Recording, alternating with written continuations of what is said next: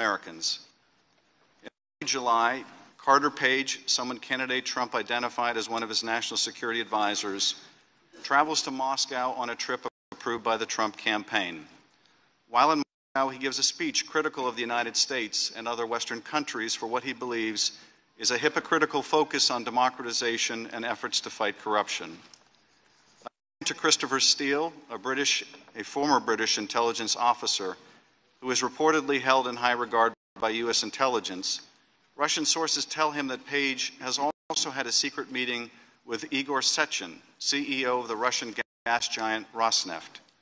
Sechin is reported to be a former KGB agent and close friend of Putin's. According to Steele's Russian sources, Page is offered brokerage fees by Sechin on a deal involving a 19% share of the company. According to Reuters, the sale of a 19.5% share of Rosneft later takes place with unknown purchasers and unknown brokerage fees. Also, according to Steele's Russian sources, the campaign is offered documents damaging to Hillary Clinton, which the Russians would publish through an outlet that gives them deniability, like WikiLeaks. The hacked documents would be in exchange for a Trump administration policy that de emphasizes Russia's invasion of Ukraine and instead focuses on criticizing NATO countries for not paying their fair share policies which, even as recently as the President's meeting last week with Angela Merkel, have now presciently come to pass. In the middle of July, Paul Manafort, payroll of pro Russian Ukrainian interests, attends the, Russia, the, Republican Party convention. Carter Page, back from Moscow, also attends the convention. According to Steele, it was Manafort who chose Page to serve as a go between for the Trump campaign and Russian interests. Ambassador Kislyak, who presides over a Russian embassy in which diplomatic personnel would later be expelled as likely spies, also attends the Republican Party convention and meets with Carter Page and additional Trump advisors J.D. Gordon and Walid Phares. It was J.D. Gordon who approved Page's trip to Moscow. Ambassador Kislyak also meets with Trump National Campaign Chair, National Security Campaign Chair, and now Attorney General Jeff Sessions. Sessions would later deny meeting with Russian officials during his Senate confirmation hearing. Just prior to the convention, the Republican Party platform is changed, removing a section that supports the provision of lethal defensive weapons to Ukraine, an action that was contrary to Russian interests. Manafort categorically denies involvement by the Trump, campaign in altering the platform. But the Republican delegate who offered the language in support of providing defensive weapons to Ukraine states that it was removed at the insistence of the Trump campaign. Later, J.D. Gordon admits opposing the inclusion of the provision at the time it was being debated and prior to its being removed. Later in July and after the convention, the first stolen emails detrimental to Hillary Clinton appear on WikiLeaks. A hacker who goes by the moniker Guccifer2 claims responsibility for hacking the DNC and giving the documents to WikiLeaks. But leading private cybersecurity firms, including CrowdStrike, Mandiant, and ThreatConnect, review the evidence of the hack and conclude with high certainty that it was the work of APT 28 and APT 29, who are known to be Russian intelligence services. The U.S. intelligence community also later confirms that the documents were in fact stolen by Russian intelligence. In late July, candidate Trump praises WikiLeaks says he loves them, and openly appeals to the Russians to hack his opponents' emails, telling them that they will be richly rewarded by the press.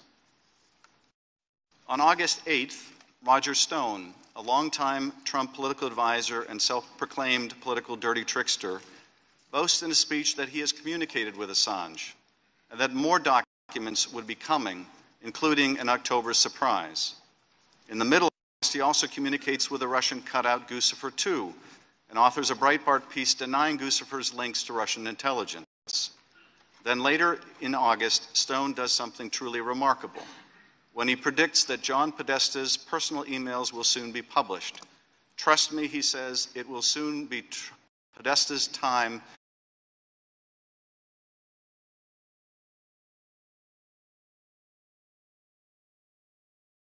have total confidence that WikiLeaks and my hero, Julian Assange will educate the American people soon, he says. Hashtag lock her up. Payload coming, he predicts, and two days later, it does. WikiLeaks releases its first batch of Podesta emails. The release of John Podesta's emails would then continue on a daily basis up until the election. On election day in November, Donald Trump wins. Donald Trump appoints one of his high profile surrogates, Michael Flynn, to be his national security advisor. Michael Flynn has been paid by the Kremlin's propaganda outfit RT in the past, as well as another Russian entity. In December, Michael Flynn has a secret conversation with Ambassador Kislyak about sanctions imposed by President Obama on Russia over its hacking designed to help the Trump campaign. Michael Flynn lies about this secret conversation. The vice president unknowingly then assures the country that no, no such conversation ever happened. The president is informed that Flynn has lied and Pence has misled the country. The president does nothing. Two weeks later, the press reveals that Flynn has lied, and the president is forced to fire Mr. Flynn. The president then praises the man who lied, Mr. Flynn, and castigates the press for exposing the lie. Now, is it possible that the removal of the Ukraine provision from the GOP platform was a coincidence?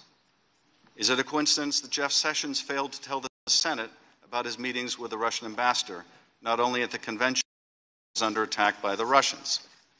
Is it a coincidence that Michael Flynn would lie about a conversation he had with the same Russian ambassador, Kislyak, about the most pressing issue facing both countries at the time they spoke, the U.S. imposition of sanctions over Russian hacking of our election? designed to help Donald Trump. Is it a coincidence that the Russian gas company Rosneft sold a 19% share after former British intelligence officer Steele was told by Russian sources that Carter Page was offered fees on a deal of just that size? Is it a coincidence that Steele's Russian sources also affirmed that Russia had stolen documents hurtful to Secretary Clinton that it would utilize in exchange for pro Russian policies that would later come to pass? Is it a coincidence that Roger Stone predicted that John Podesta would be a victim of a Russian hack and have his private emails published and did so even before Mr. Podesta himself was fully aware that his private emails would be exposed? Is it possible that all of these events and reports are completely unrelated and nothing more than an entirely unhappy coincidence? Yes, it is possible.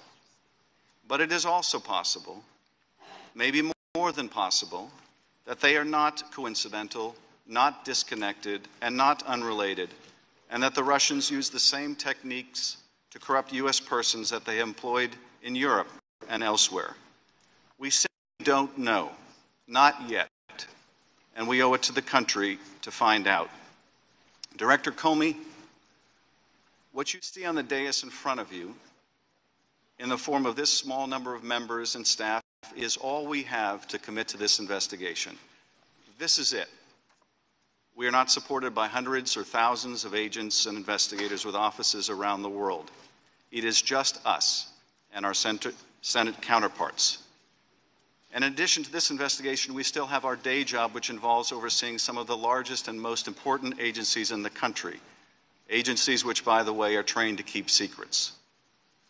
I point this out for two reasons, and I'm, I'm wrapping up, Chairman. First, because we cannot do this work alone, and nor should we. We believe these issues are so important that the FBI must devote its resources to investigating each of them thoroughly. To do any less would be negligent in the protection of our country. We also need your full cooperation with our, our investigation so that we may have the benefit of what you know, and so that we may coordinate our efforts in the discharge of both our responsibilities. And second, I raise this because I believe that we would benefit from the work of an independent commission that can devote the staff and resources to this investigation that we do not have and that can be completely removed from any political considerations. This should not be a substitute for the work that we in the Intelligence Committee should and must do. The stakes are nothing less than the future of our democracy and liberal democracy because we're engaged in a new war of ideas, not communism versus capitalism, but authoritarianism versus democracy and representative government. And in this struggle, our adversary sees our political process as a legitimate field of battle. Only by understanding what the Russians did can we inoculate ourselves from further Russian interference that we know is coming. Only then can we protect our European allies who are, as we speak, enduring similar Russian interference in their own elections. And finally, I want to say a word about our own committee investigation. You will undoubtedly observe in the questions and comments that our members make during today's hearing that the members of both parties share a common concern over the Russian attack on our democracy, but bring a different perspective on the significance of certain issues or the quantum of evidence we have seen in the earliest, earliest stages of this investigation. This is to be expected. The question most people have is whether we can really conduct this investigation in the kind of thorough and nonpartisan manner that the seriousness of the issues merit, or whether the enormous political consequences of our work will make that impossible. The truth is, I don't know the answer. But I do know this. If this committee can do its work properly, if we can pursue the facts wherever they lead, unafraid to compel witnesses to testify, to hear what they have to say, to learn what we will, and after exhaustive work reach a common conclusion, it would be a tremendous public service and one that is very much in the national interest. So let us try. I thank you, Mr. Chairman, and I yield back. Thank you. Gentlemen, back. Uh, with that, uh, Admiral Rogers, you're recognized for five minutes. Thank you, sir. Chairman Nunes, Ranking Member Schiff, and members of the committee. Thank you for the opportunity to appear before you today on behalf of the men and women of the National Security Agency. I'm honored to appear besides my teammate Director Comey to discuss Russia's activities and intentions regarding the 2016 U.S. election and want to assure the committee that my team is doing its best to fulfill the various requests of this committee to support ongoing investigations into this subject. Over the past weeks, NSA has been working closely with the committee to provide you the information that you require for your investigation, and I can assure you we will continue to do so. When we last met in January, we discussed the classified version of the January Intelligence Community's assessment on assessing Russian activities and intentions in the recent U.S. elections. Today, more than two months after we issued this assessment, we stand by it as issued. There is no change in our confidence level on the assessment. Of course, the specifics of this assessment need to remain classified to protect sensitive sources and methods. So today I will limit my discussion to information in the public domain, and that of the publicly released intelligence community assessment. I hope you will understand that there are some issues I cannot discuss in an open session, nor will I be able to provide specifics in some areas. As the committee fully knows, the intelligence community has a long-standing policy of not discussing surveillance targeting information in particular cases, as to do so would invariably open the door to compel further disclosures in litigation or the release of classified information, all of which would be harmful to our national security. Like the committee, we are also greatly concerned about leaks of classified information, as they can reveal the and methods we employ to provide intelligence to American policymakers and warfighters and generate advantage for our nation while protecting its citizens and interests and their privacy. I also want to assure the committee that we take very seriously that obligation to protect U.S. persons' privacy. This applies to all stages of the production of foreign intelligence, but I'd like to emphasize one area in particular the dissemination of U.S. person information. We at NSA have strict procedures in place to make sure that our reporting and the contents of our reporting are disseminated only to those that have strict need to know for valid purposes, which primarily means in support of the development of foreign policy and to protect national security. I do want to specifically mention that among the collection authorities that we have to target foreign actors in foreign spaces, FISA Section 702 and Executive Order 12333 have been instrumental in our ability to produce the intelligence made available to the committee and others in gathering the SIGINT facts of foreign activity in this election cycle. It would be difficult to overstate the breadth and scale of malicious cyber activity occurring today. Our adversaries, including nation states, have not rested in trying to penetrate government systems, steal our private industry's intellectual property, and make even greater strides towards the development and achievement of cyber attack capabilities. We have a hardworking and dedicated team at NSA that works every day to generate insights on this activity and to thwart its effectiveness. But cyber defense is a team sport. It's Director Comey's team at the FBI. And I'm glad to be able to describe here today how we are working together to help protect the nation and our allies, to include providing a better understanding of Russian intentions and capabilities. In light of the assessment and findings, I welcome your investigation into overall Russian activities targeting the previous U.S. elections. NSA continues to employ rigorous analytic standards, applying them in every aspect of our intelligence reporting. Our analysts have consistently proven to be reliable and thorough in their technical and analytic efforts in providing our policymakers and warfighters with SIGINT ammunition to make informed decisions to protect our nation's freedom and ensure the safety of its citizens. They are diligently continuing to monitor for additional reflections of Russian targeting of U.S. systems and those of our friends and allies around the world, to share that information with our IC colleagues and foreign counterparts, and to produce unbiased, unprejudiced, and timely reporting of SIGINT facts in their entirety. And I look forward to your questions. Thank you, sir. Thank you, Admiral Rogers. Uh, Director Comey, recognized for five minutes.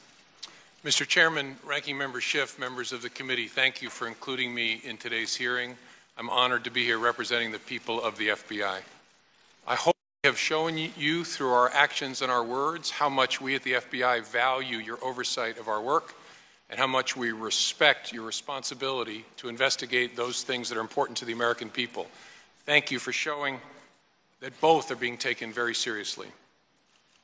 As you know, our practice is not to confirm the existence of ongoing investigations, especially those investigations that involve classified matters.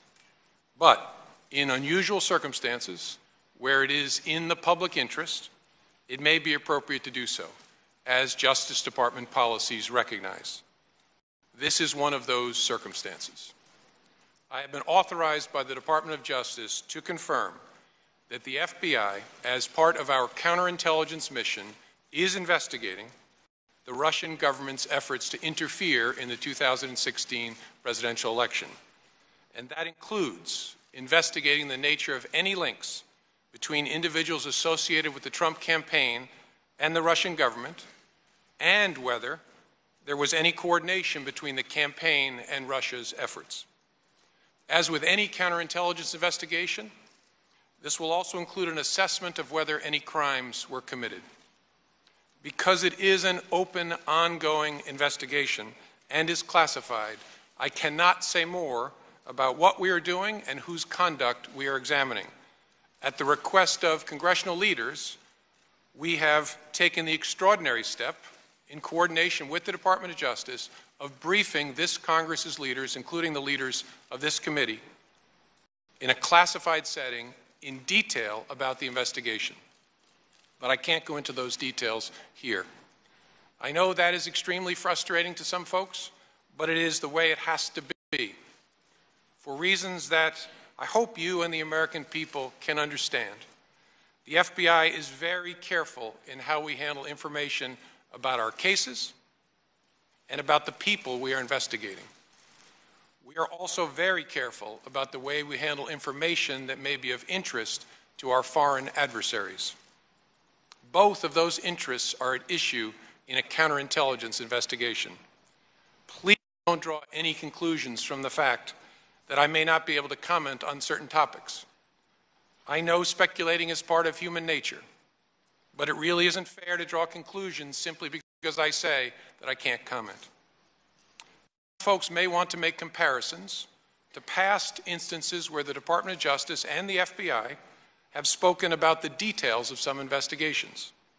But please keep in mind that those involve the details of completed investigations.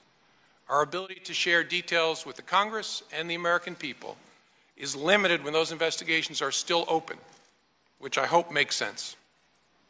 We need to protect people's privacy. We need to make sure we don't give other people clues as to where we're going. We need to make sure that we don't give information to our foreign adversaries about what we know or don't know. We just cannot do our work well or fairly if we start talking about it while we're doing it. So we will try very, very hard to avoid that, as we always do. This work is very complex, and there is no way for me to give you a timetable as to when it will be done. We approach this work in an open-minded, independent way, and our expert investigators will conclude that work as quickly as they can, but they will always do it well, no matter how long that takes. I can promise you we will follow the facts wherever they lead. And I want to underscore something my friend Mike Rogers said. Leaks of classified information are serious, serious federal crimes for a reason. They should be investigated and, where possible, prosecuted in a way that reflects that seriousness so that people understand it simply cannot be tolerated. And I look forward to taking your questions. Thank you, Comey. Admiral Rogers, I first uh, want to go, go to you. Uh, on January 6th, uh, 2017, the intelligence community assessment assessing Russian activities and intentions in recent U.S. elections stated that the types of systems Russian actors targeted or compromised were not involved in vote tallying. So, my question uh, as of today, Admiral Rogers, do you have any evidence that Russia cyber actors changed vote tallies in the state of Michigan? do not, but I would highlight we're a foreign intelligence organization, not a domestic intelligence organization. So it would be fair to say we are probably not the best organization to provide a more complete answer. How about the state of Pennsylvania? No, sir. The state of Wisconsin? No, sir. State of Florida? No, sir. The state of North Carolina? No, sir. The state of Ohio? No, sir. So, so you have no intelligence that suggests or evidence that su- suggests any votes were changed. I have nothing generated by the National Security Agency, sir.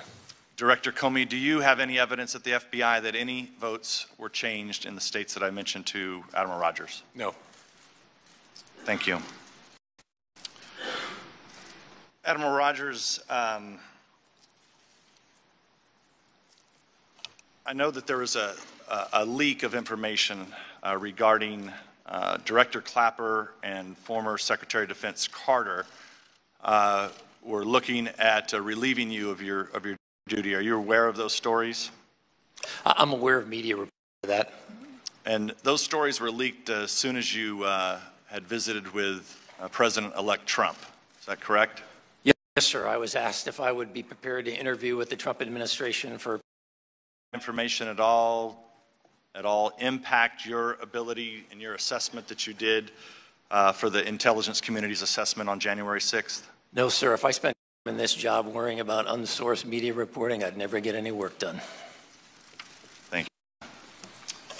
Director Comey, I remain uh, extremely concerned about the widespread illegal leaks that you just referenced in your, in your testimony. Uh, just for the record, though, uh, I want to get this uh, on the record. Uh, does the unauthorized disclosure of classified information to, the press violate 18 U.S.C. 793, a section of the Espionage Act that criminalizes improperly accessing, handling, or transmitting national defense information?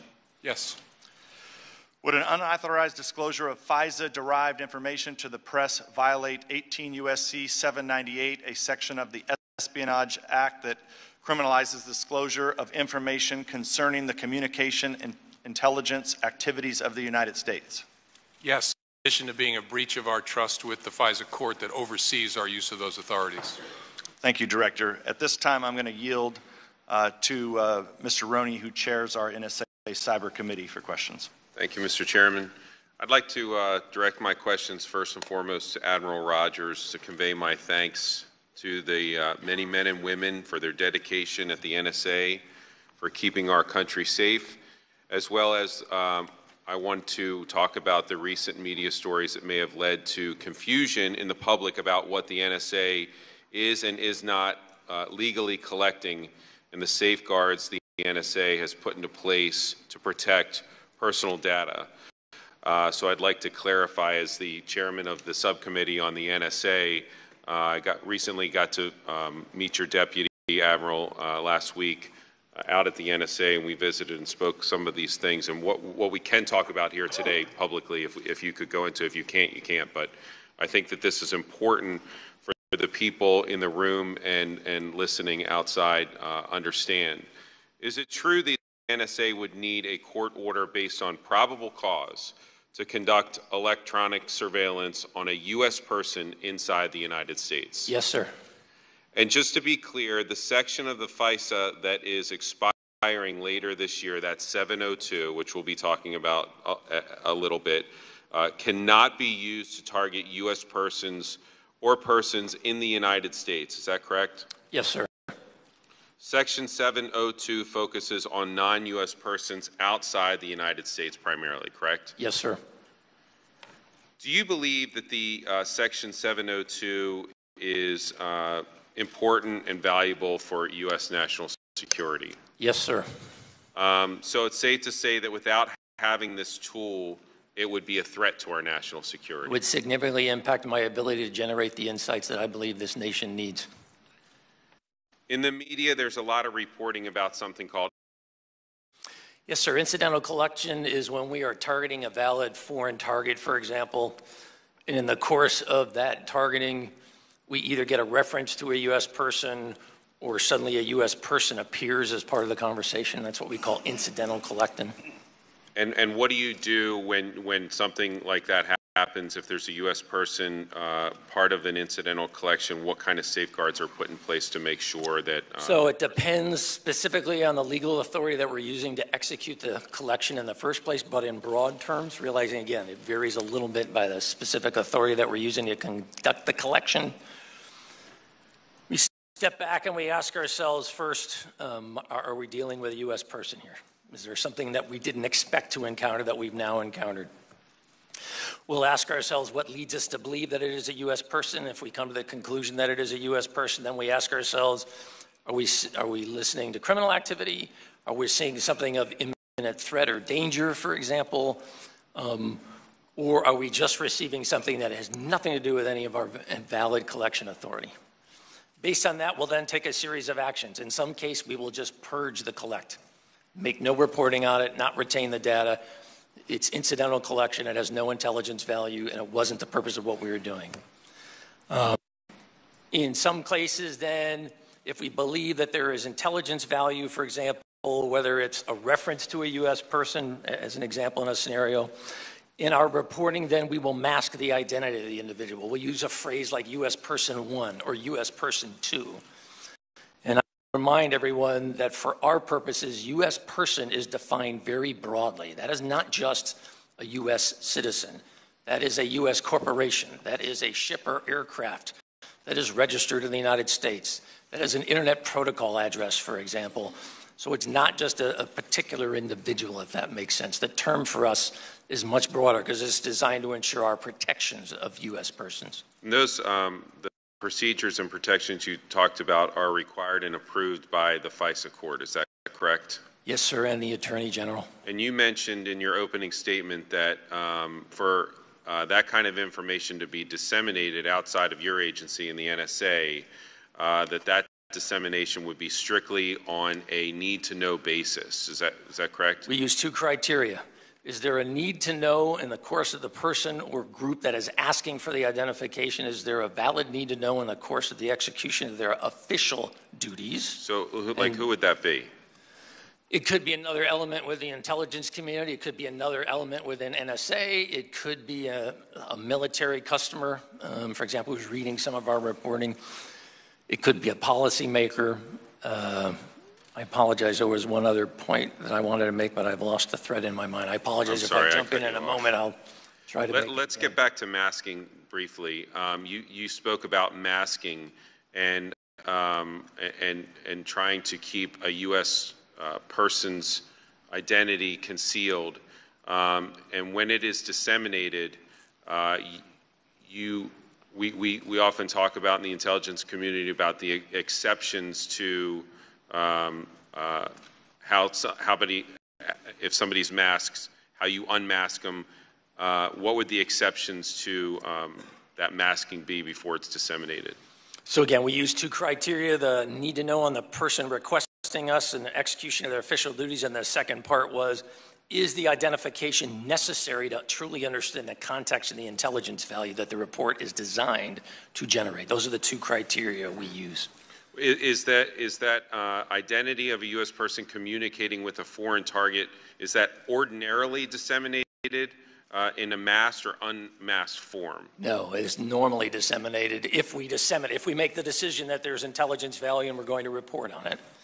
Um, It is normally disseminated in a masked form. I would, uh, um, again, as I said, we'll use a reference, U.S. Person 1, U.S. Person Right. 2. I I would highlight, if you look at the total breadth of our reporting, reporting involving U.S. per- persons at all is an incredibly small subset, in my experience, of our total reporting. Who, who normally in the NSA would make the, Delegated this authority to approve unmasked requests. um, and does the level of approval change depending on the reason for unmasking? If it was something or somebody, say, really important, would, would that matter? or Could it be? it's not necessarily designated in writing that way, but certainly by custom and tradition, at times requests will be pushed up to my, I'm one, I'm the senior most of the 20 individuals. Requests will be pushed to my level saying, hey, sir, we just want to make sure that you're comfortable with this. So 20 people, I- that, you know, uh, what, what procedures or safeguards are put in place to make sure that those 20 people are not unmasking, you know, wrongly? So they retrieve specific training, there are specific controls put in place in terms of our ability to disseminate information out of the databases associated with U.S. persons. Okay. Run through the exceptions uh, quickly um, through a following hypothetical. If the NSA collects a communication where a target under surveillance is talking to a U.S. person, how would the NSA determine whether disseminating the U.S. person information is necessary to understanding the foreign intelligence or assess its importance? So first, we'll try to understand the nature of the conversation. Is this truly something that involves intelligence or a national security implication for the United States, or is this just very normal, reasonable conversations, in which case we have no desire to have any awareness of it? It's not applicable to our mission. And I said, in that case, normally we'll purge the data. Um, We'll ask ourselves, is there criminal activity involved? Is there threat, potential threat or harm to U.S. individuals being discussed in the conversation, If for there- example? If there was criminal activity involved, what would you do then? If, when we disseminate, if we decide we need, if it's criminal activity, we'll disseminate the information. If the FBI or other criminal activities are on the reporting stream, in some cases, I also will generate a signed letter under my signature in specific cases to Department of Justice highlighting that what we think we have is potential criminal activity, but because we are not a law enforcement or justice organization, we're not at a place to make that determination. Okay, based on that, again, hypothetically, if the NSA obtained the communication of General Flynn while he was communicating with a surveillance target legally, would you please explain how General Flynn's identity could be unmasked based on the exceptions that we discussed? Sir, I'm not going to discuss even hypotheticals about individuals. I'm sorry. If I could make reference to a Washington Post article that I have here from February 9th, which states, uh, do you, uh, let me say what it is, and I'll ask if you've read it or, or uh, if you've seen it, which states national security under Michael Flynn privately discussed U.S. sanctions against Russia with the country's ambassador to the United States during the month before President Trump took office, contrary to public assertions by Trump officials current and, and uh, former U.S. officials said. The article goes on to say that nine current or former, former officials who were in senior positions at multiple agencies at the time of the call spoke under the condition of anonymity to discuss intelligence matters. Did you read this article? I apologize. Not an article that references nine particular individual. It doesn't necessarily ring a bell. I've certainly seen plenty of media reporting to that, but again, I'm not going to comment on specifics. J- Just basically, uh, uh, under the breadth of that article, when we, when we hear that nine former current uh, or current officials had spoken to the press under the condition of anonymity, and we heard uh, Director Comey and the chairman speak of um, this as a potential crime, uh, a serious crime, under the S. Um, who would have the posi- who would be in a position to request the unmasking of General Flynn's identity? Would that be you? I, I would have the authority to do that. Who else would? The 19 other individuals. Uh, would that include Director uh, Comey? I'm talking about In the 20 NSA individuals alone. Within the National Security Agency, and we're talking about NSA reporting. But, but would people like Director Comey also be able to request that? Yes. And the Attorney General and Director Clapper, are, are those type of people also on this list? Again, I'm not going to talk, in general, yes, they would be able Generally to come and speaking, ask. not- not They with would regard be able to come and ask, not going to talk about the specifics of an individual or a hypothetical scenarios. Well, here, here's what I'm trying to get at. I- If, if, if what we're talking about is a serious crime, a- as has been uh, alleged, in your opinion, would, would leaking of an, a U.S. person uh, who has been unmasked and disseminated by intelligence community officials, would that leaking to the press hurt or help our ability to conduct national security Hurt. matters? Okay, if, if it hurts, uh, so this leak, which through the 702 tool, which we all agree is vital, or you and I at least agree to that, do you think that that leak actually threatens our national security? If it's a crime, and if it's unveiling a mass person, and this tool is so important that it could potentially jeopardize this tool when we have to try to reauthorize it in a few months. If this is used against the ability of us to reauthorize this tool, and we can't get it done because whoever did this leak, or these nine people that did this leak, create such a stir, whether it be, you know, in our legislative process or whatever, that they don't feel confident that a U.S. person under the 702 program can be masked successfully and not security. Yes, sir.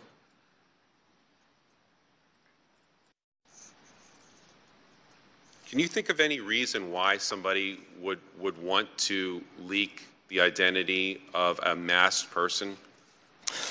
No, sir. I, I mean, I have raised this directly with my own workforce over the, over the course of the last few months to remind everyone, part of the ethics of our profession, not just the legal requirement, but the ethics of our profession as intelligence professionals, is we do not engage in this activity. And I've also reminded the men and women of the National Security Agency, if I become aware of any such conduct, there is no place for you on this team. It's acceptable to citizens of the nation. Well, I think that, Anyone you know, in this. as we move forward, obviously, you know, I think that what you're speaking of is this sacred trust that the intelligence community has with the American people and with the people that are uh, representing them here on this dais.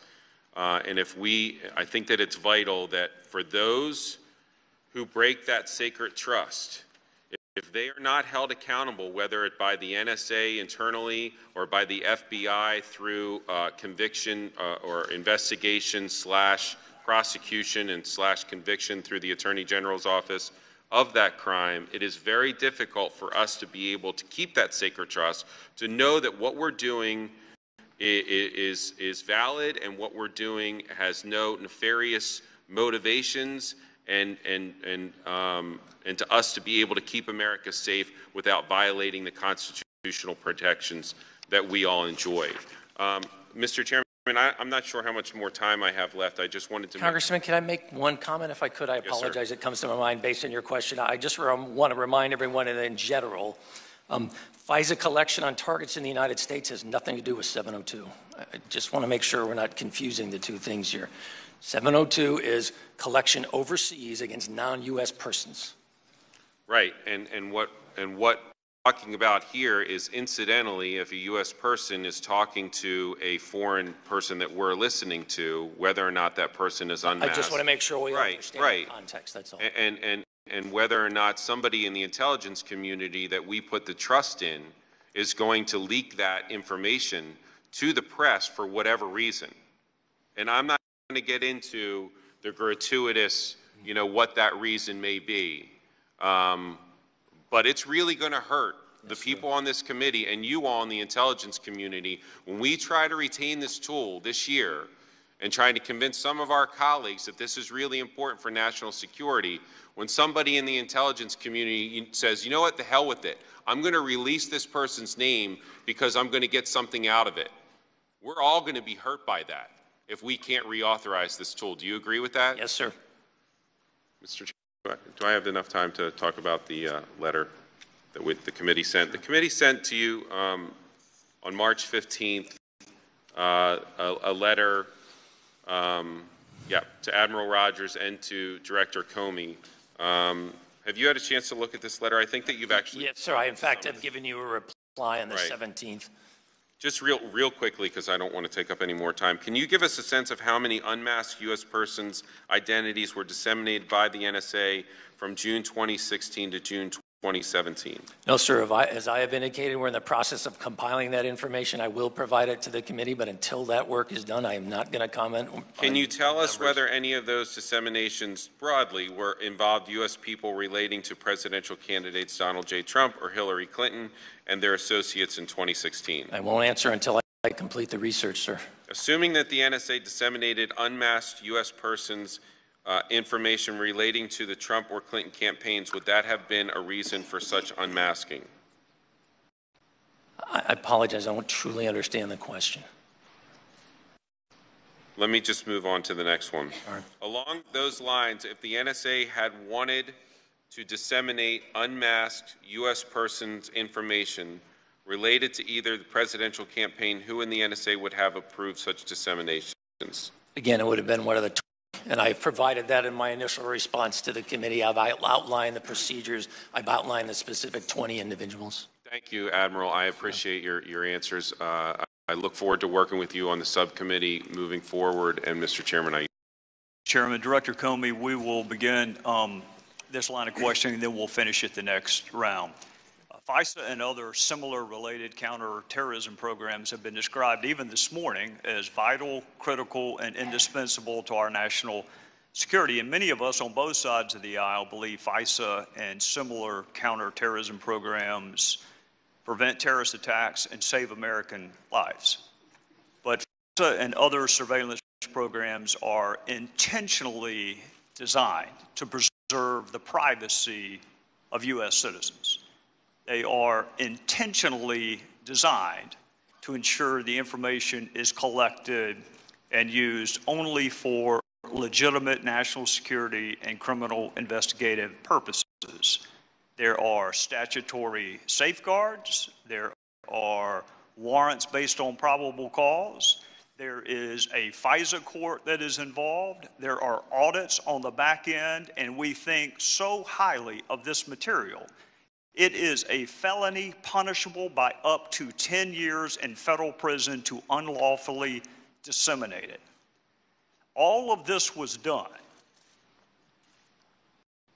to make sure this information gathered remains protected as it relates to U.S. citizens. The way I view it, Director Comey, the American people have an agreement with their government.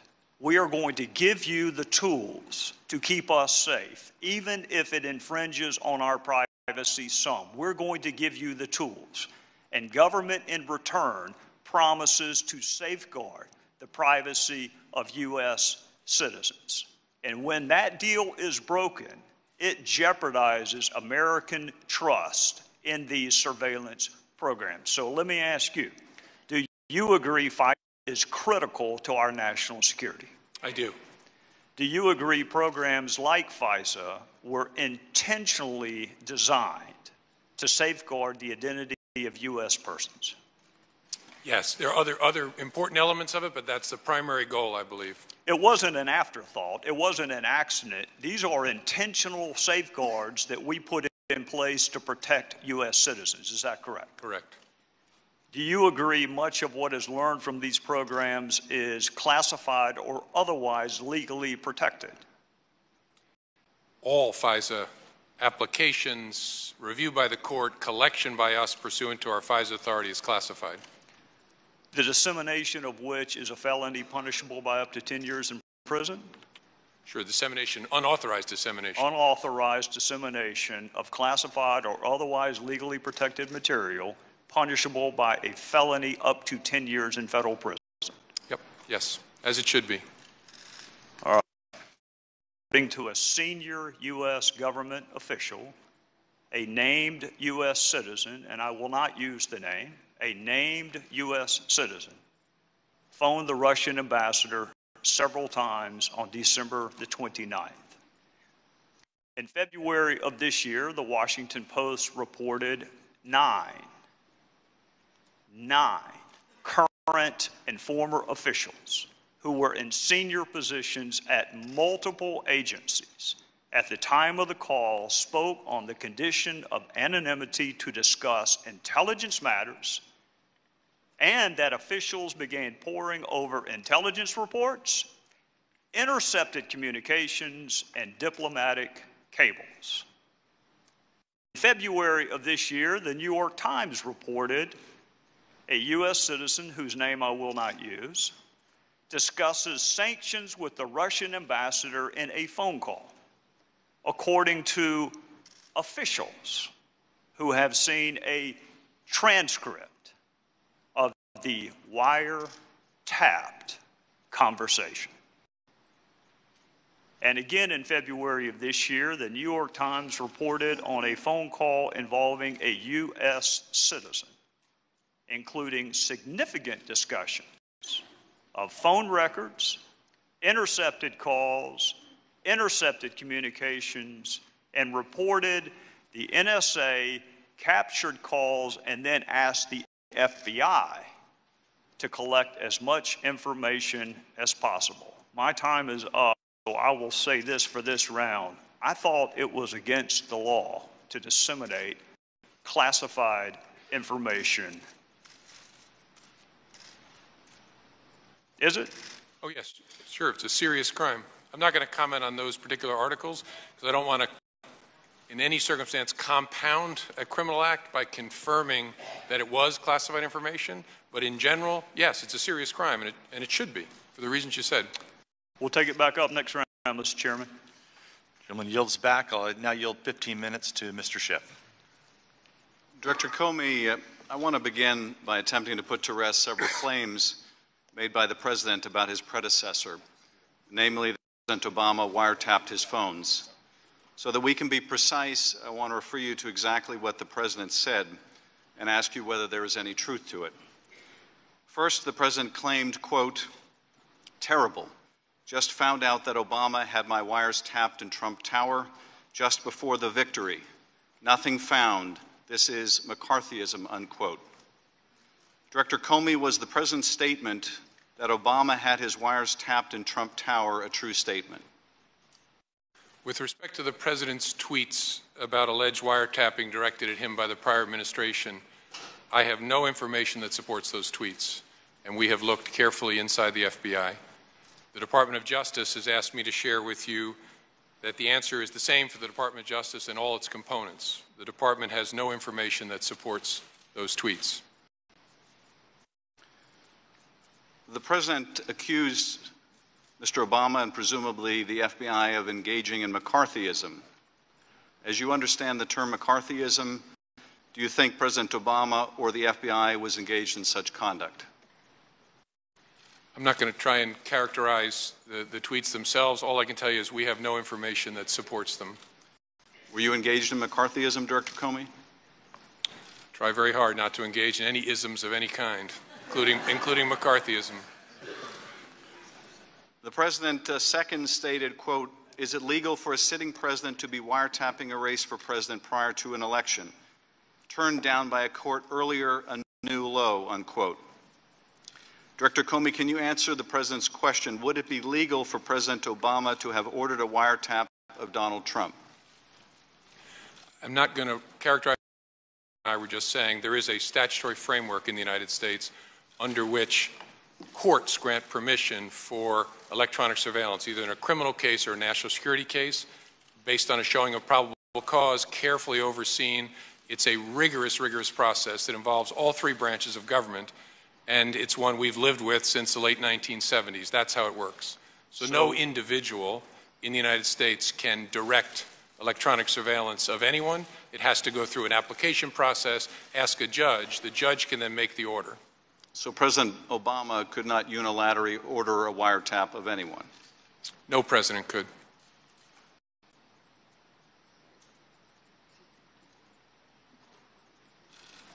Mr. Trump also asserted in that tweet that he was uh, that the application or the president's order was turned down by a court. Was there any request made by the FBI or Justice Department to wiretap Donald Trump turned down by a court? That's one of those subjects I can't comment on one way or another. Please don't interpret that in any way other than I just can't talk about anything that relates to the FISA process uh, in an open setting. Third, the president stated, I'd bet a good lawyer could make a great case out of the fact that President Obama was tapping my phones in October just prior to the election. Uh, Director Comey, you're a good lawyer. Can you make out a great case that President Obama wiretapped Mr. Trump's phones just prior to the election, in light of the fact you have said there's no evidence of that? All I can say is what I said before that we don't have any information that supports those tweets. Well, in my view, then, you would not be a great but a very unethical lawyer to make out such a case. And finally, the president made the following accusation How low has President Obama gone to tap my phones during the very sacred election process? This is Nixon Watergate, bad or sick guy. Director Comey, the president has compared Mr. Obama to Nixon and purported wiretap of Trump phones as another Watergate. What was the gravamen of the offense by Nixon and his operatives during Watergate. A lot of people who may be watching may be too young to understand what Watergate was about. What was the gravamen of that offense? Well, as I recall it, and I was uh, a kid, but have studied it quite a bit in school, the gravamen of it was an abuse of power, including break ins, unlawful wiretaps, obstruction of justice, uh, sort of the, uh, the cycle of criminal conduct. And it was a break in of the Democratic headquarters by operatives of the president, was it not? That's my understanding is that's how it uh, began. The and it investigation also began. involved a cover up by the president. Yes, as I said. Now, here I think you've said there's been no evidence of an illegal wiretap by uh, President Obama. Is that right? I've said the FBI and the Department of Justice have no information to support those tweets. But there is evidence, is there not, of a break in of the Democratic headquarters by a foreign power using cyber means. Yes, there was. As, as the intelligence community report, the UNCLAS report said in January, the Russian intelligence services hacked into a number of um, enterprises in the United States, including the Democratic National Committee. And there was an effort by the Russians to cover up their break in of the Democratic Party headquarters by using cutouts like WikiLeaks to publish the stolen material. Isn't that right? Certainly to cover up their, that they were the ones releasing it. Director Rogers, uh, in an effort to explain why there was no evidence, the president and his spokesman, Sean Spicer, have suggested that British intelligence, mm. through its NSA or GCHQ, wiretapped Mr. Trump on President Obama's behalf. Did you ever request that your counterparts in GCHQ should wiretap Mr. Trump on behalf of President Obama? No, sir, nor would I. That would be expressly against the construct of the Five Eyes Agreement that's been in place for decades. And the Five Eyes are some of our closest intelligence partners, and Britain, Britain is one of them. Yes, sir. Have you seen any evidence that anyone else in the Obama administration made such a request?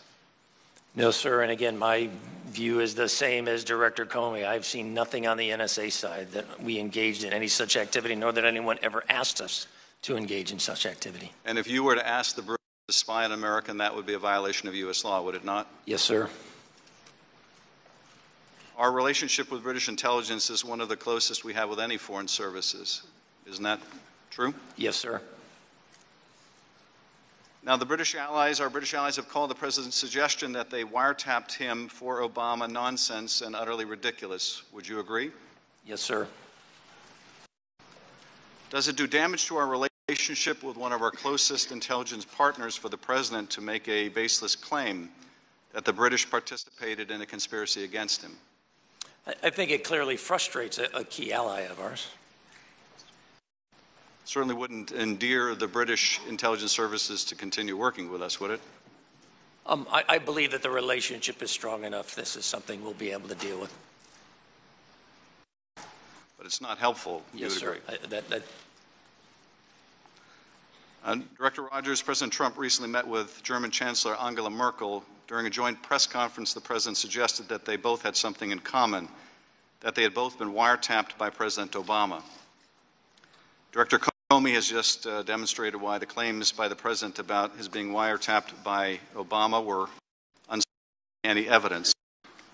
But the claim he made about wiretapping directed at Merkel referred to something that came up in the context of the Snowden disclosures.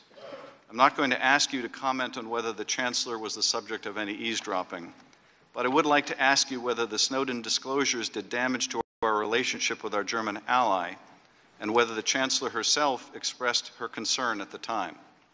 Yes, sir. In light of this, is it helpful to our relationship with the Chancellor or our relationship with German intelligence to bring this up again in a public forum? It certainly complicates things, but again, I'd like to think that our relationship is such we're going to be able to deal and keep moving forward.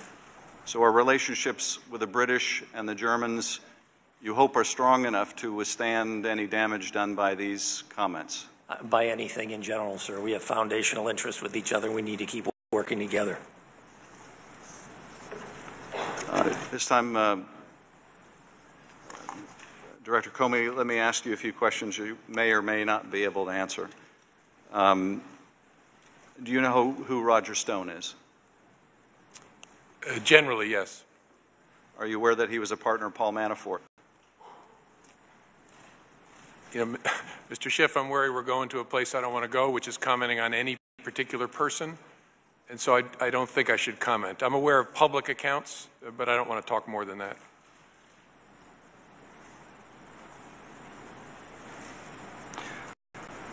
Are you aware that he has publicly acknowledged having directly communicated with Guccifer II, someone that the intelligence community has assessed was a persona of Russian intelligence? I've read media accounts to that effect. I don't want to hurt anybody's feeling in the media. I don't know whether that's accurate or not. If Mr. Stone uh, acknowledged that Mr. Podesta's time in the barrel was coming in August of 2016, would that have been prior to the public release of stolen emails of Mr. Podesta's? I believe that's uh, correct chronology. Do you know how Mr. Stone would have known that Mr. Podesta's emails were going to be released? It's not something I can comment on. Do you know that Mr. Podesta has said that it's published? It's not something I can comment on.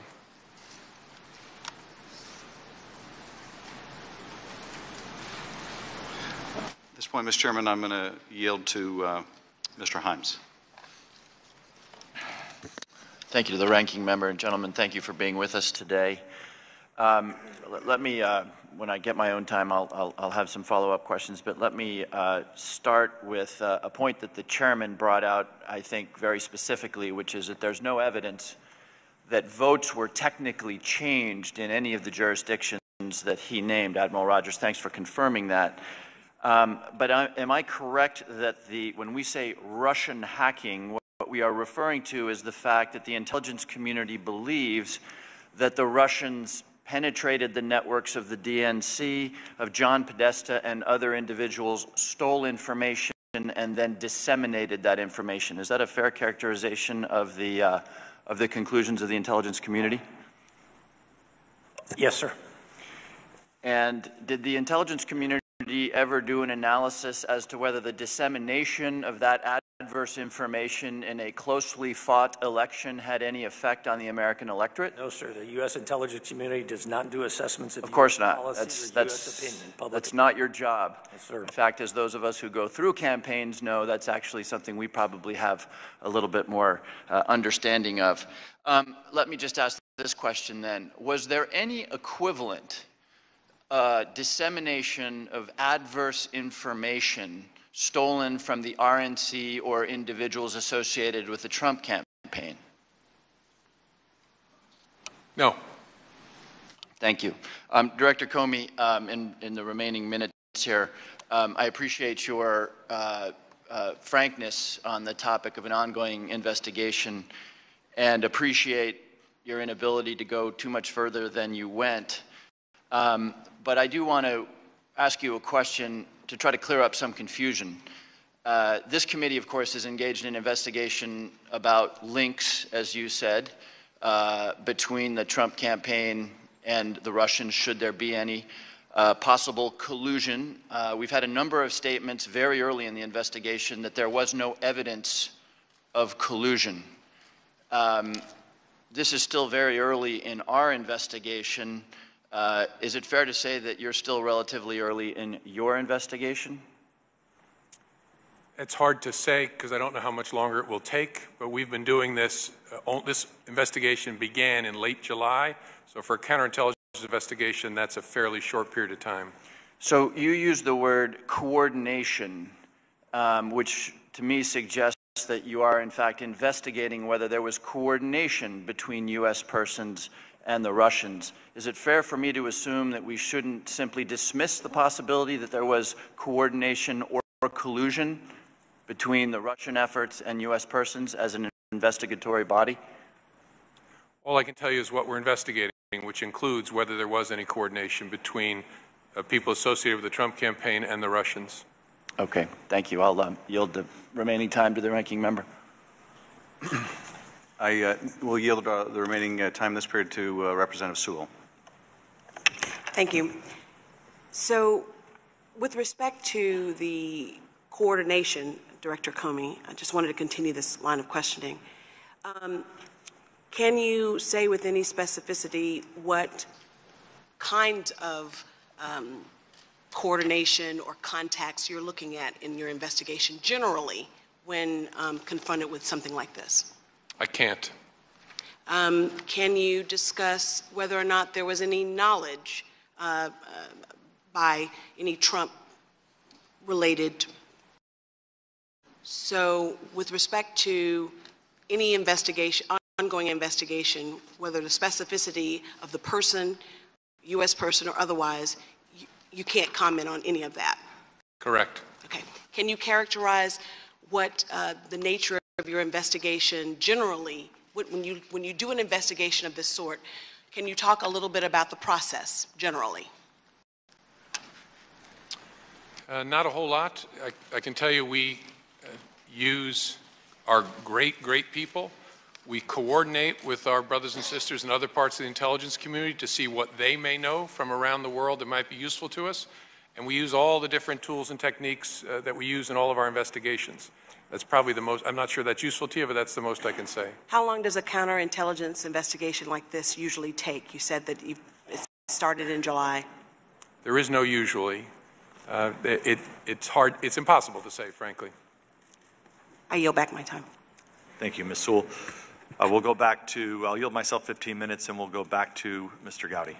Thank you, Mr. Chairman. Director Comey, you and I were discussing the felonious dissemination of classified material during the last round. Is there an exception in the law for current or former U.S. officials who request anonymity? To, to release classified information? Yes, sir. No. Is there an exception in the law for reporters who want to break a story? Well, that's a harder question as to whether a reporter incurs criminal liability by publishing classified information, and one probably beyond my ken. I'm not as good a lawyer as Mr. Schiff uh, said I used to be. Well, I don't know about that, but the statute does use the word publish, doesn't it? It does, but that's a question I know the Department of Justice has struggled with through administration after administration. I know the department struggled with it, the Fourth Circuit struggled with it, lots of people have struggled with it, but you're not aware of an exception in the current dissemination of classified information statute that carves out an exception for reporters. No, I'm not aware of anything carved out in the statute. I don't think a reporter's been prosecuted, certainly in my lifetime, though. Well, there have been a lot of statutes at bar in this investigation for which no one's ever been prosecuted or convicted, and that does not keep people from discussing those statutes, namely the Logan Act.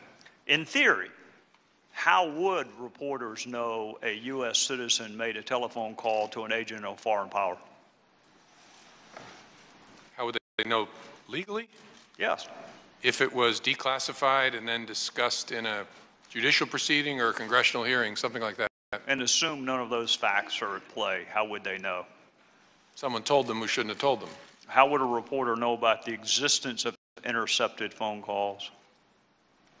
Well, same thing, in a, in a legitimate way, through a appropriate proceeding where there's been declassification, in any other way, in an illegitimate way. Um, how would reporters know if a transcript existed of an intercepted communication? Same answer. It, it, the only legitimate way would be through a proceeding. What does the term mask mean in the concept of FISA and other surveillance programs?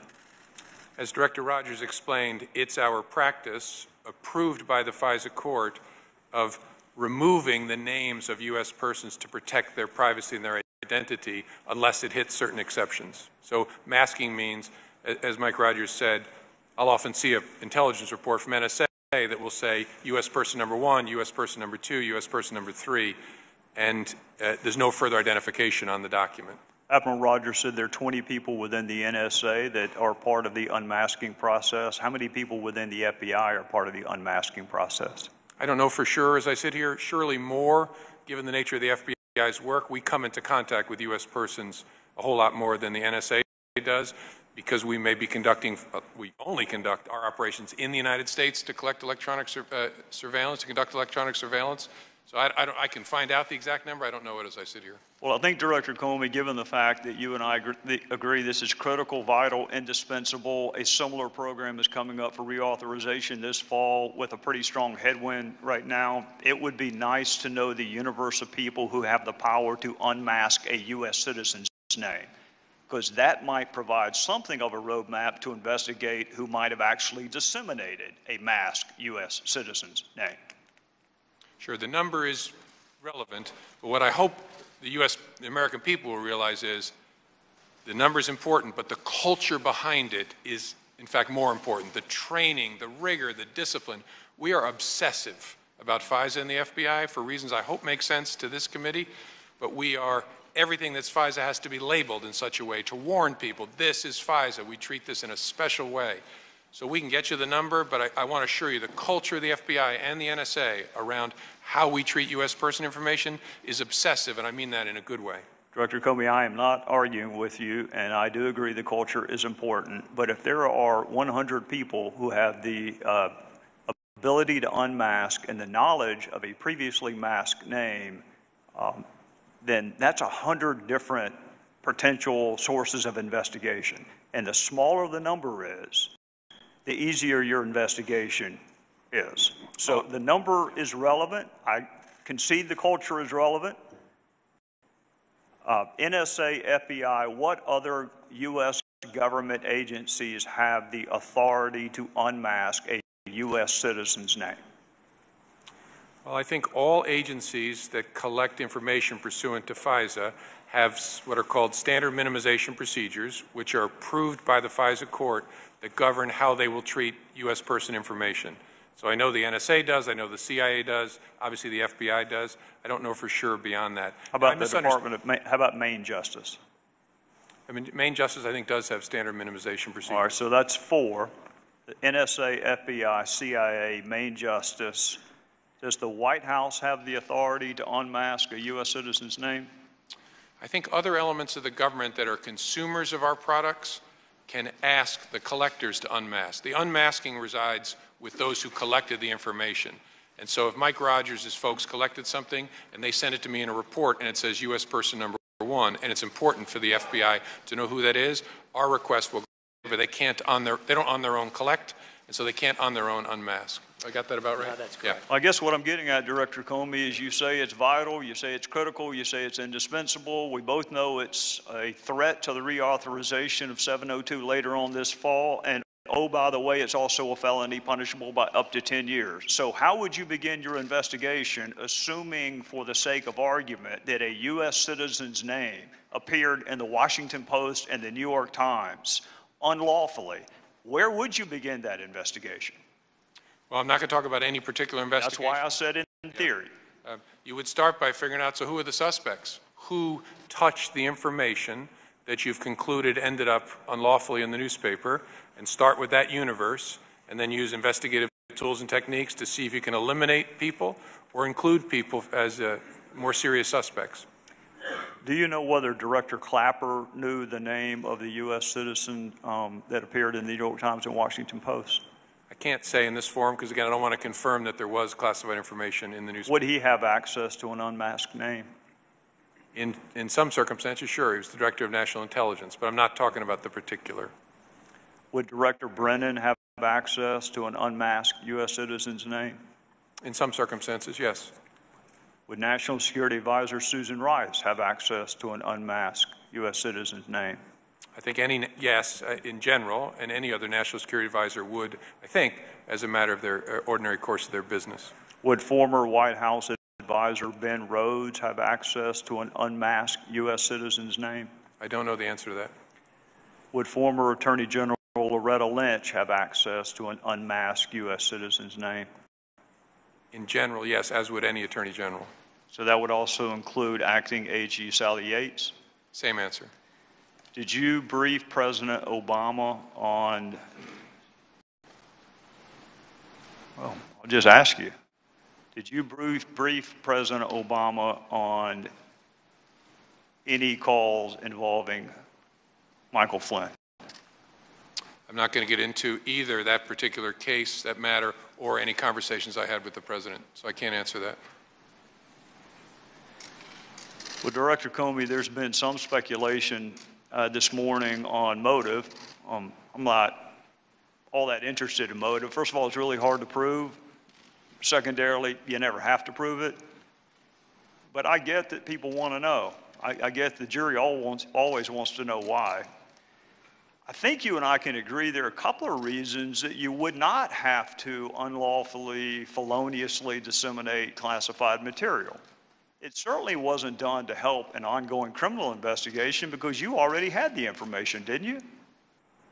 Again, I can't answer in the context of this particular matter. How about in theory? Is, is, is there something a reporter would have access to that the head of the FBI would not? It's hard for me to answer. I would hope not when it relates to the I would hope not too, since it's part of our surveillance programs. I would hope that you had access to everything as the head of the world's premier law enforcement agency. I would hope that you had it all. So if you had it all, the motive couldn't have been to help you because you already had it. And Admiral Rogers, the motive couldn't have been to help you because you already had it. So, in the universe of possible motives for the felonious dissemination of classified material, we could rule out wanting to help the intelligence communities and the law enforcement communities. Those are two motives that are gone now. That leaves some more nefarious motives. Is the investigation into the leak of classified information, has it begun yet? I can't say because I don't want to confirm that that was classified information. Well, I'm, I'm, I don't want to quarrel with you, Director Comey, and I, I do understand that you cannot ordinarily confirm or deny the existence of an investigation. But you did it this morning citing DOJ policy given the gravity of the fact pattern. Would you not agree that surveillance programs that are critical, indispensable, vital to our national security, some of which are up for reauthorization this fall, that save American lives and prevent terrorist attacks also rises to the level of important. I think those programs are vital, and leaks of information collected for statements should be taken very, very seriously. What I don't ever want to do is compound what bad people have done and confirm something that's in the newspaper. Because sometimes newspaper gets it right. There's a whole lot of wrong information about, allegedly about classified activities that's in the newspaper. We don't call them and correct them either. That's another big challenge, but we just don't go anywhere near it because we don't want to help and compound the offense that was committed. I understand that, Director Comey, and I'm trying really hard not to get you to discuss the facts at bar. But some of the words that appeared in this public reporting include the word transcript, which has a very unique use in the matters that you and I are discussing this morning. That is a very unique use of that word. Wiretap has a very specific meaning. The name of a U.S. citizen that was supposed to statutorily be protected is no longer protected. So some of this reporting, let's assume 90% of it is inaccurate. That other 10% is still really, really important. And to the extent that you can rely on the dates in either the Washington Post or the New York Times, we are talking about February of this year, is when the reporting first took place. So we are we're a month and a half or two months into something that you and I agree is incredibly important and also happens to be a felony. So I'm just simply asking you to assure the American people, you've already assured them you take it really seriously. Can you assure them that it is going to be investigated?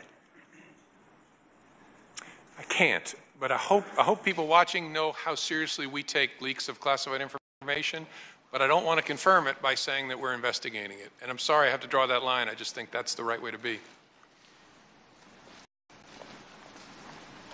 Well, I, I'm not going to argue with you, Director Comey, but it is, you know, we're going to discuss a lot of important things today. Whether Russia attempted to influence our democratic process is incredibly important.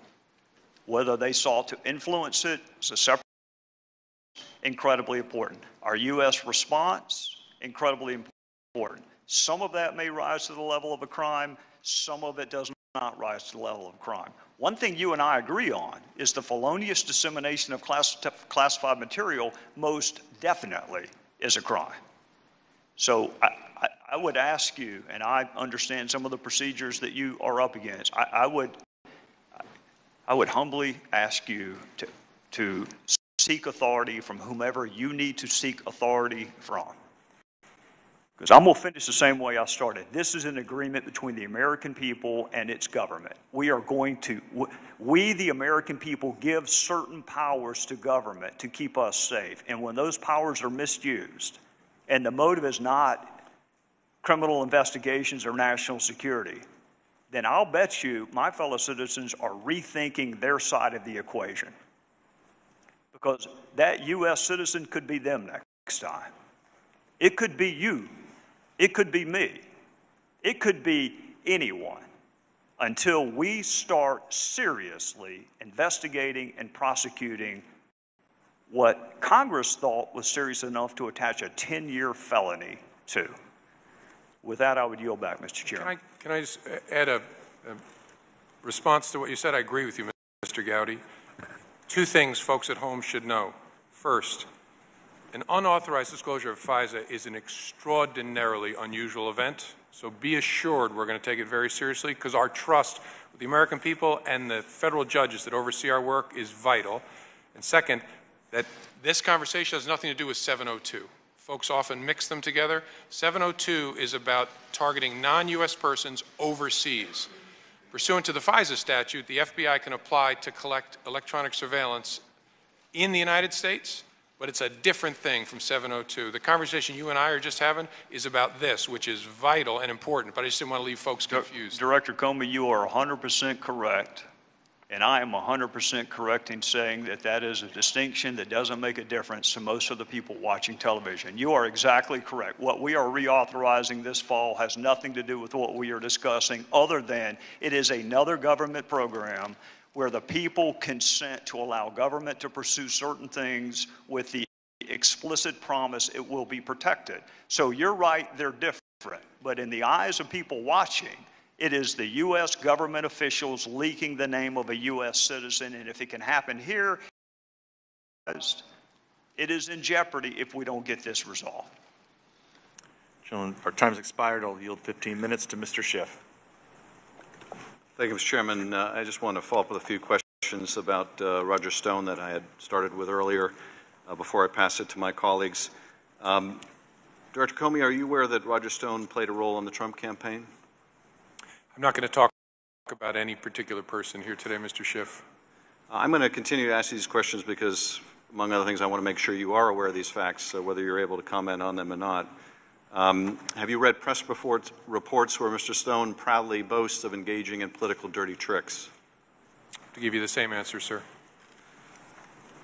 I mentioned before that Mr. Stone was in direct communication with the creature of Russian GRU, Guccifer 2, and that's something the intelligence assessment talked about the role of Guccifer 2. Um, Mr. Stone, on August 17th, are you aware, received a communication from Guccifer 2 that said, quote, I'm pleased to say that you are great. Please tell me if I can help you anyhow. It would be a great pleasure to me. Are you aware of that communication from essentially Russian GRU through Guccifer uh, to Mr. Stone? I have to give you the same answer. Are you aware that Mr. Stone also stated publicly that he was in direct communication with Julian Assange and WikiLeaks? Same answer. Are you aware that Mr. Stone also claimed that he was in touch with an intermediary of Mr. Assange? Same answer. This question I think you can answer. do you know whether the Russian intelligence services dealt directly with WikiLeaks or whether they too used an intermediary? We assessed they used some kind of cutout. They didn't deal directly with WikiLeaks, in contrast to DC Leaks and Guccifer 2.0. In early October, are you aware that Mr. Stone tweeted, I have total confidence that my hero Julian Assange will educate the American people soon? Are you aware of that tweet? I'm back to my original same answer. And are you aware that it was only days later that WikiLeaks released the Podesta emails? Same answer. Uh, I'm going to yield now to uh, Mr. Himes. Thank you, Mr. Schiff. I note that we're going through the 90-minute mark in this hearing, so let me step back a second and, uh, and just, just review the topics, because there's a lot on the table. Uh, and uh, I think my friends on the Republican side will get no argument from this side on the importance of investigating, prosecuting leaks. Leaks are a threat to our national security, whether they're perpetrated by Edward Snowden, whether they're perpetrated by people outside the White House, or perhaps, as we have seen in the last 60 days, maybe from people inside the White House. But, Mr. Comey, if I can use your phrase, intense public interest, there is intense public interest in the fact that our new president will attack anyone and everyone. He will attack the cast of Hamilton. He will attack Chuck Schumer. He will attack our allies, Mexico, Australia, Germany. He will attack Nazism and with Nazism. But there's one person and one country which is immune which is inoculated from any form of presidential attack, no matter what the behavior. No matter if there's a violation of the INF nuclear treaty, no matter if Vladimir Putin kills political opponents, the new president defends, obfuscates, does not attack. And the people around the president, Michael Flynn, Jeff Sessions, Carter Page, Paul Manafort, have an odd connection to Russia, a series of odd connections. We all campaign. I don't think any of our campaign people have connections with a foreign power, much less one that is an adversary of the United States. And further, apart from these weird links, without exception, the individuals I quoted have dissembled or misled, maybe even lied about the nature of those, uh, those connections until the political pressure has gotten to a point where they have been fired or recused in the case of the Attorney General. So I want to look briefly at one of these individuals. And Director Comey, I understand your constraints, but, but let me ask a couple of questions regardless. Um, Paul Manafort, who is Roger Stone's business partner and, former, and Trump's former campaign manager, uh, I want to ask a few questions about him. First, Director Comey, can you tell me what the Foreign Agents Registration Act is? Sure, not in an expert way, but it's a statute that requires people who are acting as agents of a non-U.S. government to register with the United States. Right. So the uh, National Security Division of the Department of Justice uh, writes, this is their manual, the purpose of FARA, as it is known, is to ensure that the U.S. government and the people of the United States are informed of the source of information and the identity of persons attempting to influence U.S. public opinion, policy, and laws, unquote. Would you agree that guarding against foreign espionage or foreign influence measures falls under this heading? Yes. In general, is willful violation or failure to register pursuant to this law in some circumstances a crime? I believe it is. I'm not an expert on FARA, but I believe it is. And it could lead certainly to counterintelligence concerns, right? Yes. Now, Paul Manafort, as reported in the New York Times and other outlets, and his deputy Rick Gates ran a campaign in Washington to lobby government officials and push positive press coverage of pro Russian Ukrainian officials. Paul Manafort began officially working for former Ukrainian President Yanukovych at least as far back as 2007, according to the Washington Post. The lobbying was only discovered by Ukraine's new National Anti-Corruption Bureau, which found secret ledgers in Kiev indicating almost $13 million in undisclosed cash payments from Ukrainian government coffers to Paul Manafort for lobbying done between 2007 and 2012 for Mr. Yanukovych. Yanukovych. Director Comey, did Paul Manafort ever register as a foreign agent under FARA? That's not something I can comment on. Whether he registered or not is not something that you can comment on? No. Okay. Paul Manafort was, however, Donald Trump's campaign manager in July of 2016, correct?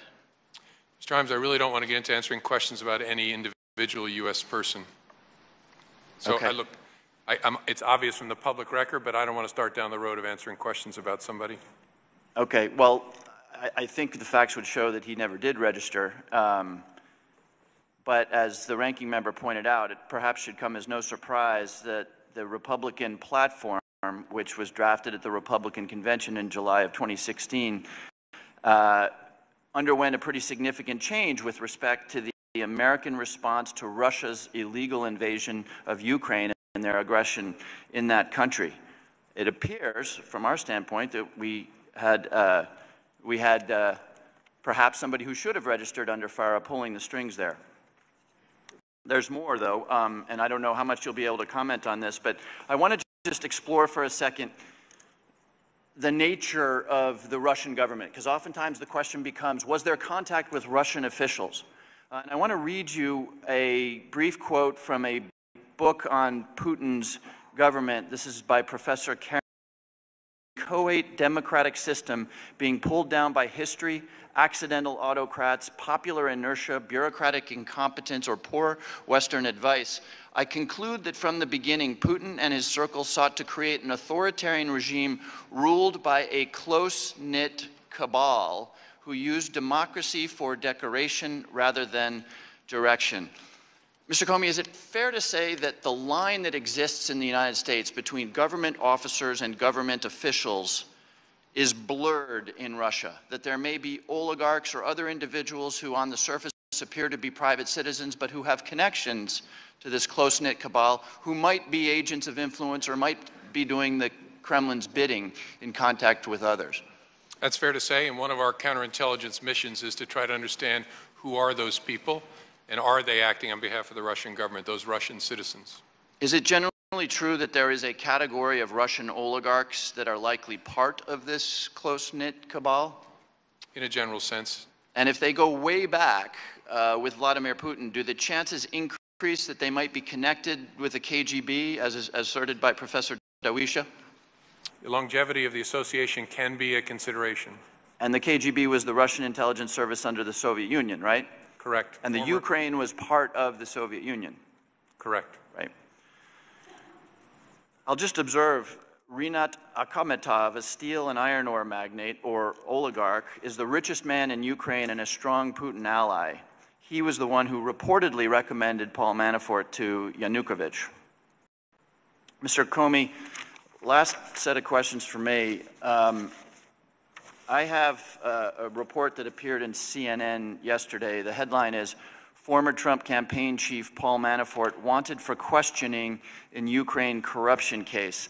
And I, I, I raise this with you because the story is told of Paul Manafort acting on behalf of Ukraine's former justice minister, minister Alexander Lavrinovich, who uh, was the justice minister under the previous pro Russian regime, who, and I'll just read a segment from this story here, uh, who was involved in jailing the former prime minister, uh, Timoshenko, who was the main political rival of the Kremlin backed President Viktor Yanukovych, whom Manafort advised until he was deposed in 2014.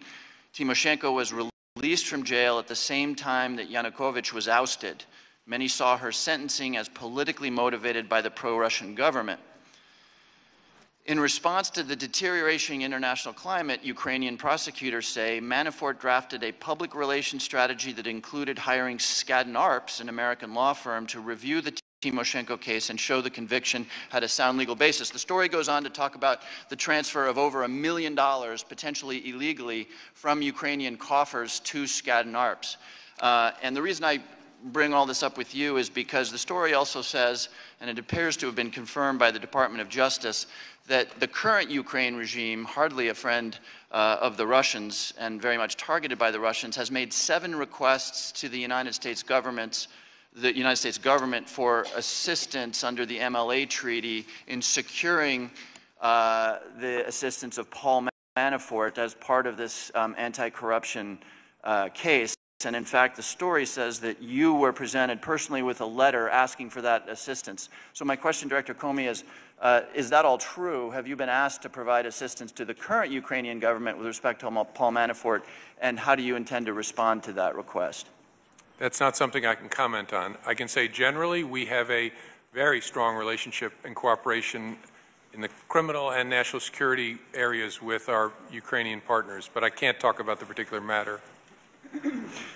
The story says that the DOJ confirmed that there have been requests for assistance on this matter. Um, you can't go as far as, as confirming that, in fact, there have been these requests made? I, if they've done that, I would need them to do it again. I, I can't comment on it. Okay. Well, um, I And I yield to Terry Sewell. Thank you, Mr. Ranking Member. My questions uh, this morning really revolve around the resignation of the former National Security Advisor, Michael Flynn. Director Comey, much has been made about Russia's historical in interference with political elections around the world, um, meant to cause discord and, and, and disunity, especially in Western alliances. Does the FBI generally assume that Russian ambassadors to the United States, like Ambassador Kislyak, are at least overtly collecting intelligence on influential Americans, especially political leaders? Ms. Sewell, that's not something I can answer in an open setting. Am I right that in the, that in the Russian playbook, eh, eh, that it's in the Russian playbook to use diplomats and business people and Russian intelligence officers, whether declared or not, to collect intelligence on influential Americans for the purpose of affecting U.S. policy? I can answer as a general matter. Nation states that are adversaries of the United States use traditional intelligence officers, sometimes use intelligence officers operating under diplomatic cover, use people we call co-optees, maybe uh, private citizens, students, academics, business people, all manner of human beings can be used in an intelligence collection operation. But I'm not going to talk about the particular. Uh, would someone like Ambassador Kislyak play that type of role for Russia? I can't say here. Uh, the declassified January Intelligence Community Assessment Report that your agency helped to draft, uh, the report that's entitled Assessing Russian Activities and Intentions in the Recent U.S. Elections, specifically states that, quote, since the Cold War, Russian intelligence efforts related to the United States elections have primarily focused on foreign intelligence collections that could help Russian leaders understand a new U.S. administration's plans and um, priorities, end quote. So, knowing what we know uh, about Russia's efforts and the role of the Russian ambassador, Director Comey, would you be concerned if any one of your agents had a private meeting with the Russian ambassador. If an FBI agent had a private meeting with a, a Russian government employee of any kind, it would be concerning and I assume by private, one that's not disclosed or part of their operational activity. That's yes. right. Yes. And would you expect that agent to report that meeting? Yes. Um, Admiral Rogers, a similar question. If uh, would you be concerned if one of your intelligence officers had a private meeting with the Russian ambassador? And would you expect that intelligence officer to report that meeting? Disclosures of interactions with uh, foreign governments is a requirement for all our employees, to include myself, for example. I ask these questions because on at least four occasions that I can count, Mr. Flynn, a three star general and a former intelligence officer, someone with influence over the U.S. policy, and someone with knowledge of state secrets, and the incoming national security advisor communicated with and met with the Russian ambassador and failed to disclose it. So I ask you, directors, if you wouldn't stand for your own staff to do this, why should we, the American people, accept Michael Flynn doing it? Ms. Sewell, I, will let Mike Rogers take it next, but I, I don't, I can't speak to what the disclosure obligations are for other people in the government, so it's hard for me to answer that. I can answer, and I answered, I hope accurately, with respect to one of the FBI's special agents. And I likewise would answer the same way in terms of the NSA. Gentleman's time, gentleman's time has expired. I'll yield myself uh, 15 minutes. Uh, Director Comey, uh, you announced this morning that uh, that there'll be an investigation into Trump associates, uh, possible, and, and, President Trump and anyone around the campaign and any association uh, with the Russian government. If this committee or anyone else for that matter, someone from the public comes with information to you about the Hillary Clinton campaign or their associates or someone from the Clinton Foundation, will you add that to your investigation? They have ties to Russian intelligence ser- services, Russian agents. Would that be something of interest to you? People bring us information about what they think is improper and lawful activity of any kind, we will evaluate it. Not Well- just in, not just in this context. Folks send us stuff all the time, they should keep doing that. Do you think it's possible that the Russians would not be trying to infiltrate Hillary Clinton's campaign, get information on Hillary Clinton, and try to uh, get to people uh, that are around that campaign or the Clinton Foundation? I'm not prepared to comment about the particular campaigns, but the Russians in general are always trying to understand who the future leaders might be and what levers of influence there might be on them. I just hope that if, the, if information does surface about the other campaigns, not even just Hillary Clinton's, but any other campaigns, that you would take that serious also if the Russians were trying to infiltrate those campaigns uh, around them. Of course, Thanks for being here. Uh, Admiral Rogers, you mentioned analytic standards earlier in the conversation. Uh, Are those standards the same for all uh, intelligence analysts across the various agencies? There's a broad set of intelligence community promulgated standards for all of us, and then there are specific issues associated, for example, with a particular authority that you're using to collect the information in the first place. So, uh, Jim, the same thing with your, your agency, your analysts would have same, similar type standards? correct. That's one of the really good things that's happened since 9/11, especially since 2004, is the adoption of a common set of tradecraft Okay. uh, provisions. So I'm a CPA, and we have generally astounded, generally accepted accounting standards, which are promulgated across a variety of things. Are those same standards publicly promulgated, or is, but, but generally assimilated through all of your analysts? I would assume would have some sort of a test that they know those standards. I think the specifics of the IC promulgated standards are classified, but I could take that one for the record, Okay. sir. When the IC attributes a hacking to a particular actor, you do that through generally forensic evidence. But when it comes to trying to determine intent of foreign leaders, can you walk us through how the NSA does that or the FBI does that? We assess the, the range of information that we've uh, colle- uh, collected in an attempt to generate understanding as to not only what has occurred, but part of the intelligence professional profession is also trying to understand why, what was the intent. We'll use the range of information we have available to us while we're primarily a single source organization. It's one reason why organizations like CIA, the Defense Intelligence Agency, which take multiple sources to try to put together a, a complete picture. So we're just one component of a broader effort. Director Comey, anything different than that?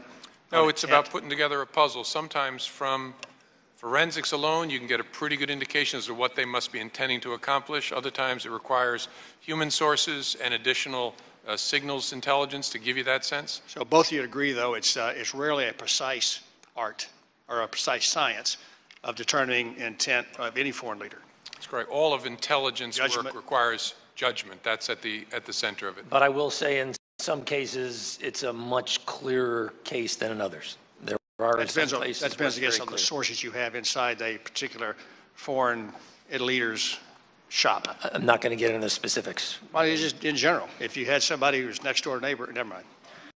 Um, Pivoting to the January 7th, uh, January 6th uh, intelligence community assessment, uh, both your agencies agree with the assessment that the Russians' goal uh, was to undermine the public faith in the U.S. democratic process? Is that still your assessment? Yes. Yes.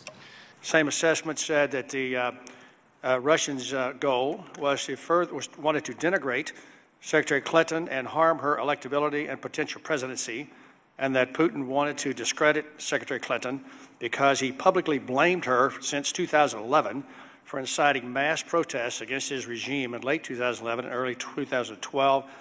You both still agree with that assessment? Yes. Yes. And then finally, uh, Admiral Rogers, that assessment went on to say that President Putin and the Russian government aspire to help President, I guess it had been candidate Trump at the time, but President-elect Trump's election chances when possible by discrediting Secretary Clinton. You had a lower um, Confidence level. confidence level. Is that still the case? Yes, sir. Can you tell the uh, group why you were? I'm not going to get into specifics in unclassified form, but for me, it boiled down to the level and nature of the sourcing on that one particular judgment was slightly different to me than the others. All right? To be clear, Mr. Conaway, we all, we all all agreed. agreed with that Right, we judgment. all Right, agreed right, with right, the yeah, but, but, but you really agreed, and he almost really agreed. Not terms our folks I- I- use, but I Not a it. term of art, I got you. Um, Director Comey, in uh, terms of laying out those three assessments, um, and whether or not the IC was consistent in its view of those three assessments across the entire campaign, can we walk through kind of the FBI's walk uh, down that path? Um, Did, as of early December of 16, did the FBI assess that uh, uh, the uh, active measures were to undermine, the- by the Russians were to undermine the faith in U.S. democratic process? Did you come to that conclusion by early December? I think that's right, December of last year. 16, yes, sir. I think we were at that point, yes. And then active measures conducted against Secretary Clinton uh, to den- denigrate her, hurt her, pres- her uh, campaign, and also undermine her presidency? Correct. All right. And then uh, the conclusion that active measures were taken specifically to help President Trump's campaign. You had that, uh, by early December, you already had that uh, conclusion? Correct, that they wanted to hurt our democracy, hurt her, help him. I think all three we were uh, confident in at least as early as December. Okay. The, uh, the par- the the paragraph that's given me a little concern there in terms of just the timing of when all of that occurred, because I'm not sure if we went back and got that exact same January assessment six months earlier, it would have looked the same. Developed a clear preference for President-elect Trump. Any idea when that clear preference in the analysis, when did that get into the lexicon of when you talking back and forth among yourselves on a, on a classified basis? I don't know for sure, but I think that was a fairly easy judgment. Community, uh, he Putin hated Secretary Clinton so much that that the flip side of that coin was he had a clear preference for the person running against the person he hated so much. Yeah, and that might work on Saturday afternoon when the, my wife's Red Raiders are playing the Texas Longhorns. She really likes the Red Raiders, but all the rest of the time, I mean, I, you, you, the, the logic is that because he really didn't like uh, President, the candidate Clinton, that he automatically liked Trump. That assessment's based on um, what? Well, it's based on more than that, but part of it is, and we're not getting into the details of it here, but part of it is the logic. Whoever the Red Raiders are playing, you want the Red Raiders to win. By definition, you want their opponent to lose. I know, but this says that, that you wanted both of them, you wanted her to lose, wanted him to win. Is that? Right, is they're what you were saying? inseparable. Right, it's a two, it's a two-person Right, right. event. I got you. So I'm just wondering when you decided you wanted him to win. Well, logically, when he wanted her to lose, he wanted her. No, no, no, I'm not talking about him. Putin, I got that. I got that. But the question is, when in this clear, pre- well, then let me fin- finish up then. So we go through that sentence about the clear preference for Donald Trump, and we don't know exactly when you guys decided that was the case. Then it says, when it appeared to Moscow that Secretary Clinton was likely to win the election, the Russian influence campaign then focused on undermining her expected presidency. So, um, and then the next sentence says the government, gov- Russian government aspired to help President-elect Trump election chances. So, when did they not think she was going to win? Well, the assessment of the intelligence community was as the summer went on and the polls appeared to show that Secretary Clinton was going to win, the Russians sort of gave up and simply focused on trying to undermine her. It's your Red Raiders. You know they're not going to win, so you kind of hope key people on the other team get hurt so they're not such a tough opponent down the road. And so there was at some point. a you believe that the FBI was consistent through early December and on, that that was the case? That they, they uh, assessed that they really wanted Trump to win it and were working to have him win and her lose? Yes, our analysts had a view that I don't believe changed from late fall through to the report on January 6th that it had those three elements. All right. So then on December the 9th, well in advance of the January 6th deal, the uh, uh, Washington Post put out an article. Their lead sentence was that this, and again, CIA, they're not here today, but in the 16 election to help Donald Trump win the presidency rather than to undermine the confidence in the electoral system, rather than just undermine it. They don't mention Ms. Clinton at all. And then it says uh, to help Trump get elected, uh, the U.S. senior uh, briefed on the intelligence position. Uh, the U.S. senior, the U.S. official briefed by briefed on intelligence presentation to U.S. senators said that's the consensus view. How much did it? This, this is written by a guy named Adam Entous, Elaine something, and Greg Miller. Did they help draft the, July, the January 6th document for the Intel? Committee? I'm sorry? Did, tho- did those writers from the Western Post help you write the January 6th uh, assessment? No, they did not. I wonder how they got almost the exact language on, Jan- on December the 9th. It hadn't been written yet. I, I don't know. This is the peril of trying to comment on newspaper articles that purport to report classified information. I can't say much about them. They're often wrong. Yep. You mentioned earlier in one of our uh, hearings that when anybody uses the, I can't talk because I'm uh, bound by uh, position of anonymity or whatever, that really is code for breaking the law, uh, generally, right? When somebody says, I'm talking to a reporter, I'm just classifying secret, uh, you know, secret information, you can't tell, the reporter can't tell who it is because, as Mr. Gowdy was saying earlier, uh, speaking on a condition of anonymity, that really should be interpreted because I'm breaking the law and I don't want to be outed. Is that a fair statement? Sometimes. I think there are other motives behind people requesting anonymity, but that can be one of them. So it's your statement to us that then that the FBI was consistent in its assessment that they denigrate the U.S. electoral process, hurt Hillary and her potential candidacy, and coincident and, uh, and concurrent across all of that, that they intended to help Trump. That's your testimony this morning? Correct. Thank you. Yield back. Mr. King.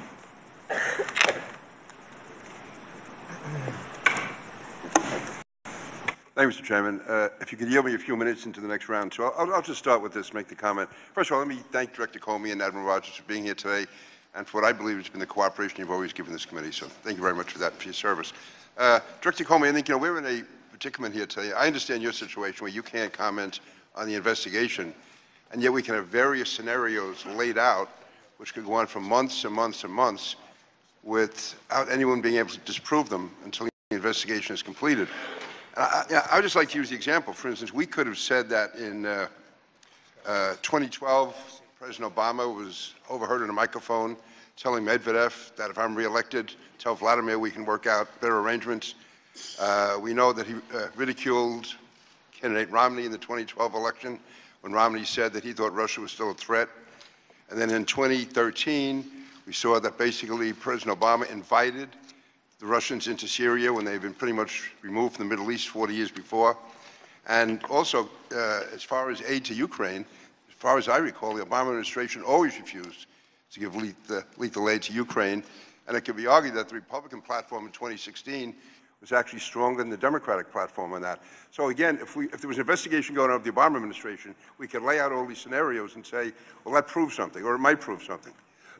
And until the investigation was completed, that type of almost possibly slanderous comments could be made. So I, I would just, again, if uh, uh, I'm not asking you to, you know, to hurry the investigation along, you have to do what you have to do.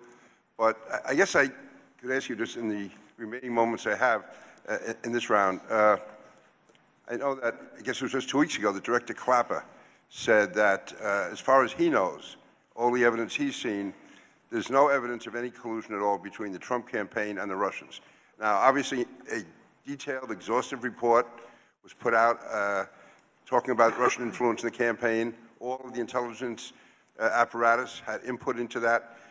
Do either you or Admiral Rogers have any reason to disagree with the conclusion of General Clapper that there's no evidence of collusion between the Russians and the Trump campaign? Mr. King, it's not something I can comment on. Likewise, I'm not going to comment on an ongoing investigation's conclusions.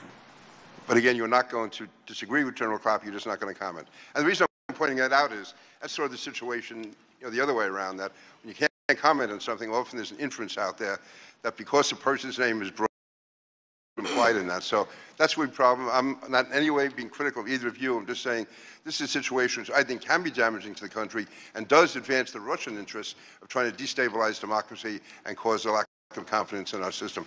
With that, I yield back, Mr. Chairman. Gentleman yields back. I Recognize Mr. Schiff for 15 minutes. Thank you, Mr. Chairman. I I just have a couple of follow-up questions before I pass to Representative Sewell.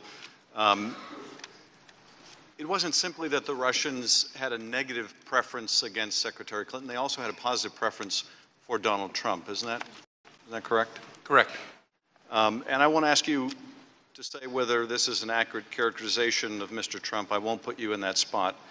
Uh, But would it be logical for the Kremlin to prefer a candidate that disparaged NATO uh, to be President of the United States? You're not going to put me in that spot, you said? I'm happy, Yes. I'm happy with that. I'm happy with that. I'm not going to put you in the spot of, of answering whether this is an accurate characterization of Mr. Trump's views, but it would be logical for the Kremlin to want someone who had a dim view of NATO. Is that right? I, all kidding aside, I don't think that's something I should be answering. That's beyond, that's beyond my responsibilities. Well, what, what, is, uh, what is the Russian view of NATO? Do they like NATO? Do they want to see NATO strong? Again, I, am sure you have already spoken to people who are greater experts than I, but yeah, they don't like NATO. They think NATO encircles them and threatens them. And uh, would they have a preference for a candidate that expressed an openness to repealing the sanctions over Ukraine? And I don't want to get into business of commenting on that. I know, Well, Then let me ask you this way, Director. Would they like to see the sanctions on Ukraine go away? yes. Would they have a preference for a candidate who expressed open admiration for Putin? And I hope you'll reformulate the question.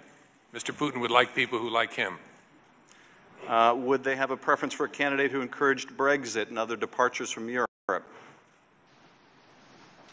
Would they like to see more Brexits? Yes.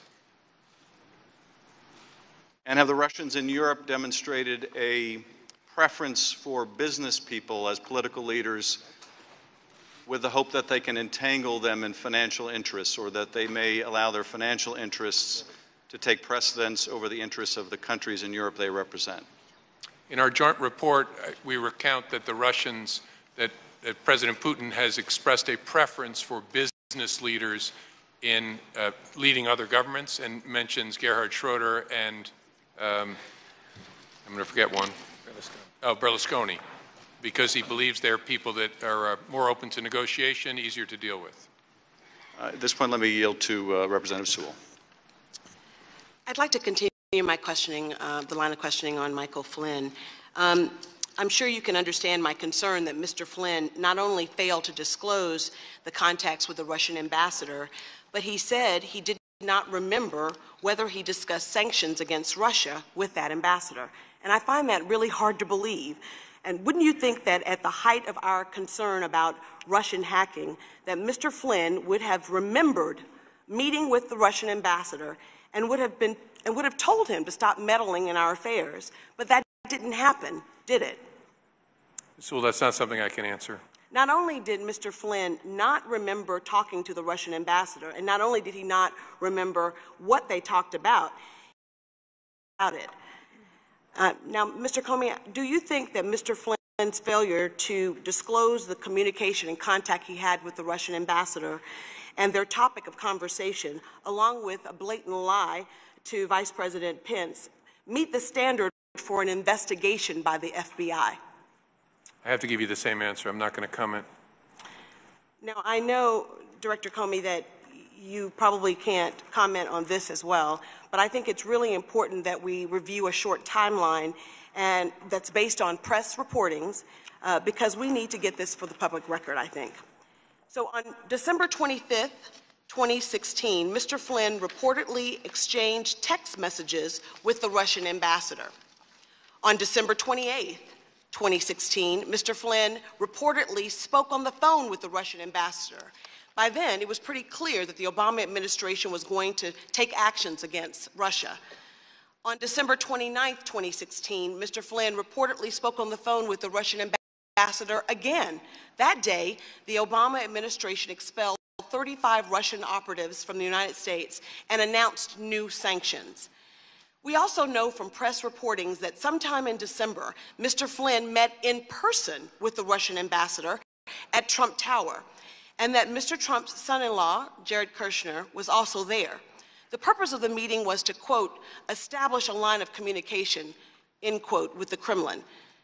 I should add that the White House and Mr. Flynn didn't disclose this December face-to-face meeting until this month. On January 20th, uh, January 12th, sorry, uh, 2017, press reported that Mr. Flynn contacted the Russian ambassador again.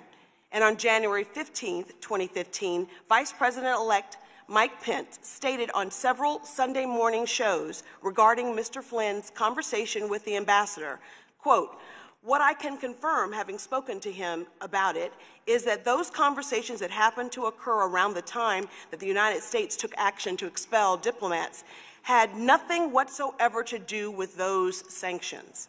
End quote.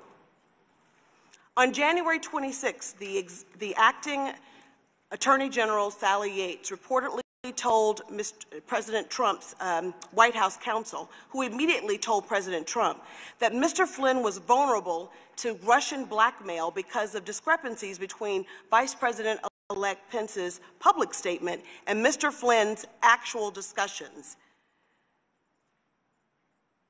On February 10th, President Trump denied knowledge of this, telling reporters on uh, Air Force One, quote, I don't know about that, end quote, in response to questions about Mr. Flynn's conduct. The White House also publicly denied that Mr. Flynn and the Russian ambassador discussed sanctions. And of course, on February 13, 2017, Mr. Flynn resigned as National Security Advisor. Now, Director Comey, all of these Given Russia's longstanding desire to cultivate relations with influential U.S. persons, isn't the American public right to be concerned about Mr. Mr. Flynn's conduct, his failure to, to disclose that contact with the Russian ambassador, his attempts to cover it up, and what looks like the White House's attempts to sweep this under the rug? Don't we as the American people deserve the right to know? And shouldn't our FBI investigate such claims? I can't comment. I, I understand people's curiosity about our work and intense interest in it, and as Mr. King said, oftentimes speculation about it, but we can't do it well or fairly to the people we investigate if we, talk about it, so I can't comment. I'd like to turn um, to another topic about Mr. Flynn.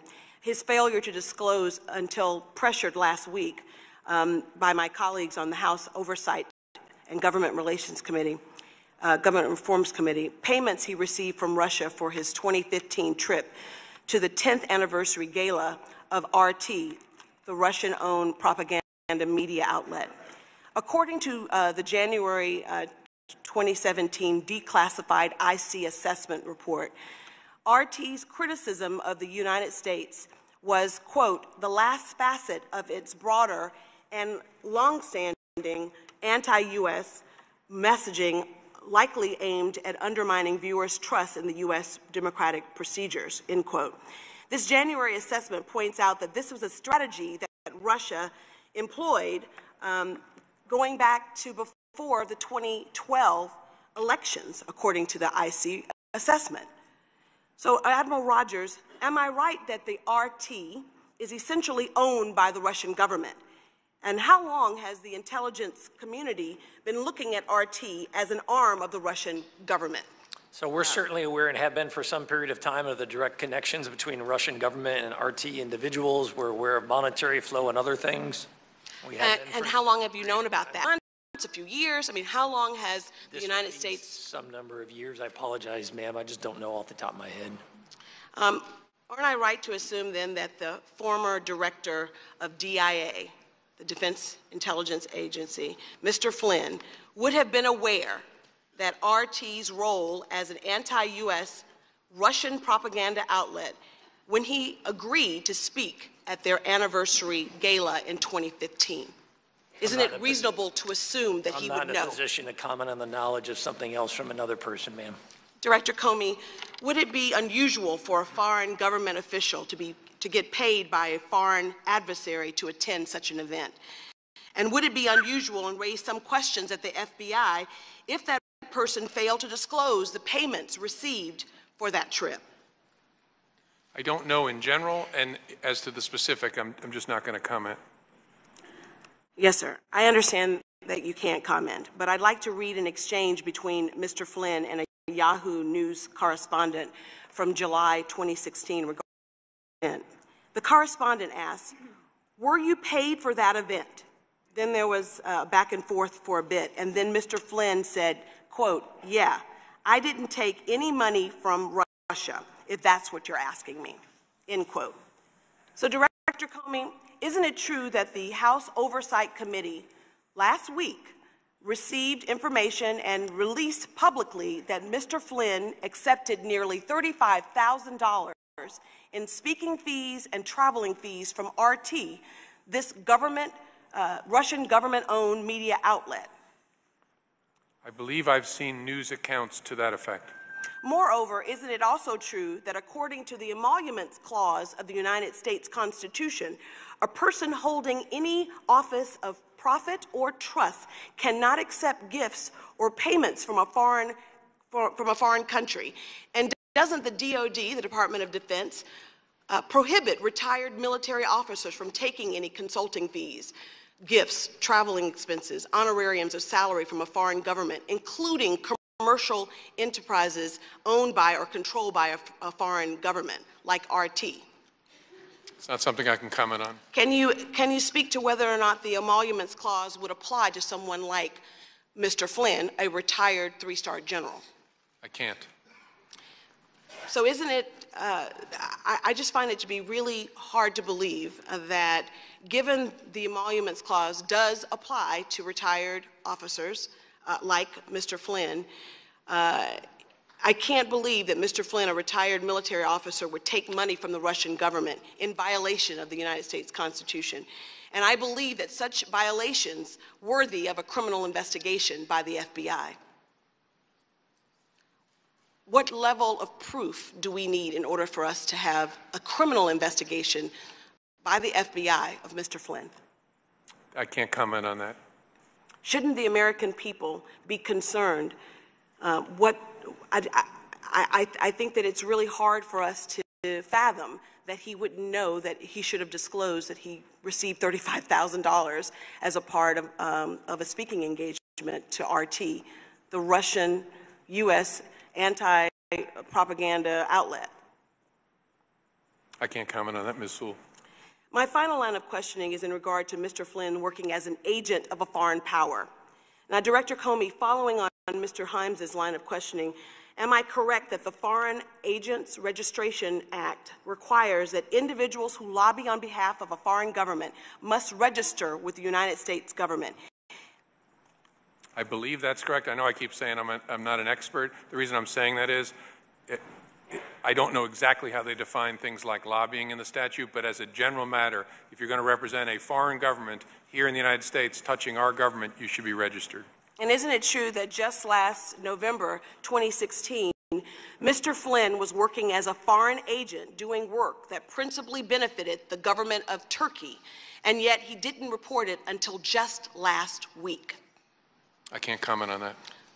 Isn't it true that Mr. Flynn was reportedly paid over half a million dollars for this work? Same answer. And isn't it true that the Trump White House, on at least two occasions, was asked by Mr. Flynn's lawyers whether he should report that work, the work that he was doing on behalf of the Turkish government, and yet the administration didn't give him any advice to the contrary. Do you know anything about that? I have to give you the same answer. Investigations are ongoing with U.S. persons, and I respect that. I think it's important, though, that the American people understand the scope and breadth of what, in public, open source press reportings of Mr. Flynn's um, actions that led to his resignation.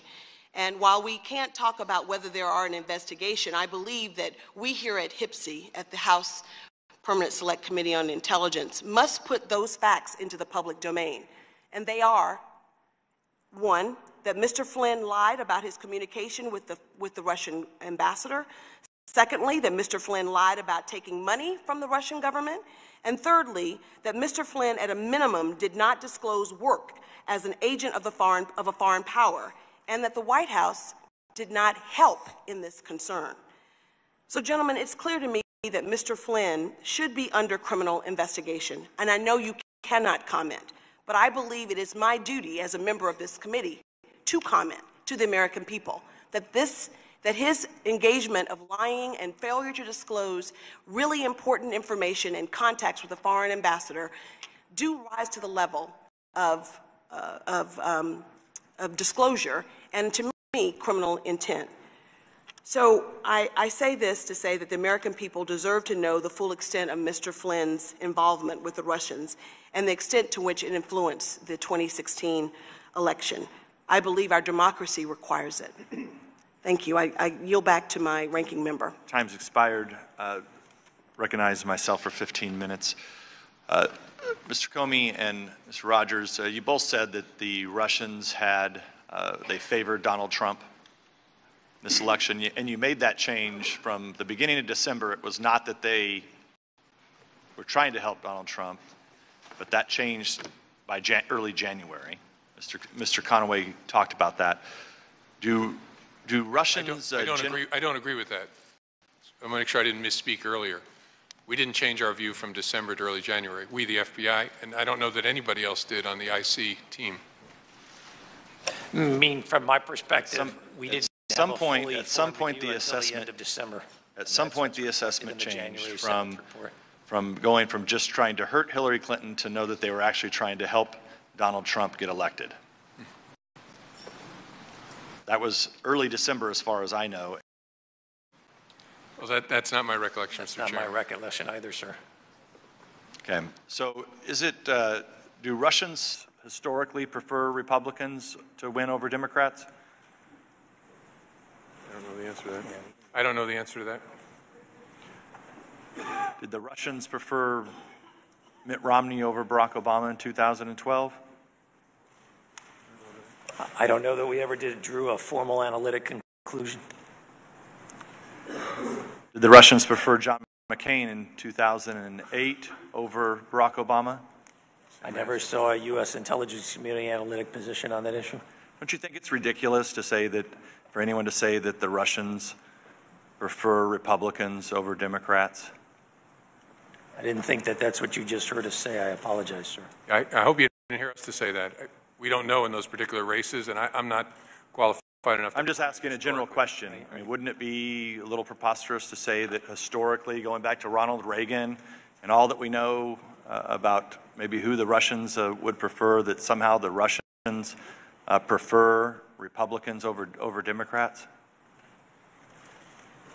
I, there is, I'm, I'm not going to discuss it in an unclassified form, in the classified segment of the reporting vision version that we did, there is some analysis that discusses this because remember this did come up in our assessment on the Russian piece. I'm not going to discuss this. Mr. Mr. King. Thank you, Mr. Chairman. Uh, and I would just say on that, because again, we're not going into the classified sections, that indicating that historically Russians have supported Republicans, and I know that language is there, to me puts somewhat of a cloud over the entire report. It seems to indicate the direction it was going in. But anyway, let me just say this for the record, and I know what your answer is going to be, but I have to get the statement on the record. Uh, on March 15th, former acting director of CIA, Mike Morell, who was the acting director under President Obama, and put it on the record, I've had differences with Mike Morell in the past, but he was asked about the question of the Trump campaign conspiring with the Russians. And his answer was, campfire. There's no little candle. There's no spark. Do you agree with Mr. Morell?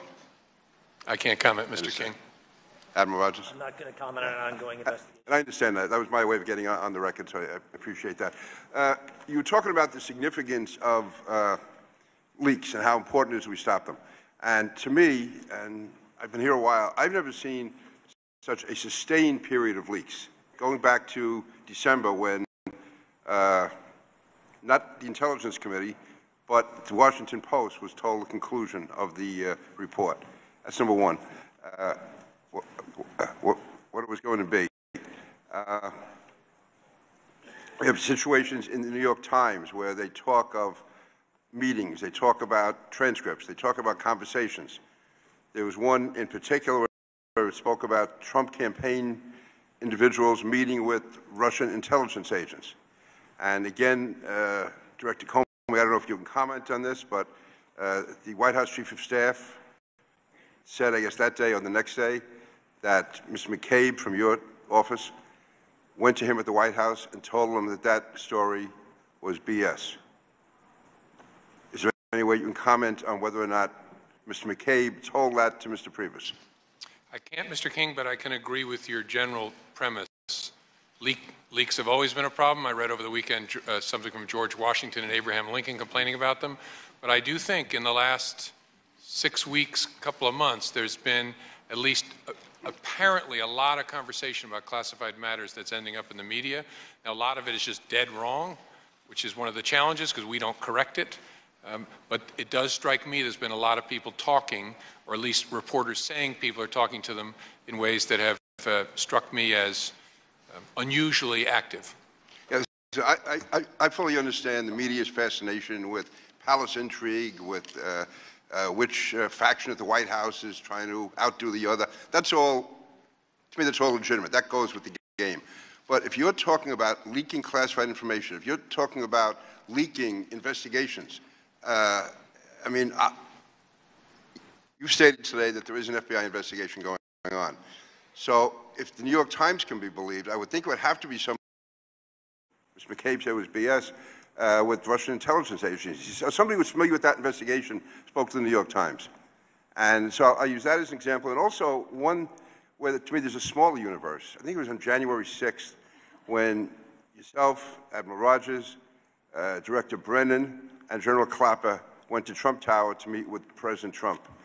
The media reports are that at the end of that meeting, Director Comey, you presented uh, President-elect Trump with the copy of the now infamous or famous dossier. And I don't know how many people were in the room, but within hours, that was leaked to the media, and that gave the media the excuse or the rationale to publish almost the entire dossier. Uh, do you does that violate any law? I mean, you were at a classified briefing with the President-elect of the United States, and it had to be a very, very small universe of people who knew that you handed them that dossier, and it was leaked out within hours. Are you making any effort to find out who leaked it, and do you believe that that constituted a criminal violation? I can't say, Mr. King, except I can answer in general. Yeah. Any unauthorized disclosure of classified conversations or documents is potentially a violation of the law and a serious, serious problem. I've spent most of my career trying to figure out unauthorized disclosures, where they came from. It's very, very hard. Oftentimes, it doesn't come from the people who actually know the secrets. It comes from one hop out, people who heard about it or were told about it.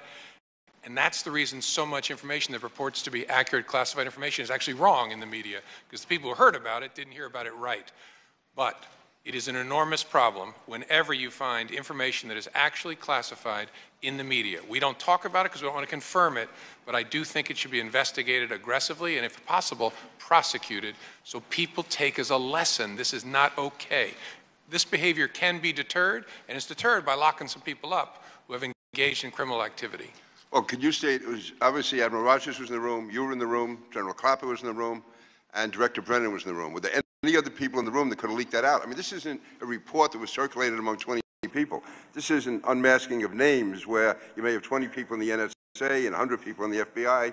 It's not putting together a report or all the intelligence agency. This is four people in a room with the President-elect of the United States. And I don't know who else was in that room.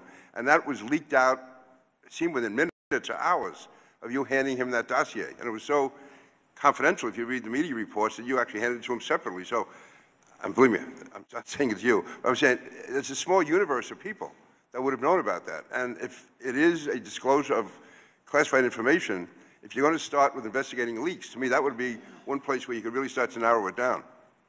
And uh, again, Mr. King, I can't comment because I do not ever want to confirm a classified conversation with a president or president-elect. I can tell you my general experience, it often turns out there are more people who know about something than you expected at first, because there may be more people involved in the thing than you realize, not, not this particular, but in general, and more people have been told about it or heard about it or staff have been briefed on it, and those echoes are, in my experience, what most often ends up uh, being shared with reporters. Well, could you tell us who else was in the room that day? I'm sorry? Could you tell us who else was in the room with you that day? No, because I'm not going to in the newspaper. But could you tell us who was in the room, whether or not there was a conversation? No, I'm not confirming there was a conversation. In a classified setting, I might be able to share more with you, but I'm not going to confirm any conversations with either President Obama or President Trump or when President Trump was the president-elect. Well, not the conversation or even the fact that you gave it to him, but can you, can you tell us who was in the room for that briefing that you gave? That you're saying later ended up in the newspaper. Yes. So my talking about who was in the room would be a confirmation that what was in the newspaper was classified information. I'm not going to do that. I'm not going to help people who did something that, that is unauthorized. Yeah, but we all know that the four of you went to Trump Tower for the briefing. I mean, that, that's not classified, is it? How do we all know that, though? Okay. Yeah. Okay. You know, you can, you can see the predicament we're in here. No, I get it. I get it. But we are duty-bound to protect classified information, both in the first, when we get it, and then to make sure we don't accidentally jeopardize classified information by what we say about something that appears in the media. Well, if, if they're listening, I would just advise that uh, Director Clapper and Director Brennan will be asking them the same questions last week, uh, next week, and perhaps they can give us some answers. Mr. Chairman, I, I give back. Gentleman yields back. Uh, Mr. Thank you for Lobian- testifying. Mr. LoBiondo is recognized. Uh, Thank you, Mr. Chairman. Uh, Director Comey, Admiral Rogers, thank you for your service, and thank you for being here. Um, Understanding that uh, what both of you have been saying about the classified nature of uh, the investigation, the classified nature of the topics we're talking about, um, can you give us any indication of when we, the committee, may, in a classified setting, um, know something from you? Would we have ongoing updates? Uh, Mr. LoBiondo, I don't know how long the work will take. I can't commit to updates. As you know, uh, I have briefed the committee as a whole on some aspects of our work, and I've briefed in great detail the chair and the ranking. I don't know, I can't, I can't predict or commit to updates. But I, as your work goes on, we're in constant touch with you.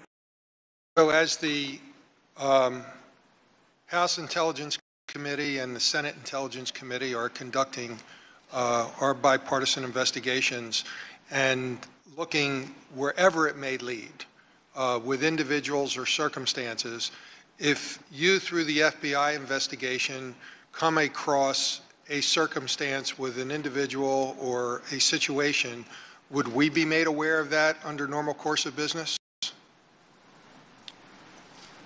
Not necessarily, but it's possible. Okay. Um, So can you, uh, either Director Comey or Admiral Rogers, uh, tell us what we are doing or what we should be doing to protect, against Russian interference in future elections or any meddling with our government, or for that matter, any state sponsor, um, Iranians, North Koreans, Chinese, uh, with any, any meddling they may be doing? Um, So first, I think a public discussion and acknowledgement of the activity is a good positive first step because it shines a a flashlight on this, if if you will. It illuminates a significant issue that I think we all have to, have to deal with. There's a variety of ongoing efforts, both within the government as well in the private sector in terms of how do we harden our defenses. I think we also need to have a discussion about just what, for example, does critical infrastructure mean in the 21st century? I don't think we traditionally would have thought of an election infrastructure as critical. We traditionally viewed critical infrastructure as something that generated an industrial output, aviation, electricity, finance. I don't think we've traditionally thought about it in the informational kind of dynamic. I think that's a challenge for us coming ahead. And then continued partnership between the elements within the government as well as in the private sector. That's the key to the future to me. Uh, So ju- just for the record, I also had a whole list of specific questions about individuals and/or circumstances that don't want to be repetitive and have you say, I can't comment on them. But I would anticipate when we move to classified session, um, that this committee will be able to explore some of those, uh, uh, some of those situations in a little more depth. Um, I have uh, a couple of other questions about the, um, about the, the Russian. Give me a couple minutes when we get to the next round. Okay, so very briefly, um, um, the, if you can describe the elements of the Russia's active measures in the campaign in the 2016 election. Uh, We've only got 35 seconds, but that's the first thing I want to get into about exactly what they were doing, if you can tell us anything about that. So we saw cyber used, we saw the use of external media, we saw the use of disinformation, we saw the use of leaking of information, much of which was not altered. I mean, we saw several, if you will, common traits that we have both seen over time, as well as I would argue that the difference this time was the, the, the cyber dimension and the fact that the release of so much information that they had extracted via cyber is, the, is a primary tool to try to drive an outcome. So in this setting, can you talk to us at all about what tools they used? I'm not going to go into the specifics of how they executed the hacks. I, I apologize. No, sir. Uh, We'll try to get into that in classified. I'll hold off for now, thank you. Gentleman yields back. Uh, Mr. Schiff's recognized for 15 minutes. Thank you, Mr. Chairman. I just had a couple of follow-up questions. Um, Director Comey, can you tell me what an SF-86 is? SF-86? Yes. It's the standard background clearance form that all of us who are hired by the federal government and want to have access to classified information fill out. Would uh, someone who is uh, an incoming national security advisor have to fill out an SF-86? Yes, I think so. Uh, Would that SF-86 um, require that the applicant disclose uh, any payments received from a foreign power? I think so. I mean, the form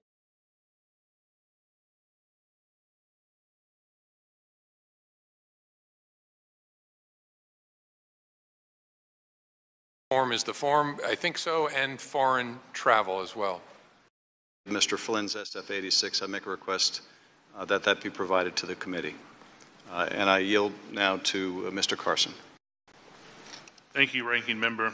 I'd like to focus my line of March 2014, Russia illegally annexed the Ukrainian territory of Crimea, Crimea, beginning a conflict which has effectively yet to be resolved.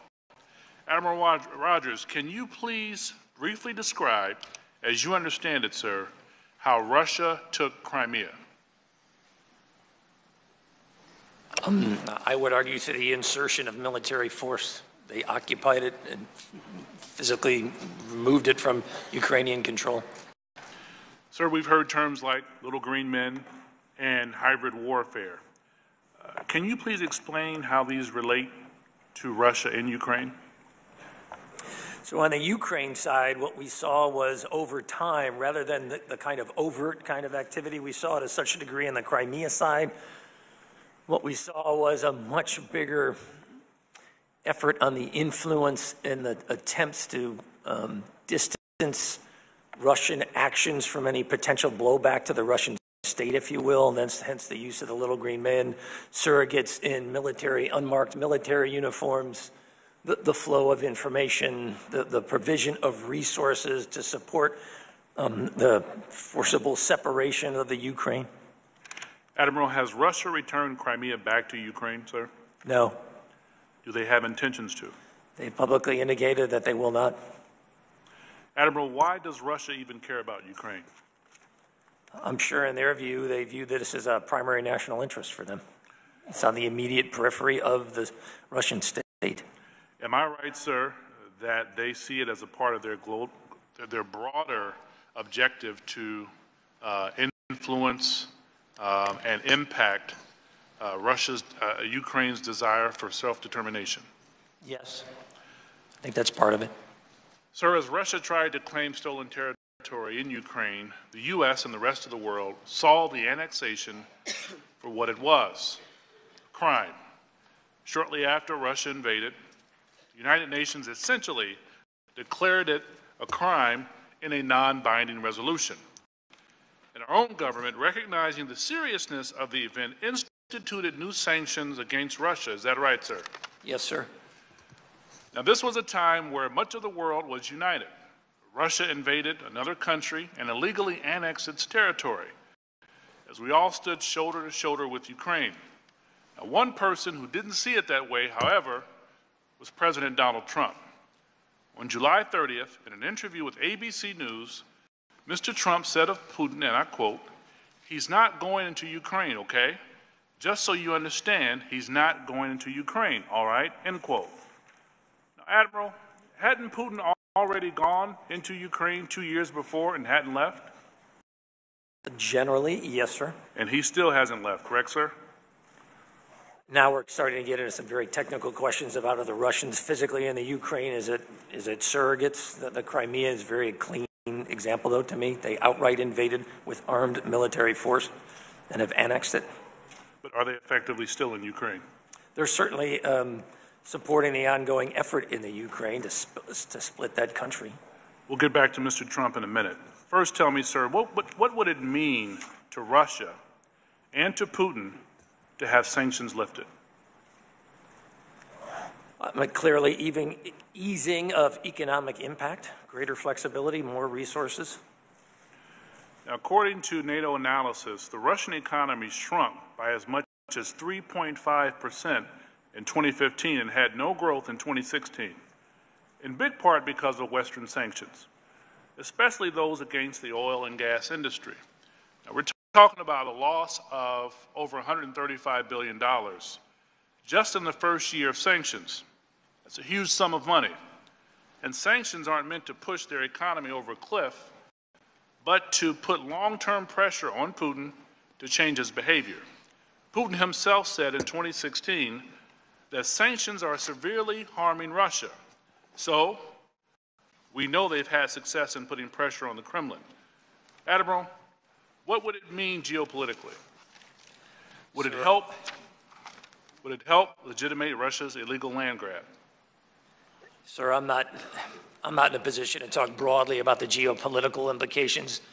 I mean, we have stated previously, from an intelligence perspective, we tried to we have tried to outline to policymakers the specifics of the Russian invasion of Crimea, the specifics of the continued Russian support to separatists in the Ukraine. The Russians continue to attempt to pressure and to keep the Ukraine weak. Would it help cleave the United States from her allies? If we remove the sanctions? There's a lot of stake. There's a lot at stake here for Russia. This is big money, big strategic implications. If they can legitimate their annexation of Crimea, what's next? Are we looking at a new Iron Curtain descending across Eastern Europe? You know, most in our country recognize what is at stake and how the United States, as a leader of the free world, is the only check on Russian expansion. So, back to Mr. Trump and his cohort. At the Republican convention in July, Paul Manafort, Carter Page, and Trump himself changed the Republican Party platform to no longer arm Ukraine. So, the same month that Trump denied Putin's role in Ukraine, his team weakened the party platform on Ukraine. And, as we have and will continue to hear, this was the same month that several individuals in the Trump orbit held secret meetings with Russian officials, some of which may have been on the topic of sanctions against Russia for their intervention in Ukraine. Now, this is no coincidence, in my opinion. In fact, the dossier written by former MI6 agent Christopher Steele alleges that Trump agreed to sideline Russian intervention in Ukraine as a campaign issue, which is effectively a priority for Vladimir Putin. There is a lot in the dossier that is yet to be proven, but increasingly, as we'll hear throughout the day, allegations are checking out. And this one seems to be as accurate as they come. In fact, there is also one pattern I want to point out before yielding back Manafort, fire. Page, fire. Flynn, fired. Why? They were hired because of their Russian connections. They were fired. However, because their connections became public, they were effectively culpable. But they were also the fall guys. So I think after we hear Mr. Quigley's line of questioning, we might guess who could be next. Mr. Chairman, Mr. Ranking Member, I yield back.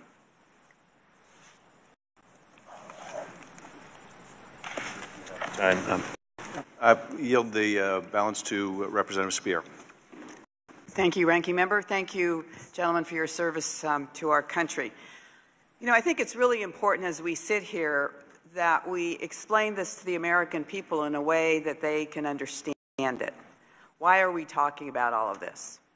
So my first question to each of you is, is Russia our adversary? Mr. Comey? Yes. Mr. Rogers? Yes. Is, do they intend to do us harm? They intend to ensure, I believe, that they gain advantage at our expense. Director Comey? Yes, I want to be, uh, harm can have many meanings. They're an adversary, and so they want to resist us. One of the terms that we hear often is hybrid warfare. And I'd like to just um, give a short definition of what it is. It blends conventional warfare, irregular warfare, and cyber warfare. The aggressor intends to avoid attribution or retribution. So, would you say that Russia engaged in hybrid warfare in its effort to undermine our democratic process and engage in our electoral process? Director Comey? I don't think I would use the term warfare. I think you'd, you'd want to ask experts in the definition of war. They engaged in a multifaceted uh, campaign of active measures to undermine our democracy uh, and hurt one of the candidates and, and hope to help one of the other candidates. I'd agree with the director. All right. Well, thank you both. I, I actually think that their engagement was an act of war an act of hybrid warfare, and I think that's why the American people should be concerned about it. Now, in, in terms of trying to understand this, I, I think of a, a spider web with a tarantula in the middle. And the tarantula, in my view, is Vladimir Putin, who is entrapping many people to do his bidding and to engage with him and I would include those like Roger Stone and Carter Page and Michael Caputo and Wilbur Ross and Paul Manafort and Rex Tillerson. Uh, I'd like to focus first on Rex Tillerson in the three minutes I have here. Uh, he was the CEO of ExxonMobil. In 2008, he said that the likelihood of U.S. Russia businesses um, was, in fact, a poor investment, that Russia was a poor investment climate. That was in 2008. In 2011, he closed a $500 billion deal with Rosneft Oil. The CEO of Rosneft is Igor Sechin, who is a confidant of President Putin, second most powerful man in Russia, and probably a former KGB agent. The deal gives Exxon access to the Black Sea and the Kara Sea and Siberia for oil development. Rosneft gets minority interests in Exxon in Texas and the Gulf.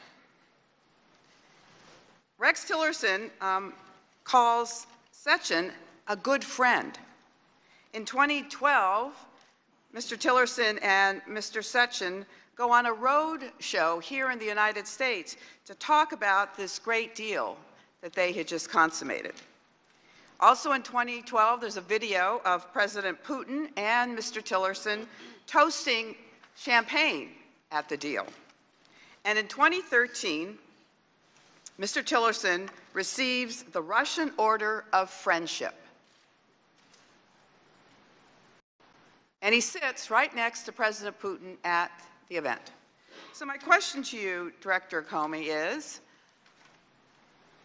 is it of value to President Putin knowing what you know of him and that his interest in doing harm to us?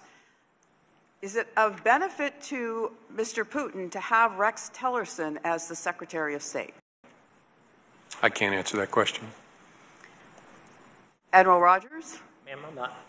I'm not in a position to answer that question. All right. So in 2014, uh, Igor Sechin is sanctioned, and he laments that he no longer will be able to come to the United States to motorcycle ride with Mr. Tillerson. Uh, could you give me um, an understanding of what are some of the reasons that we impose sanctions? Director Comey? On Sechin? Well, just in general. Again, you'd have to ask an expert, but uh, from my general knowledge, it's to uh, punish activities that are criminal in nature, that involve war crimes, that involve violations of UN resolutions or United States law in some other way. It's to communicate um, and enforce uh, foreign policy interests and, and values of the United States of America. That's my general sense, but an expert might describe it much better. Admiral Rogers? I, I would echo the director's comments. It's also a tool that we use to attempt to drive and shape the choices and actions of others.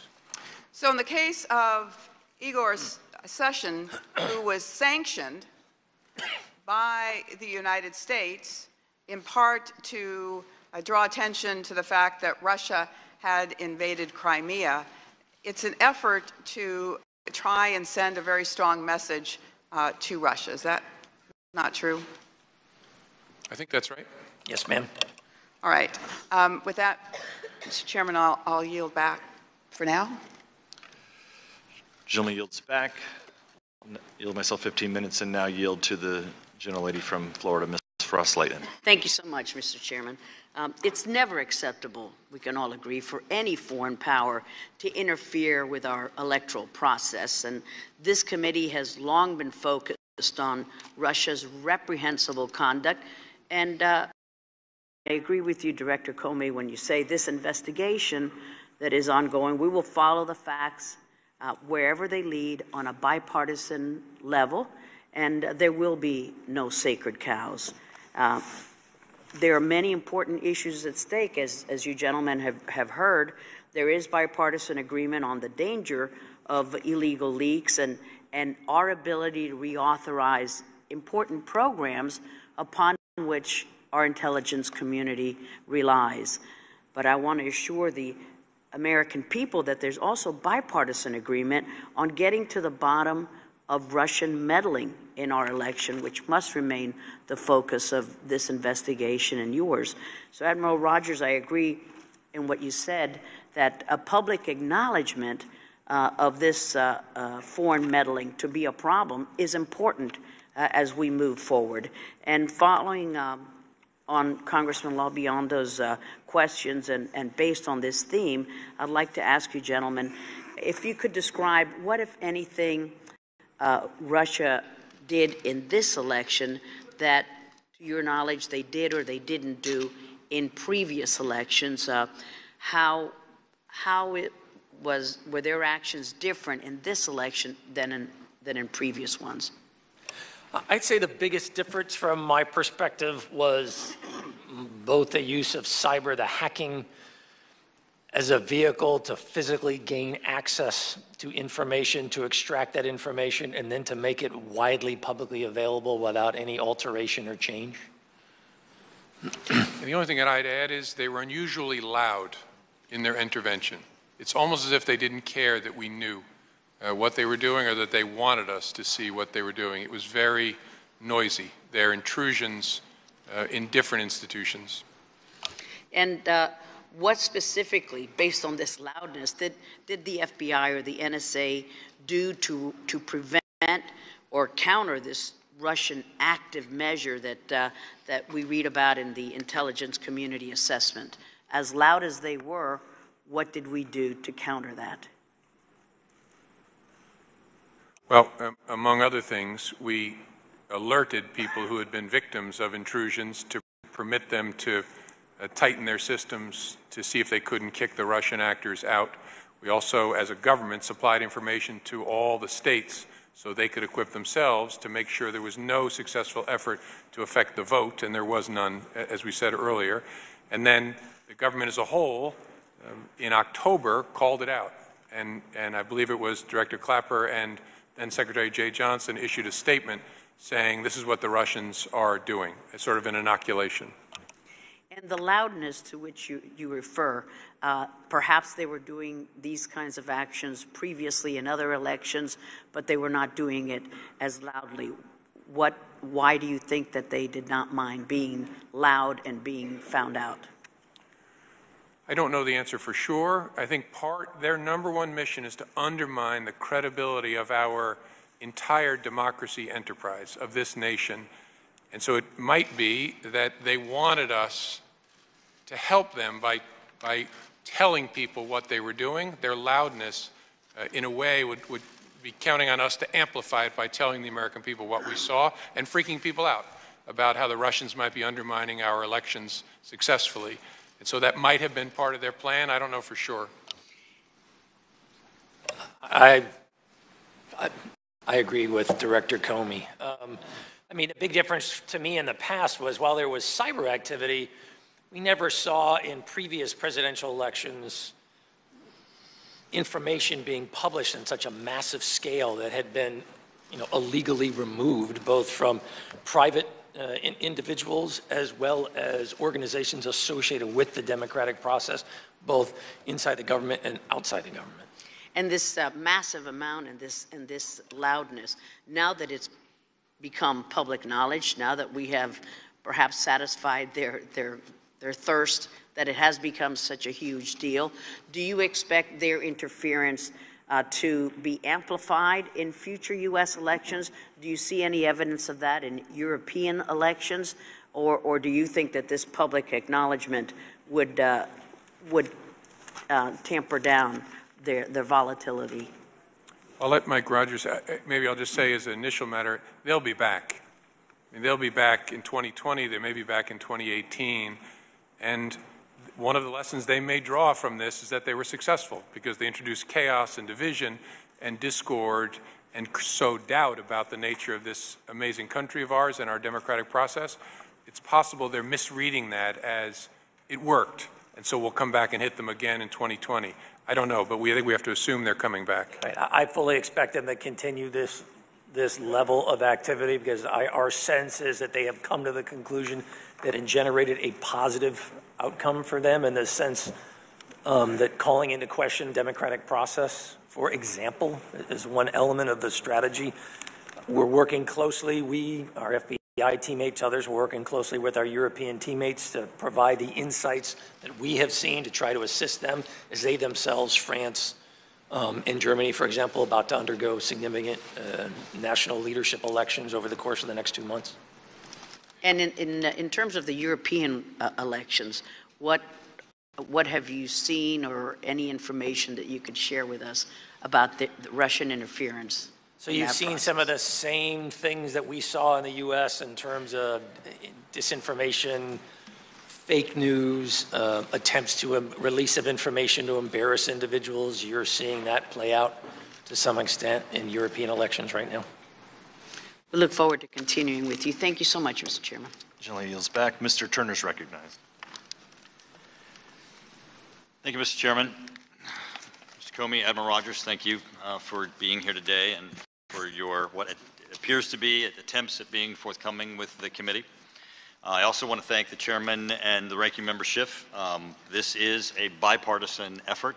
Uh, I think as you've looked to what this committee is undertaking, everyone wants answers, and everyone wants answers to all of the questions that are being asked, because this does go to such an important issue uh, concerning our elections. Admiral Rogers, I'm going to begin with a question to you concerning the Foreign Intelligence Surveillance Act. now, Admiral, as you know, that the Foreign Service, Foreign Intelligence Surveillance Act provides the circumstances or the authority under which the intelligence community may collect or intercept the communication of a foreign person located outside of the United States, or as Mr. Comey has indicated, a person who is covered under a FISA court order. Uh, with Mr. Rooney and Mr. Gowdy, you discussed the minimization procedures under the Foreign Intelligence Surveillance Act, and those minimization procedures are supposed to protect the privacy rights of U.S. citizens. Specifically, it's geared toward the communications of those who may be inadvertently or incidentally uh, collected as a result of the intelligence community's lawful collection of communications of others. So, Mr. Rogers, is the intelligence community required to cease collection or the interception of communications if the result of the collection or interception includes the communications of an incoming U.S. administration official, the president elect, or the president elect's transition team? It depends under what authority we're, as I said early on, there's a series of questions we go through. Is there criminal associated activity? Does the conversation deal about threats to U.S. persons, breaking of the law? Um, So there's no simple yes or no. There's a series of Mr. Rogers, processes. we is there any provision of minimization that requires you to cease collection? Because that is my question. Are you, under any circumstances, required to cease collection if the collection results in the either inadvertent or incidental collection of an incoming U.S. administration official, the president-elect, or the president-elect's transition team? Purely on the basis of exposure of, I want to make sure I understand the question. Is, is Are you required to cease? If you are, are undertaking lawful collection under the Foreign Intelligence Surveillance Act of a person or individual, either because they're a foreign person located outside the United States or the person that you're collecting against is the subject of a FISA court order. If incidental to that collection or inadvertently the collection results in the collection of communications of an incoming U.S. administration official, the president-elect, or the president-elect's transition team, are you required under the... Thank you. So the answer is no, correct? Well, the reason why this is important is because intuitively, we would all know that an incoming administration would have conversations with those that the intelligence community may be collecting against, either by making phone calls to them or receiving phone calls to them. And so it's important for us to understand that the minimization procedures that are intended to collect the privacy rights of Americans do not inherently in- include uh, the, a prohibition of the intelligence community incidentally or inadvertently collecting the communications of an incoming administration. Yes, sir.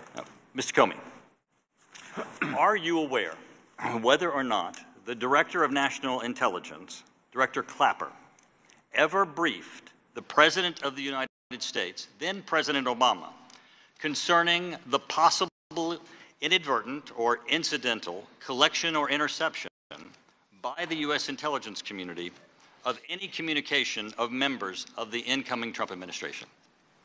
That's not something I can comment on. And, and why not, Mr. Comey? A couple of reasons. It might involve classified information. It might involve communications with the President of the United States. On, on both of those grounds, I can't talk about it here. Mr. Comey, have you previously discussed your conversations with President Obama with this committee? I don't remember. I, I, it may have with the chair and ranking. I don't remember with the full committee. Well, we'll, we'll have to refresh your, your memory on those conversations then. Um, Mr. Comey, uh, did President Obama ever acknowledge to you of having been briefed concerning possibly inadvertent or incidental collection or interception by the intelligence community of any communications of members of the incoming Trump administration? I have to give you the same answer, Mr. Turner. Well, um, Mr. Comey, the first question related to whether or not Mr. Clapper had briefed the President of the United States, and we'll certainly be following up with him. He is going to be appearing before us uh, next week, uh, and we'll certainly be directing the question to him also. So, Mr. Comey, are you aware of any evidence that General Flynn, prior to the inauguration, ever communicated to the Russian government or a Russian government official that the Trump administration in the future would release, rescind, or reverse U.S. sanctions against Russia, or ever made any offer of a quid pro quo for releasing, rescinding, or reversing U.S. sanctions against Russia? Are you aware of any evidence? It's not something I can comment on, Mr. Turner. And why is that? I'm trying very hard not to talk about anything that relates to a U.S. investigating. I'm trying to be studiously vague here to protect the integrity of the investigation. So please don't interpret, as I said at the beginning, please don't interpret my no comment as meaning this or meaning that. I just can't comment. Well, Mr. Comey, there are statutes, guidelines, and procedures concerning what does it take for the FBI to open up a counterintelligence investigation into a U.S. citizen. It is not just subject to discretion. You can't just say, well, let's go look at somebody. Uh, you have to have a basis. You've now informed us that uh, you've opened a counterintelligence investigation into the Trump campaign, members of the Trump campaign, um, in, uh, concerning Russia in July of, of 2006. Now, we're trying to get a picture of what does it take to tip uh, over for an investigation. Um, now, previously, people have said that um, there have been individuals who attended a meeting with Russian officials, uh, individuals who, uh, a member who was paid to attend a conference, a picture that was taken, traveled to a foreign place, you know, there are many people, um, both in, in all of our administrations and, and um, sometimes, you know, certainly members who've left Congress who would qualify for that. What, what is the tipping point? I mean, it can't just be that. Don't you need some action or some information besides just attending a meeting, having been paid to attend a conference, that a picture was taken, or that you traveled to a country before you're open to investigation for counterintelligence by the, uh, the FBI? The standard is, I think there's a couple different at play, a credible allegation of wrongdoing or a reasonable basis to believe that, that an American may be acting as an agent of a foreign power. Well, the reason why we're struggling with this, um, Mr. Comey, is that we obviously have the statements of Mr. Clapper that there's no evidence of collusion with Russia, and he just left uh, the in, in intelligence community. And as you are aware, we now sit, because as, as you said, Admiral Rogers, you know, the Russians wanted to put a cloud over our system. And um, Mr. Comey, by your announcement today, I mean, there is now a cloud that, that undermines our system. Uh, there is a cloud that, where we're sitting with Mr. Clapper, who was obviously in a very important position to know, who stated to us that there's no evidence of conclusion, and you will not give us evidence or, or, or, give us any any substantive evaluation of it. We now sit with this cloud, and it's unfortunate, Mr. Chairman. I have a few additional questions, if I might, when we regain time. We'll get back to you, Mr. Turner. Uh, Mr. Schiff's recognized for 15 minutes. Thank you, Mr. Chairman. I uh, recognize uh, Representative Jackie Speier. Thank you, Mr. Um, Schiff. And again, let's go back to this um, tarantula web. So, Mr. Tillerson, uh, in 2014, started to lobby the United States government, asking them to shift or lift the sanctions.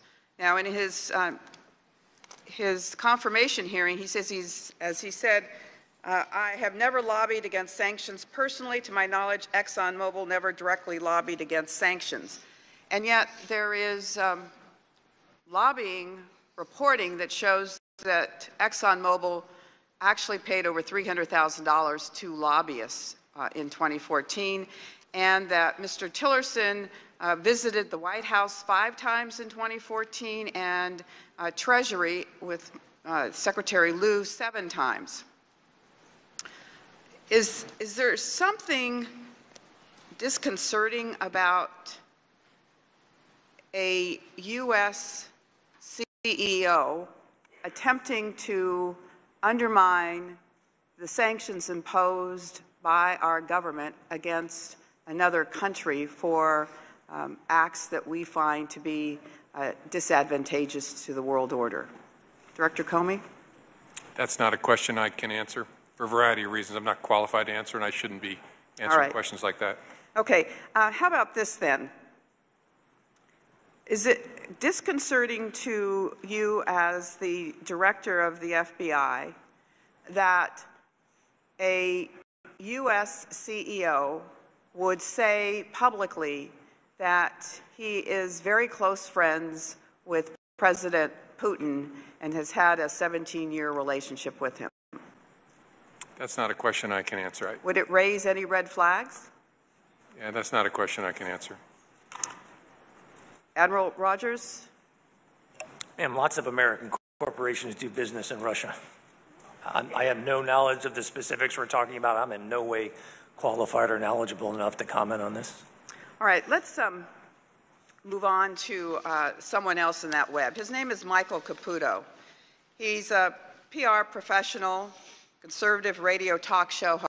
There, he uh, was working for the Agency for International Development. He was fired from that job because he refused to follow a State Department position. He then opened a PR firm in Moscow and married a Russian woman. He subsequently um, divorced her, and in 1999, his business failed. Roger Stone, a mentor to him, urged him to move to Florida and open his PR firm in Miami, which is exactly what Mr. Caputo did. And then in 2000, he worked with Gazprom Media uh, to improve Putin's image in the United States. Now, do we know who Gazprom Media is? Do you know that, anything about Gazprom, Director? I don't. Well, it's a, um, it's an oil company. In 2007, he began consulting the Ukrainian parliamentary campaign. There he met his second wife. So I guess my question is, what possible reason is there for the Trump campaign to hire Putin's image consultant? Any thoughts on that, Director Comey? No thoughts. Admiral Rogers? Likewise, ma'am. All right. Um, do either of you know what Michael Caputo is doing for the Trump effort today? I have no idea. And I'm not going to talk about uh, U.S. persons. All right, let's um, move on now to uh, Carter Page. Carter Page was the founder of Global Energy. It's an investment fund. Uh, he has only one partner, and that partner is Sergei Yatsenko, who's the former executive of a Russian state-owned Gazprom oil company. Before that, from 2004 to 2007, he worked for Merrill Lynch in Moscow. In March of 2016, uh, then candidate Trump referred to Carter Page as his foreign policy advisor to the Washington Post. Uh, the next day, Page asserts his, um, that he's an advisor on Russia and energy. Um, but then subsequently, candidate Trump says he doesn't know him. On September 26th, he takes a leave of absence from the campaign uh, and then Page publicly supports a relationship with Russia, criticizes U.S. sanctions and NATO's approach to Russia, saying, uh, and then subsequently says he's divesting his stake in Gazprom in August. In 2014, he writes an article criticizing the U.S. sanctions, praising Sechin uh, in an article in Global Policy, and then rebuke the West for focusing on so-called annexation of Crimea. In July of 2016, he gives a graduation speech at the New Economic School, um, denies meeting with the Prime Minister. Christopher Steele, in his dossier, says he met with, uh, again, Igor Sechin, offering a 19% interest in Rosneft. Uh, it becomes the biggest transfer of public property to private ownership. Now, Carter Page is a national security advisor to Donald Trump. Do you believe that? Why do we? Um, I guess, again, here's another company that has had sanctions opposed upon it. Could you again clarify why we impose sanctions on companies? Admiral Rogers did it better than I, so I'm going to All right. tap him. I apologize. I don't remember the specifics of my answer, but I'll stand by my answer previously. Which was excellent.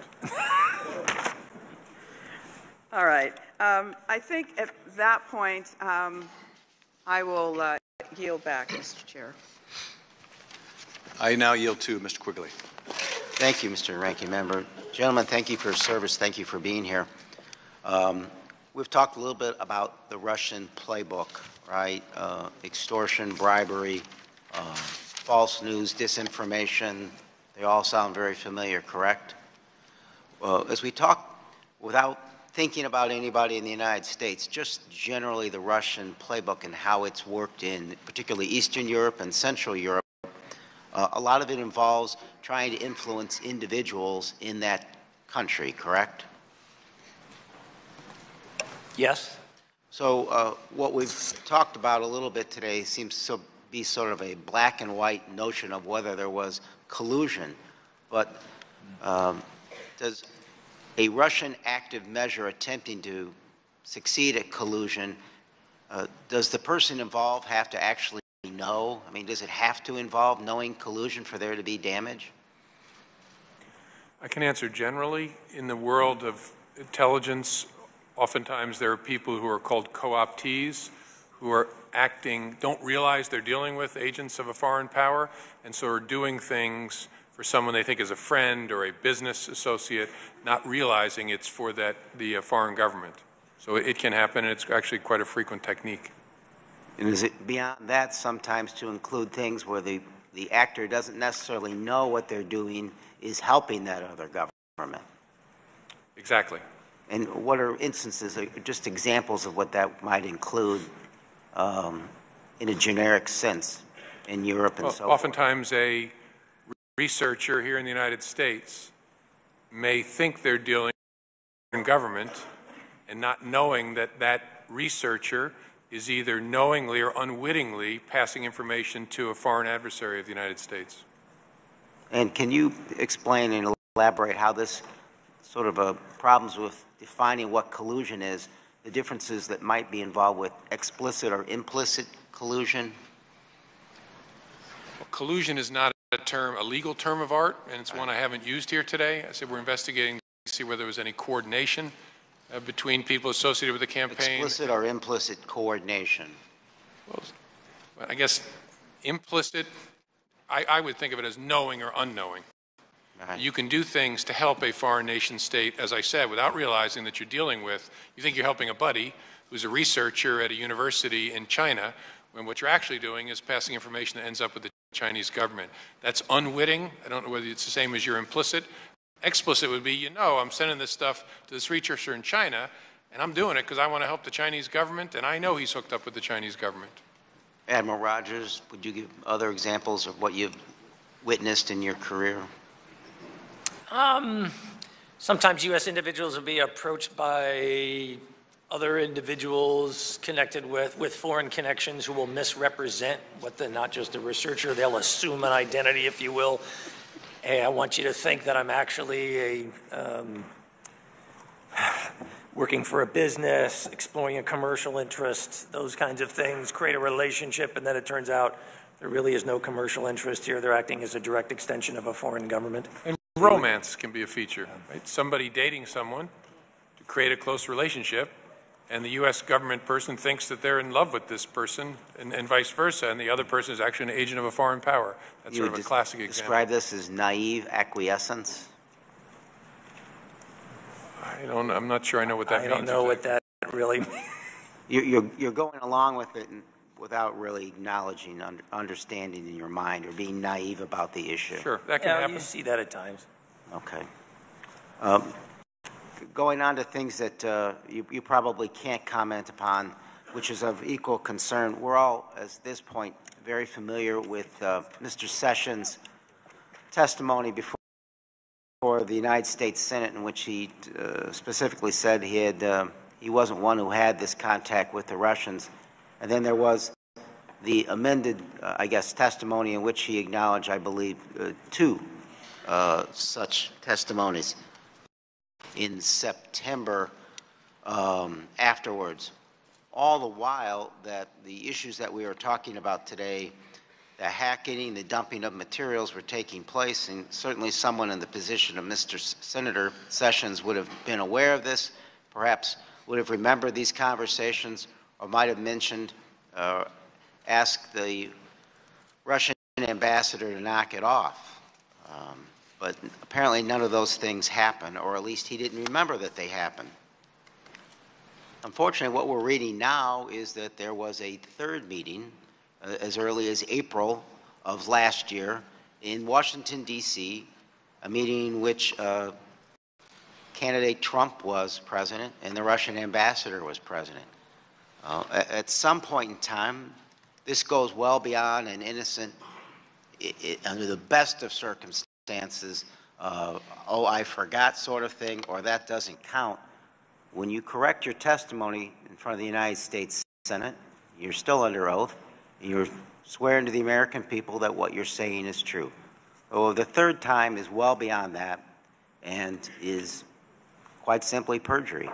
So as we look at this, as we go forward, gentlemen, I ask that you uh, take that into consideration. This is far more than what we have talked about, just in the general sense, did the Russians hack or not, and the scope of this, to uh, a concerted effort and plan to lie to the American public about what took place and what the motivations were beyond these, this process. Again, I thank you for your service, and I yield back to the ranking member. I yield to uh, Mr. Swalwell California. Thank you, uh, Director Comey and Admiral Rogers. Director Comey, you, you've served time uh, in a courtroom as a prosecutor, and I'm wondering if you remember the instruction that is read to juries every day that if you decide that a witness deliberately lied about something significant in this case, you should consider not believing anything that witness says. Yep, that's familiar to me. And your testimony at the beginning of this hearing was that President Trump's claims that former President Obama had wiretapped him is false. I said we have no information that supports them. Thank you. With respect to Donald Trump, do you remember the other instruction relating to truthfulness of a witness or a defendant? If a defendant makes a false or misleading statement relating to the charged crime, knowing the statement was false or intending to mislead, that conduct may also show he or she were aware of their guilt. Yep, familiar to me from my distant past. I want to talk about the Kremlin playbook. And there are a number of ways that a foreign adversary could seek to influence a person. Do you agree with that? Yes. Financial? Yes, that can be one. Uh, romance, you said, is another? Yes. Sure, to execute on a compromise, yes. How about inadvertently capturing a compromise? Meaning they have vast surveillance and you stumble into that surveillance and are caught in a compromise. And then they take that information, try and use it to coerce you? Yeah, Right. that's part of the playbook. Okay. I'll yield back, uh, Chair, and continue once time's back with us. Gentleman's Thank time's you, Director. expired. Uh, We'll go back to Mr. Turner. Thank you. Uh, Gentlemen, I want to go back to the issue of, um, um, Admiral Rogers indicated that the goal of the Russians is to put a cloud on our system, to undermine our system.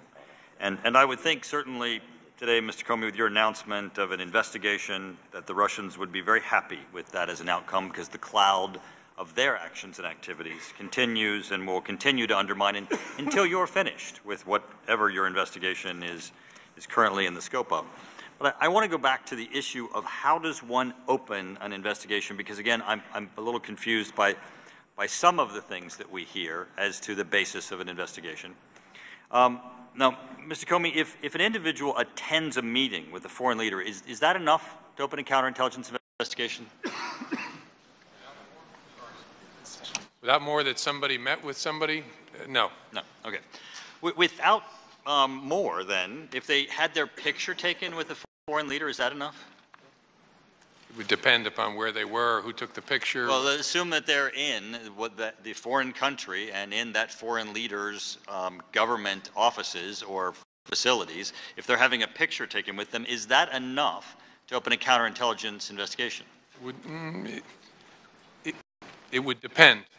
On, on, on what? I mean, because I'm saying if there's just a picture, because I can tell you certainly there's lots of people who've had lots of pictures. Yeah. Is it enough that a person has just had their picture taken with a foreign leader at the foreign leader's government official offices or place of residence? The reason I said it depends is it would depend. Did the person sneak over to the foreign country and meet them clandestinely? Did, was the picture uh, reveal something else about the relationship? It, it's just hard to Let's answer. say it's not clandestine. Let's say it's open, that the pe- person has, has, has attended an event and has gone over to meet with the foreign person, foreign government official, and is at their foreign government uh, official facility or their official residence and has a picture taken and has no intention of covertly uh, being present with the foreign person. Is that picture enough to open a counterintelligence investigation? Tricky to answer hypotheticals, but I think my, my reaction to that is that doesn't strike me as enough. Now, I know your next question is going to be deeper into hypos. No, no, no. I'm not getting deep into the hypos. These are pretty straightforward. It- The, the, um, the, so, um, you know, what if you're paid, you know, to attend a conference in a foreign, um, in a foreign country, and you're paid to attend that conference not directly by the foreign government, but uh, nonetheless, payment does occur for you to attend a conference. Certainly, we know President Bill Clinton attended many such conferences and spoke and received receive payment. Is be, receiving payment by attending to speak at a conference, again, it's not covert, it's open. They're attending to speak at a conference. They receive payment for the purposes of speaking. Is that enough to open a counterintelligence investigation? I, I can't say as I sit here. It would depend upon a lot of different things. If you had no other information or evidence other than the fact that they attended, is that enough for you, for the FBI, to open a counterintelligence investigation of a private U.S. citizen? I can't answer the hypothetical because it would depend upon a number of other things. That, Well, I, I, I limited it to where there would be no other things, Mr. Comey. I said only. If the only information that you had was that they had attended an event in which they were paid, which was a conference, and it was not co to open an investigation against a private U.S. citizen. right, who paid them?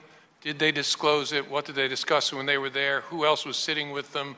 There's lots and lots of other circumstances that make that, even that simple seeming hypo, uh, difficult to answer. Well, let's say that they've traveled to a foreign country and they openly traveled, wasn't covert. Is traveling there enough? Just traveling around the world? No. Okay, well, I, I'm very concerned, Mr. Comey, about the, the issue of how an investigation is, is open and, and, um, and how we end up at this situation once again where Mr. Clapper, head of the Director of National Intelligence, just said that when he left, there was no evidence of conclusion. And yet, as Admiral Rogers said, we're sitting now um, where, the, where the Russian goal is being achieved of causing a cloud or uh, undermining our electoral process. So I'm, I, I certainly hope that, that you take um, an expeditious look at, at what you have undertaken because it affects the heart of our democracy. Mr. Comey, I I have a question against, uh, again, uh, concerning classified information. Now, I know that if I attend a classified briefing and I receive classified information, and I go and tell someone that classified information, if I leak it uh, or I release it, that I've committed a crime. But what if someone goes to a classified briefing, walks out of that briefing, and openly lies about the content of that briefing? Because it's unclear to me what happens then. And it's important because, as you know, this committee, and certainly both of you gentlemen, have handled a lot of classified information, and recently, more recently, um, the purported classified information is put out in the press. The Washington Post, the New York Times reports information, and you know, and I know, and we all know, from having handled classified information, that some of that information is not true. Are the sources of that classified information, if they come out and lie about the content of classified information, have they committed a crime? It's a really interesting question. Um, I don't think so. If all they've done is lie to a reporter, that's not against the law. Uh, If they've done it, I don't want to break anybody's hearts with that, but that's not against the law. But it is not, and the reason I'm hesitating is I could imagine a circumstance where it's part of some broader conspiracy or something, but just that false statement to a reporter is not a crime. And, and I just want to underscore that for this for a second because I, I agree with you. I, I think it's no crime. And so every reporter out there that has someone standing in front of them and saying, oh, I'm taking this great risk of sharing with you U.S. secrets besides them uh, purporting to be a traitor, um, are committing no crime if they lie to them. So all of these news articles that contain this information that we know is, is not, not the case um, are, are being done so at damage to the United States, but without the risk of a crime. And, that, and my next aspect of your question to you, Mr. Comey, is this. What is the obligation of the intelligence community to correct such falsehoods? Some of this information that we read in the Washington Post and the New York Times is extremely false and extremely incendiary, and extremely condemning of individuals and certainly our whole system. What is your obligation, Mr. Comey, to be that source to say, I can't release classified information, but I can tell you it's not that? Yeah, it's a great question, Mr. Turner, because there's a whole lot out there that is false. And I suppose some of it could be people lying to reporters. I think that probably happens. But more often than not, it's people who, who act like they know when they really don't know. Because they're not the people who actually know the secrets. They're one or two hops out and they're passing along things they think they know. Uh, there is, uh, we had not only have no obligation to correct that, we can't. Because if we start calling reporters and saying, hey, this thing you said about this new aircraft we've developed, that's inaccurate, actually. It's got two engines. We just can't do that because we'll give information to our adversaries that way. And it's very, very frustrating, but it, we can't start down that road. Now, when it's unclassified information, if a reporter misreports uh, the contents of a bill that's being debated in Congress or a policy, we can call them and say, hey, you ought to read it more carefully. You missed this or missed that. We cannot do that with classified information. It's very, very frustrating because I've read a whole lot of stuff, especially in the last two months, that's just wrong, but I can't say which is wrong, and I can't say it to those reporters. Mr. Comey, if, if you could help us on, on this issue, I would greatly appreciate it because what happens is that you come into a classified briefing with us and you tell us perhaps what something that is absolutely false. It really shouldn't be classified because you're telling us it's not true. But yet we can't go tell it's not true because you told us in a classified setting. Well, There's a it- way that we can at least have some exchange as to what's not true so that the American people don't listen to false stories in the Washington Post and the New York Times that we all know are not true. That would be helpful. If you Yeah, could think about how you could help us with that. I'd that. love to invent that machine, but we can't because where do you stop that on that slope? Well, false is false. Because then, when I don't call the New York Times to say you got that one wrong, bingo, they got that one right. And so I, it's just an enormously complicated endeavor for us. We have to stay clear of it entirely. Thank you, Mr. Comey. One last question. So we all read in the press that Vice President Pence publicly denied that General Flynn discussed sanctions with Russia. And I'm assuming that you saw those news reports. Um, did the FBI take any action in response to the Vice President's statements? I can't comment on that, Mr. Turner. Mr. Comey, the New York Times reported on February 14, 2017, that General Flynn was interviewed by FBI personnel. Is that correct? I can't comment on that, Mr. Turner. Um, Mr. Comey, I do not have any additional questions, um, but I thank you both for your participation, and again, I thank for the, uh, the, the chairman and the ranking member for the bipartisan aspect of this investigation. Gentleman yields back. Uh, Dr. Wenstrup is recognized. Thank you, Mr. Chairman. Thank you, gentlemen, for being here. I appreciate uh, your endurance in this effort.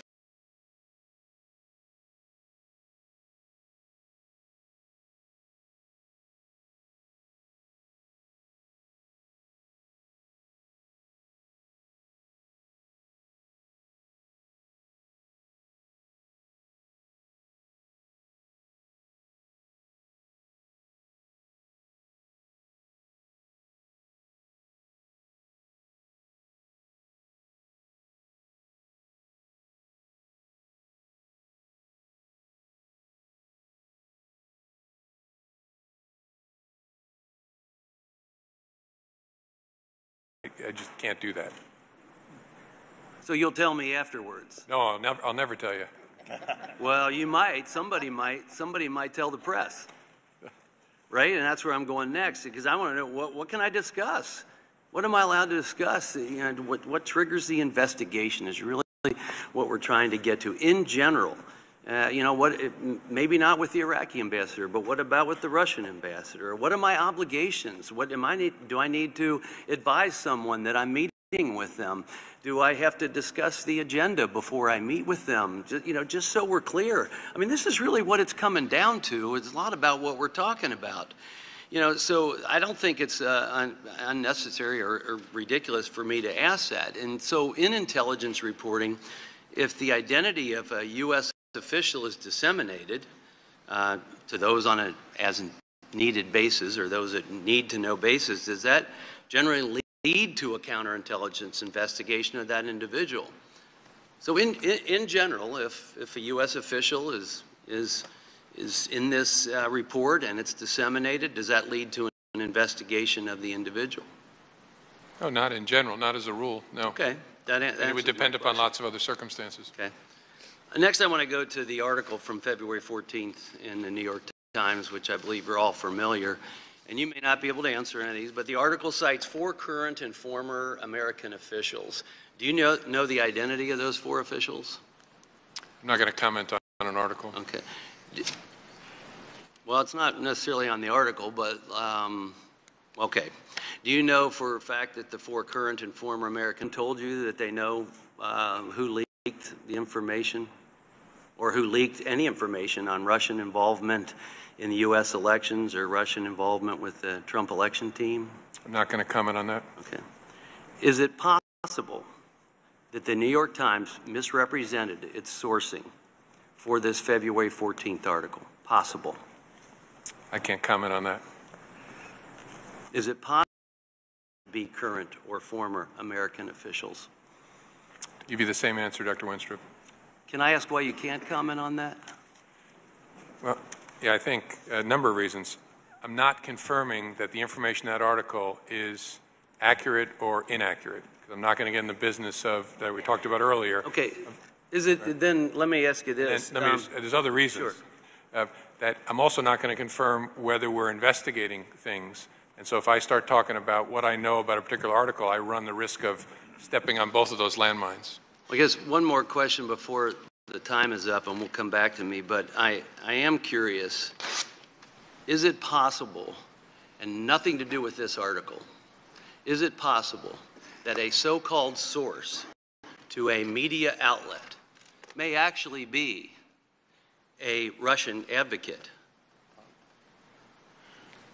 Nothing to do with this story, per se, just is it possible that a Russian surrogate could actually be the source that a newspaper is relying on? In general, sure, somebody could always be pretending to be something they're not. Thank you, and I yield back at this time. Gentleman yields back. Mr. Schiff's recognized for 15 minutes. Thank you, Mr. Chairman. Uh, Just a couple follow-up questions, and then I'll uh, pass it to Mr. Quigley for uh, purpose of entering something uh, into the record. Um, Mr. Director, you've Chairman, been can I ask you for uh, estimated time? I'm not made of steel, so I might need to take a quick break. Would you uh, like to do that now? If you can, I d- I didn't know how much longer you you plan to go.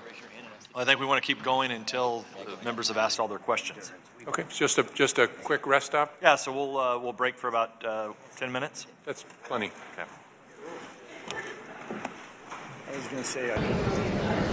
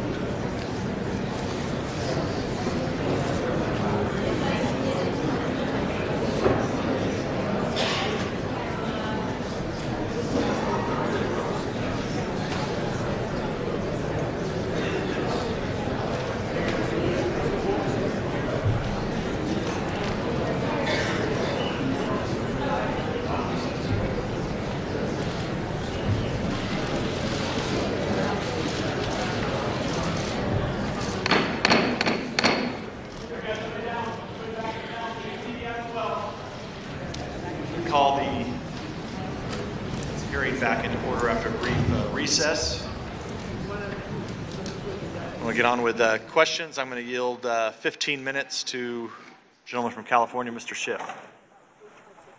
Director Comey, just a couple follow-up questions before I pass it to Mr. Quigley to enter something in the record. Um, you've been asked a number of questions today about is it enough to open an investigation because someone travels, or is it enough because they have their photograph taken, or enough because they attend a, a conference? I would imagine that you get so many leads, uh, so many people writing to you with information that they're convinced shows a crime, that if you investigated everything that people send you, you would be um, squandering your investigative resources in a way you can't afford to do. Um, my understanding, and correct me if I'm wrong, is that in order for you to open an investigation, you need to see credible information or evidence that someone has either committed a federal crime or become an agent of a foreign power. Is that an accurate understanding? Yeah, that's a fair statement.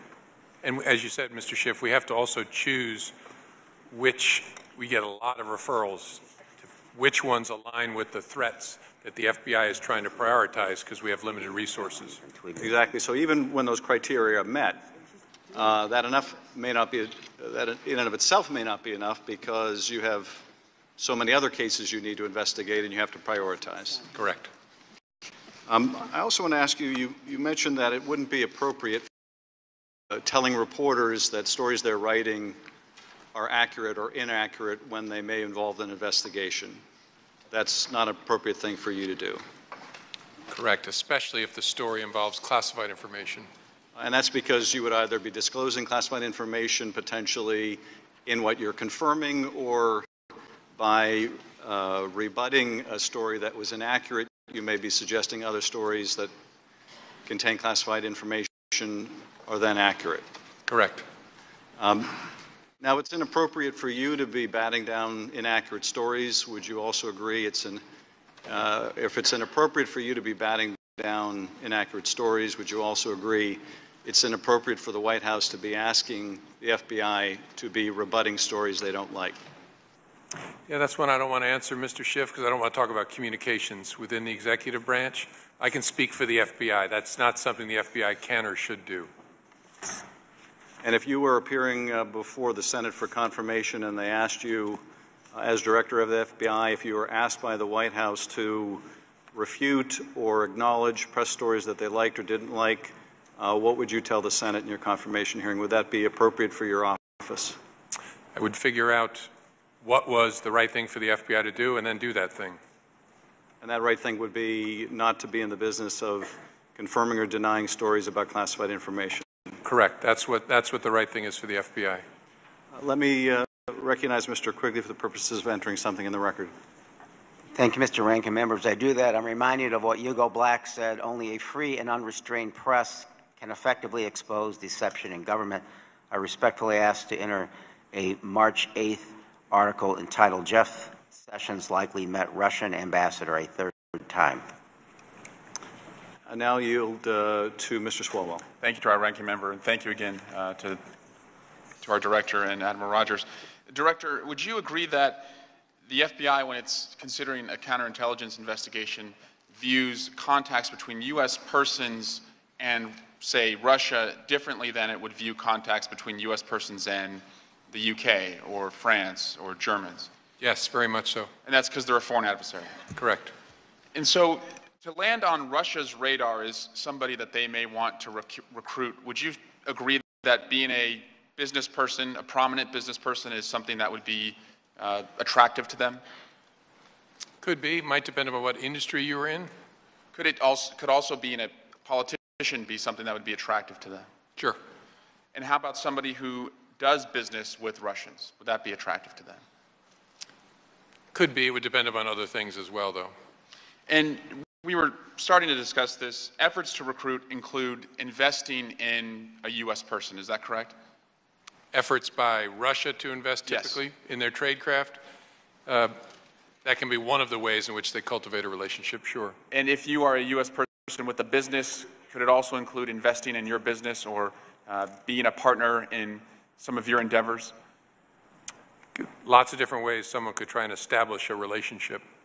And going back to compromise, could we assume that any prominent U.S. person traveling to Russia Depending upon how you define prominent, but they have an extensive surveillance operation of foreign visitors. So no matter who you are, you ought to assume it, but whether that's true in reality is harder for me to answer.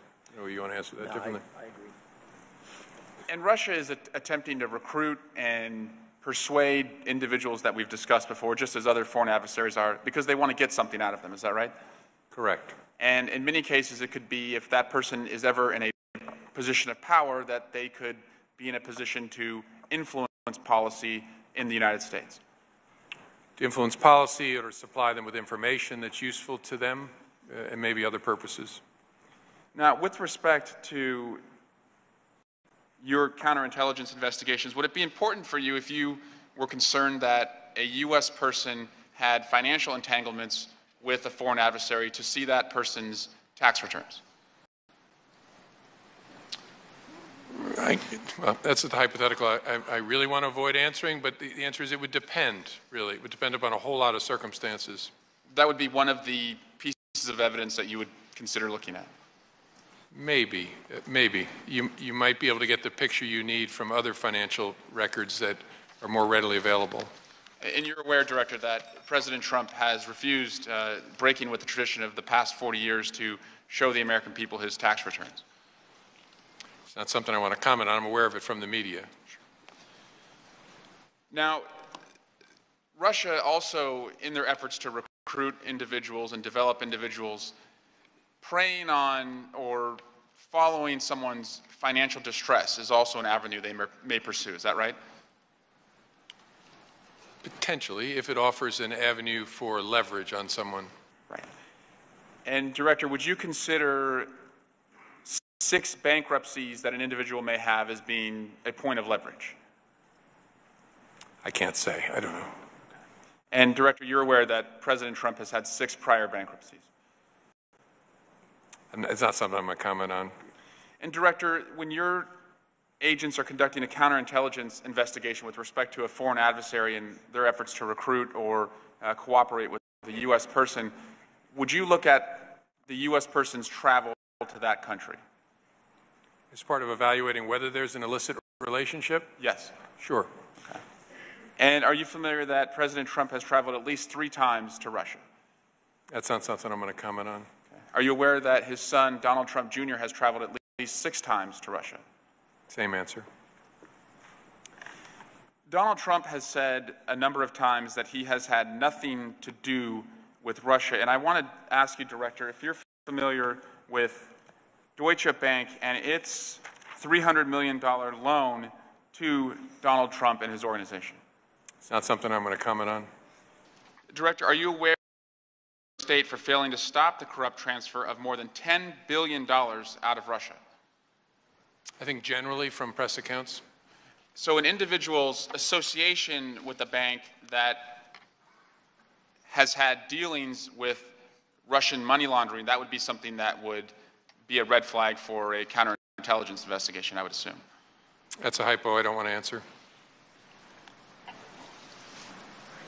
Director, would a U.S. business person who is associated with the foreign adversary having tenants in their office building that do business with that foreign adversary, would that be a red flag that a counterintelligence agent would look at? Yeah, I can't answer that. Are you aware that in Trump Tower were two tenants, Vadim Trincher and Anatoly Golubchik, who ran a high stakes illegal gambling ring that was run out of Trump Tower? Same answer. And are you aware that the prosecutor in that case was U.S. Attorney Preet Bharara? Same answer. Are you aware, Director, that that U.S. Attorney was recently fired? Yes. By the President of the United States? Well, I don't know who fired him. I know from pub press accounts that he was asked to leave. Director, are you aware of Felix Sater, a former Soviet official and advisor to the Trump Organization? I'm not going to comment on that. And Director, outside of Mr. Sater's relationship with the Trump Organization, are you aware that the FBI knew of Mr. Sater because of a $40 million stock fraud case that was prosecuted by the federal government? Same answer. Director, would a U.S. person having multiple trademarks, in addition to the other relationships that I just described, be a red flag for a counterintelligence investigation if those trademarks were in Russia? Multiple trademark? Yeah, registering trademarks in a foreign adversary's country. I don't know what to make of that. Okay. Were you aware that Donald Trump had six trademarks in Russia? Not going to comment on that. Were you aware that Donald Trump tried to market his Trump vodka brand in Russia? Same answer. Were you aware that Donald Trump ran Miss Universe 2013 out of Moscow? Same answer. Are you aware that Donald Trump Jr. said on a number of occasions that Russian money is pouring into the Trump organization and that there is a disproportionate cross section of the company's revenue coming from Russian money? Same answer, Mr. Swalwell. So, hypothetically speaking, though, would a foreign adversary and its oligarchs having a disproportionate cross section of a company's revenue coming from that country, would that be a red flag for a counterintelligence station? I'm not. I'm trying to be helpful, but I'm not going to answer. I understand. Kind of hypo. Thank you, Director. Director, are you familiar with a 2004 home purchase by President Trump in Palm Beach County for about $40 million? Not going to comment on that. Are you familiar with a 2008 sale of that same property for a 129% increase at about $98 million? Same answer. Are you aware that the buyer in 2008, earlier hypothetical, would a foreign adversary's oligarch purchasing a home in the United States for 129% more than the home was purchased four years before, would that be a tool that a foreign adversary would use to try and recruit, develop, or bring somebody onto their side? Same answer as before. You said that it's likely or somebody should assume they're being surveilled when they were in Russia. Would you assume that Donald Trump was being surveilled in 2013 when he was in Moscow? I'm not going to answer. I, I, I, I, was trying to confine my answer to prominent people should assume, not you know, students and all those people who might go there for a uh, brief holiday. I don't think I'd ask them to assume that. Right. Would it be safe to say that if Donald Trump was doing something he shouldn't have been doing while he was in Russia, the Russians probably saw it? Same answer as before. Would it be safe to assume that if a prominent person was doing something they shouldn't have been doing while they're in Russia, the Russians probably saw it? Yeah, I, I would stick to what I said before about prominent people should assume. D Mr. Director, was Donald Trump under investigation during the campaign? No, same answer as before. I'm not going to answer that. Is he under investigation now? I'm not going to answer that. Please don't overinterpret what I've said. As, as the chair and ranking know, we have briefed them in great detail on the subjects of the investigation and what we're doing, but I'm not going to answer about anybody in this forum. Director, from our perspective on the committee, the dots continued to connect President Trump, his team, people in his orbit to Russia. And, and the questions that we have, it's quite simple. Are these merely 100 different coincidences, or is this a convergence where you're seeing deep personal, political, and financial ties meeting Russia's interference in our campaign? So I'm wondering, Director, with your extensive counterintelligence expertise and in view of the Russian intelligence campaign to influence the election in which Donald Trump was the candidate, do you consider this, these number of connections between well-connected Russians and Donald Trump, the Trump organization, the Trump family, and the Trump campaign to be a coincidence or a convergence? I'm not going to answer, Mr. Swalwell. From your perspective, Director, have you ever seen in the history of American politics, or at least since you've been alive, any political candidate have this many connections, personal, political, and financial, to a foreign adversary? Same answer. Mr. Director and Admiral Rogers, this past election, our country was attacked. We were attacked by Russia. It was electronic. It was nearly invisible. Thanks to the hard work of the men and women who serve in our intelligence community, we know that the attack came from Russia. It was ordered by Vladimir Putin. He sought to help Donald Trump and to take down Hillary Clinton. The most disturbing finding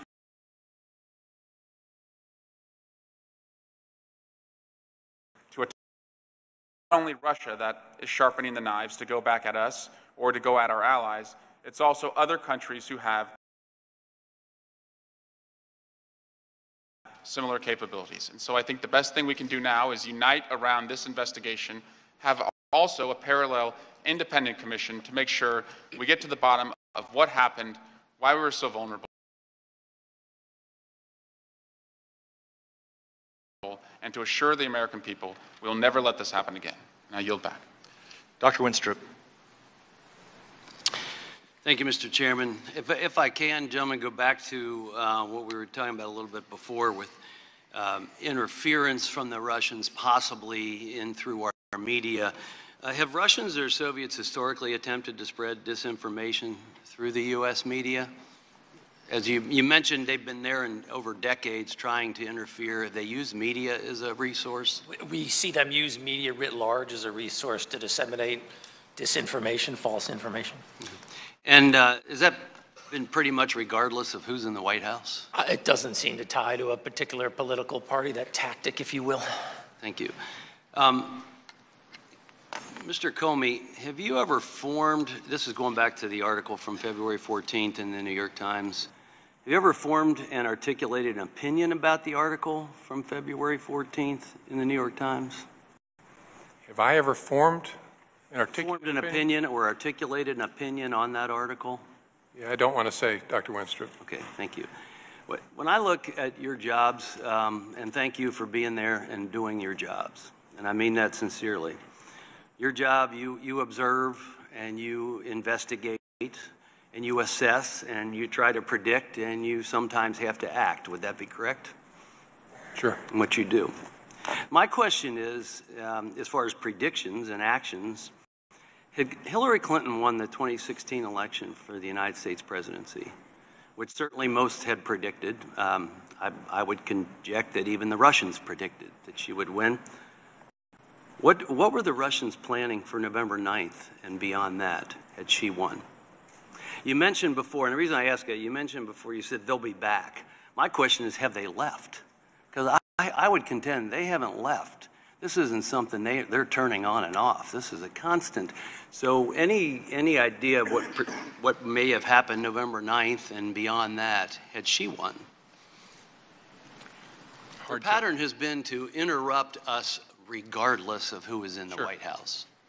Yeah, they, they want to mess with us in a, in a continuing and general way. It's hard to answer the counterfactual. I, I assume they would have continued their efforts to undermine uh, President-elect Clinton as they had begun doing during the summer, especially with the European allies, to create a divide there, mm-hmm. and probably lots of other things. What I meant by they'll be back is they're, they're not going away, but in the, in the, I meant that in the sense of their next opportunity to mess with our election is two years from now and then four years from now. That's what I meant by back. Thank you. I, I think your job is, is difficult because there's a lot of conjecture about any relationship with Russians in general and questions from me and others about can I meet with the Russian ambassador? Does that get me investigated? Uh, business ties here and there. You know, I mean, currently we share a space station with the Russians. We buy engines from the Russians for, for our rockets.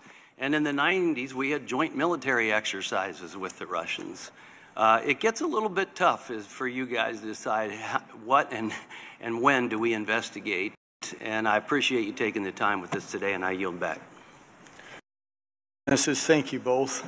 Um, you know, I'm impressed. I was a B-1 pilot when I took off. One of the first thoughts I had was, how long is it going to be till I get to go to the bathroom? You guys went almost four hours. Our, our plan was to keep you here until you were in such pain that you would just answer all of our questions. And uh, I have a list of questions here, but I want to divert a little bit and, and follow up on some of the things that have been said here today. Mr. Comey, you confirmed that there's an investigation into Trump campaign officials. The fact that there's an open investigation does not indicate guilt, though, does it? Certainly not. And in fact, many times an investigation may find that there is no wrongdoing. That's one of the reasons we don't talk about it, so we don't smear people who don't end up charged with anything. Yeah, I appreciate that. And I would say that is especially likely to have, when I say especially likely, I'm talking about to have, uh, have a finding of no wrongdoing when there is a political motive. And if there's one thing that we've seen here today, I think, from some of the line of questionings, it's clearly been a certain political motive in, in some of the questions to you. Uh, Mr. Clapper, the former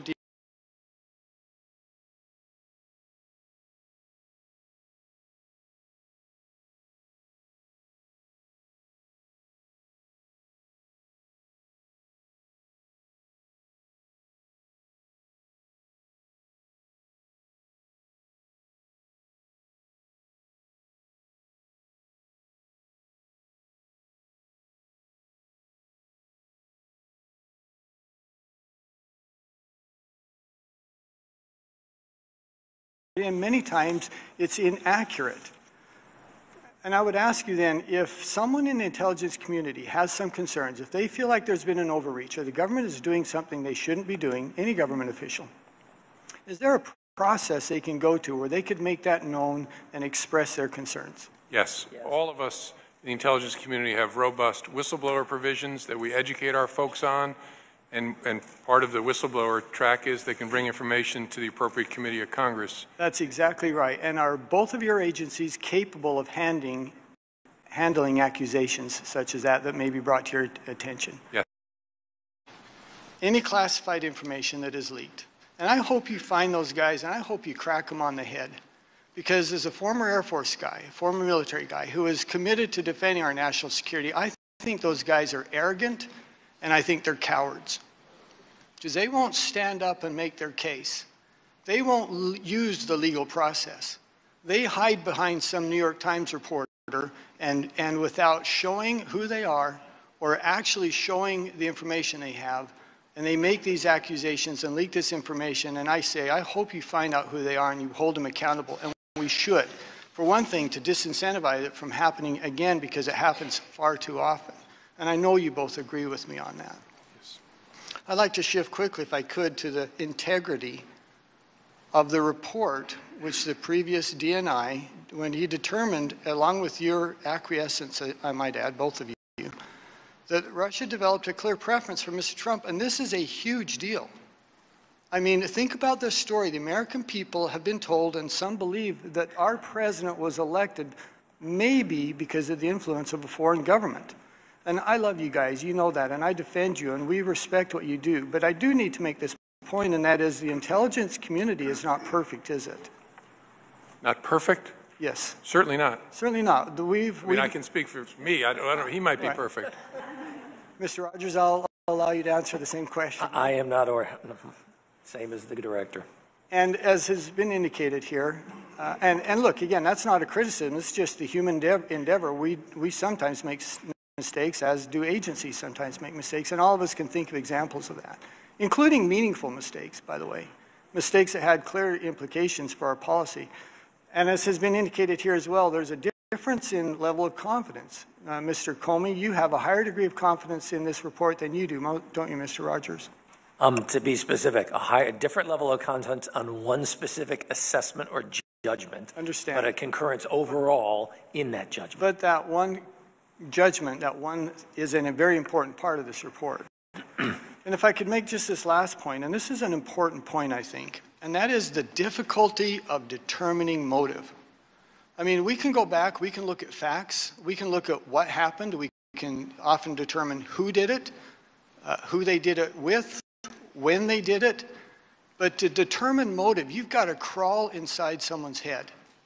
And that's much, much more difficult. In fact, quoting from the preamble in this report, talking about a leader's intentions, it says this objective is difficult to achieve when seeking extraordinary lengths to hide and to obfuscate their activities. Once again, we're trying to determine motive, which is very different, difficult. Do you agree with that? That determining motive is one of the most difficult challenges when it comes to an intelligence analysis? I, I do, Mr. Stewart. And I should, I should emphasize something that Admiral Rogers said earlier. We made no judgment on whether the Russians were successful in any way in having an impact on the election. I just want to be clear. That, that's not in the report because we didn't opine on it. We didn't, uh, that's not within our, our, uh, I understand that, but we're looking at Russian activities, and we're making a conclusion of why they did that. In this case, that they preferred one, one candidate over the other. I was in Moscow last August. I came home and I did some media interviews and talked to some folks, and I said, they're going to mess with our elections. And that wasn't based on any intelligence analysts or, or specific information. It was just based on history. We knew that they would. And I was always asked, well, who do they want to win? And I said then, I don't think they care. I don't think they, A, could believe they could determine who would win. And, and others, as we've said here a number of times, they just want to break down the foundation. They just want to break the trust in our institutions. They want to take away that faith we have in our electoral process. And by the way, the intelligence community agreed with us, with me on that analysis, for a long, long time, up until December. And then suddenly they didn't. And that was when the president asked for this report, and he asked for it to be concluded very quickly, and then the analysis changed entirely. And, and it went from, no, no, no, they don't really care, to, no, no, they want Mr. Trump to win. And I think there's another plausible explanation, which is what I want to talk about in the few minutes I have remaining. Let me begin by asking you, do you think that the Russians expected Secretary Clinton to win the election? Yes, as of August, certainly, August, September. Okay, Mr. Rogers? Yes.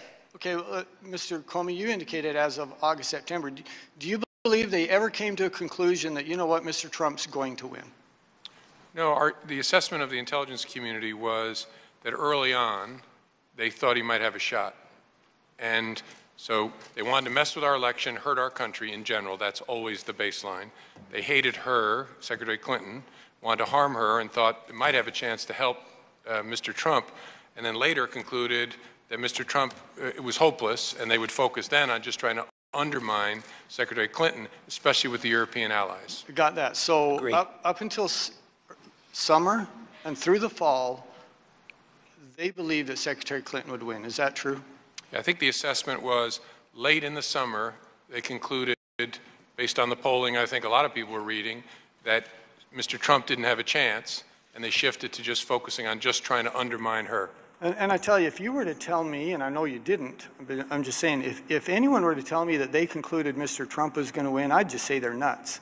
Because there was no one in the world who thought that. Every media organization, every political organization, every government organization that I'm familiar with last fall thought that Secretary Clinton would be the next president of the United States. I think the Russians agreed. I absolutely did agree.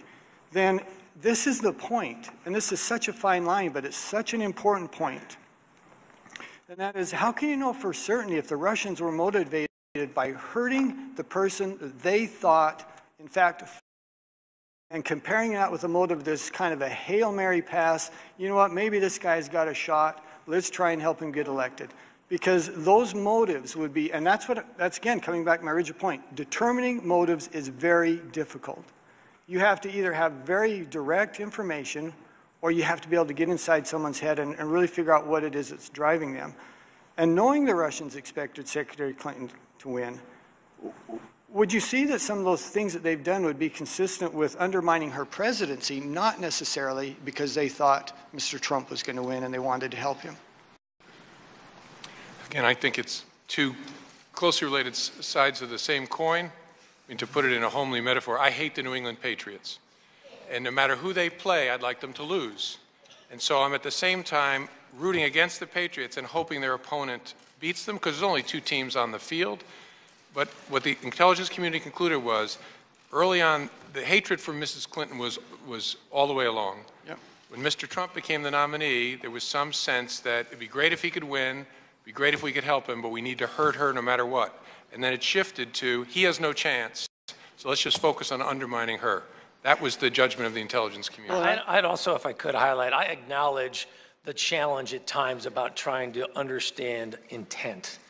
But the level of, we, we're not going to go into specifics in an open, unclassified form, but the level of sourcing, the multiple sources we had, which were able to independently corroborate the judgment. And there's a reason why we were high confidence in everything except just one issue, Yeah. to include the intent. I understand. I spent some time out at the CIA last week. I went was with the staff as best we could through the 2,000 some odd pages. And by the way, not many people did.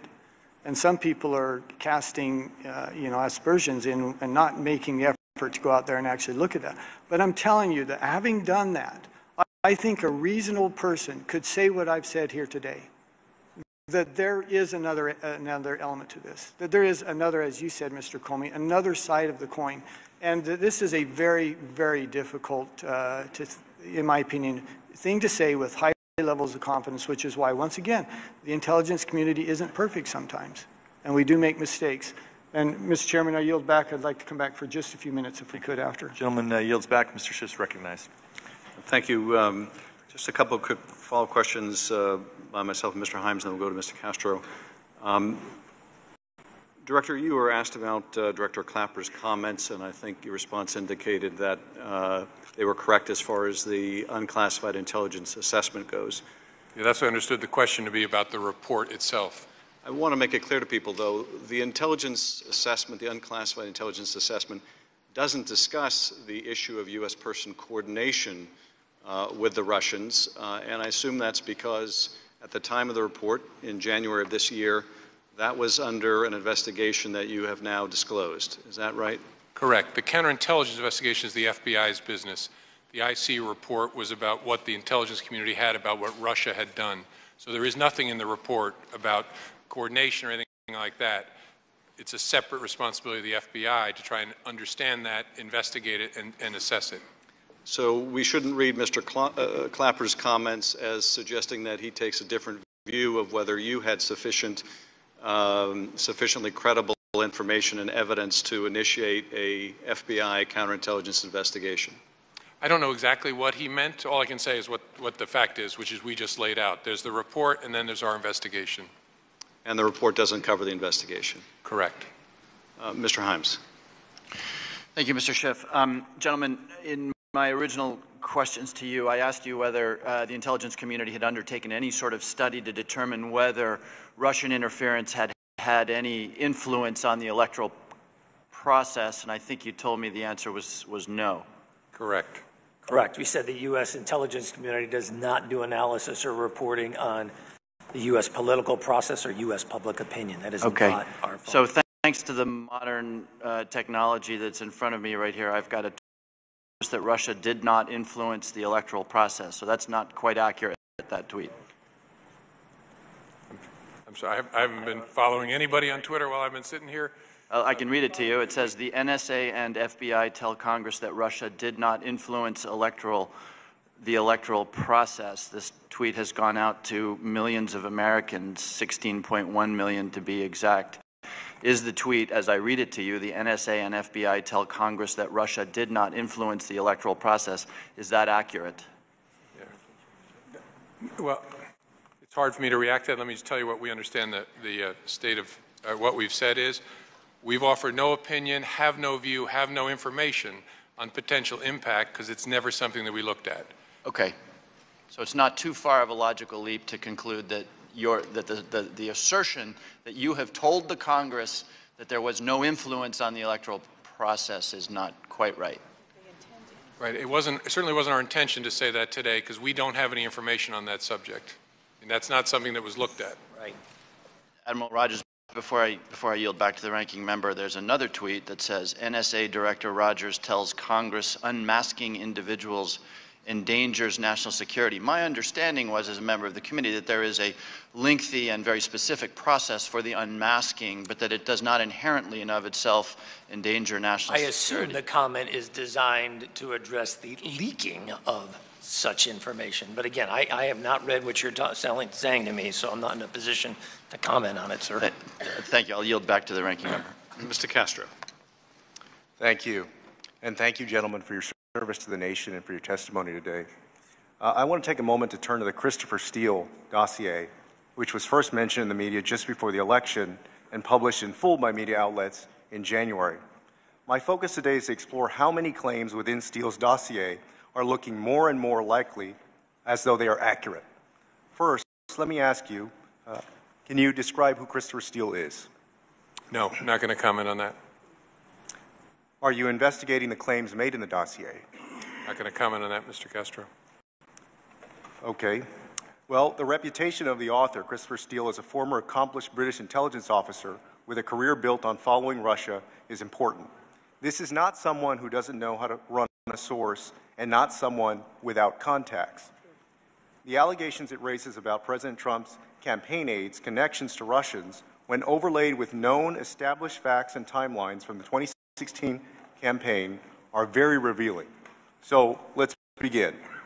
In general, as my colleagues have discussed before, is it true that a large number of oligarchs and wealthy businessmen in Russia have profited from their continuing close relationships or cooperation with the Kremlin? Could you say that one more time, sir? I want to make sure I understand. Uh, have oligarchs and wealthy folks in Russia profited from their connection to the Kremlin? Yes. And there are no free lunches in Russia. If you get wealthy under Putin, it's because you support Putin and are expected to support him. Is that fair to say? I- would assume there's a perception of advantage, but I would assume it also varies by the specifics of the particular in- Sure. individual and relationship we're talking about. Okay. Uh, but Putin never just trusts, he verifies, right? As a former KGB man, he wants to keep tabs on his wealthiest citizens, especially those that could ever pose a challenge to him. Is that right? I assume he maintains knowledge of the situation around him to include particular centers of influence within Russia. Thank you. So is it likely that the Kremlin would accept or actively trade favors or other valuable or sensitive information, intelligence from foreign figures about Russian oligarchs or wealthy businessmen living abroad? Is it possible? Yes, but again, it depends on the particulars of the situation. I don't know that I would make a, a flat statement on But it's certainly a possibility. It's a possibility. Okay. Well, the dossier definitely seems right on these points. A quid pro quo relationship seems to exist between the Trump campaign and Putin's Russia. A July 19, 2016 entry, for example, asserts that Russians were receiving intel from Trump's team on Russian oligarchs and their families in the United States. An entry from June 20th, 2016 states, quote, Trump and his inner circle have accepted regular flow of intelligence from the Kremlin, including on his Democratic and other political rivals, unquote, which is something for something. A July 30th entry likewise states that, quote, a source close to Trump campaign confirms regular exchange with, Kremlin, with the Kremlin has existed for at least eight years, including intelligence fed back to Russia on oligarchs' activities in the United States. Is it generally true that Moscow actively seeks and supports, whether through the oligarchs, overt Russian officials, or undeclared intelligence officers, sympathetic or cooperative foreign figures abroad, whether through business dealings or political backing or a combination of the two? I think it's generally true. I mean, generally, this is a tactic. Generally, it's a tactic we have seen over time. But again, I would caution us, we're talking about very specific cases theoretically here, and I'm not prepared to get into any of the specifics. And, and I know that my colleagues have touched upon this, but I think it's important in the context of Christopher Steele's, Christopher Steele's dossier uh, to bring it up again. So my question is, is it likely or plausible, plausible that the Russians might seek out Americans for Moscow's purposes? It is one of the focuses of our counterintelligence mission to try to understand the ways in which they try to do that. That's, that's at the core of their intelligence gathering, is try and co-opt, recruit Americans to give them information. So the dossier states in an entry dated August 10, 2016, that a, quote, Kremlin official involved in U.S. relations, unquote, suggests that Moscow might offer assistance to, quote, sympathetic U.S. actors. Does this sound like a plausible tactic out of the Russian playbook? I'm not going to comment on that, Mr. Okay. Now, let's get even more specific. Among the U.S. actors, this Kremlin official mentions are Carter Page and Michael Flynn, whom my colleagues have already discussed at length and which the dossier describes as, quote, examples of successes by the Kremlin official. We know Carter Page went to Moscow on July 7th to give a speech to the new economic school. We're in possession of the slide deck from his speech there. At the time, Corey Lewandowski, as reported in Politico, citing National Security Campaign official J.D. Gordon. Now, let me ask you another question with respect to somebody else. Is it correct that Igor Sechin, the president of Russian oil giant Rosneft, is a former member of Russian intelligence and a longtime aide and confidant to Vladimir Putin? Not going to answer that, Mr. Castro. In an October 18, 2016 entry, the dossier states that during Page's visit to Moscow, he met with Igor Sechin, offering, quote, Page and Trump's associate the brokerage of up to 19% stake in Rosneft, with Page confirming that, quote, if Trump were elected U.S. president, sanctions on Russia would be lifted. And although, fortunately, the White House hasn't been so naive as to unilaterally lift sanctions on Russia, it was widely reported that on January 27th of this year, Rosneft sold a 19.5% stake in Rosneft in what Reuters calls, quote, one of its biggest privatizations since the 1990s. Furthermore, Reuters reported that, quote, public records show the ownership structure of the, of the stake ultimately includes a Cayman Islands company whose beneficial owners cannot be traced. What a coincidence. Is this the subject of your investigation? one of the subjects in your investigation? Same answer. Okay. Meaning, meaning I'm not going to comment. I understand. Uh, so let's move to WikiLeaks for a moment, who played such a prominent role in the 2016 election. As has been established before and reestablished at this hearing, WikiLeaks was at a minimum an unwitting pawn and at maximum an active co-conspirator of the Kremlin's in publishing stolen DNC and senior Democratic officials' emails. And do you agree this was done in order to offer Moscow some measure of separation as to mask its hand in having hacked and stolen the data in the first place, but so it could still have it publicly posted to inflict damage on the Clinton campaign? Yeah, I think that's fair. Yes. Okay. An entry from July 19, 2016 in the dossier states that a Trump associate knew that the Kremlin was using WikiLeaks in order to maintain, quote, plausible deniability of its involvement. Three days after this entry, WikiLeaks carries out the Kremlin's wishes and publishes upwards of 20,000 stolen DNC emails and 8,000 associated email attachments and the rest, as they say, is history. Another entry, dated August 17th, has Carter Page and a Russian associate discussing WikiLeaks publishing emails in order to swing Sanders supporters away from Clinton and to Trump. And again, from a September 14th on Clinton in form of emails and considers disseminating after parliamentary elections in late September. And on October 7th, WikiLeaks publishes John Podesta's hacked emails. So the coincidences keep piling up. Let's turn, uh, in the few minutes that I have remaining, again to Paul Manafort as a follow up to Mr. Himes' questioning. Suffice it to say, Paul Manafort was a major part of the Trump campaign, including serving as its chairman, convention manager, and chief strategist before departing the campaign in disgrace in August 2016. It's also established the fact that Paul Manafort was a longtime official advisor to pro-Russian Ukrainian political leadership. Uh, is Paul Manafort, Manafort a, a subject in your investigation? I'm not going to comment on that. All right. Director, can you describe to the American people the Russian uh, concept of kompromat? It's a technique that they use to gather information on people that may be embarrassing or humiliating and using it to coerce cooperation. Uh, in your career, have you known instances where that has been successfully leveraged? Yes, I believe our counterintelligence division has encountered it a number of times. Uh, does that include private places, including places such as hotels that are wired for audio and video?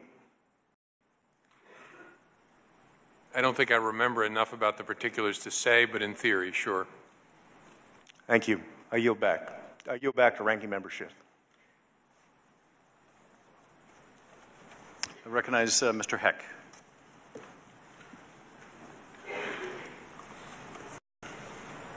Admiral Rogers, before I get into my main body of my remarks, I want to go back to your earlier comment about that there is no evidence to indicate that there was a successful Russian hacking of voter results or tabulations. What I did not hear you say is whether or not there had been any attempts to hack into election systems of any kind. I can answer that because the FBI's responsibility is in the United States. Uh, we saw no indication of that. We saw efforts to penetrate voter registration databases, state boards of elections at that level. We saw efforts to penetrate registration rolls. Correct. Um, did you see efforts to penetrate any other portions of election systems other than registrations? In this country, it's a highly decentralized system. And as a consequence, as you will recall, uh, then Secretary of Homeland Security Jeh Johnson indicated that election systems should become a part of our critical infrastructure for cybersecurity purposes. Their efforts were aimed at the voter registration systems in various states, and it takes different forms in various states. Sometimes there's a private vendor, sometimes it's state, but it, that's where it was focused and not on the, the vote itself, vote machines, vote tabulation, vote transmission that, that we've seen. Thank you. Are you back to the ranking member? I think. Time's, uh, time's expired. Let me go quickly to Mr. Turner. Thank you, Mr. Chairman. There's been a lot of statements that have been made um, up here uh, that, as opposed to questions, and we don't certainly feel the need to clarify all of them, but there is one aspect that does need to be clarified, um, it- because it's also involved uh, both of your testimonies. Um, There has been discussion up here concerning the statements by James Clapper, and rather than do the conjecture uh, as, as it has been made, I'm going to just read it. Uh, Chuck Todd said, Let me ask you this Does intelligence exist that can definitively answer the following question whether there were improper contacts between the Trump campaign and Russian officials? James Clapper said, We do not include any evidence in our report. I say our, that's NSA, FBI, and CIA, with my office and the Director of National Intelligence, that had anything, that had any reflection of collusion between members of the Trump campaign and the Russians. There was no evidence of that included in our report. Chuck Todd followed up. I understand that, but does it exist? James Clapper answered, not to my knowledge. So the text is not merely related to the report. I yield back. Mr. Crawford is recognized. Thank you, Mr. Chairman. Thank you, gentlemen, for being here today. Uh, I'll start with Director Comey. Um, despite your expressed disdain for the New England Patriots, I think that um, Tom Brady would probably like to express his uh, uh, gratitude for the FBI's assistance in recovering his stolen Super Bowl jersey, so I'll do that on his behalf now. Thank you. Um, By the way, I, if I'm honest with myself, the reason I don't like the Patriots is they represent sustained excellence. And as a Giants fan, that drives me crazy. Uh, Director Comey, are you familiar with a, uh, an article, July 18th, 2016, from the Washington Post entitled Trump Campaign Guts GOP's Anti-Russia Stance on Ukraine? I'm not familiar with that article. I don't, I don't remember it. Uh, Ask unanimous consent to add this to the record. Uh, Just for your edification, Director, um, there's an allegation contained in that article that as a National Security Committee platform meeting, Trump staffers wrote an amendment to an amendment that stripped out platforms call, uh, call for providing, quote, lethal defensive weapons and replace it with softer language calling for, quote, appropriate assistance. Are you familiar with a March 18th, 2017 story in the Washington Examiner entitled How Pundits Got Key Parts of the Trump Russia Story All Wrong? Are you familiar with that? I don't think I am. I'm asking unanimous consent to add that to the record, and also for your edification, I'll go to, um, then I'll go through, I, I know that you're limited on what you can comment on, I'll go through some of the, some of the, the as I said, the meat of this. Um, Reading from the platform, it says, quote, "We will meet the return of Russian belligerents with the same resolve that led to the collapse of the Soviet Union.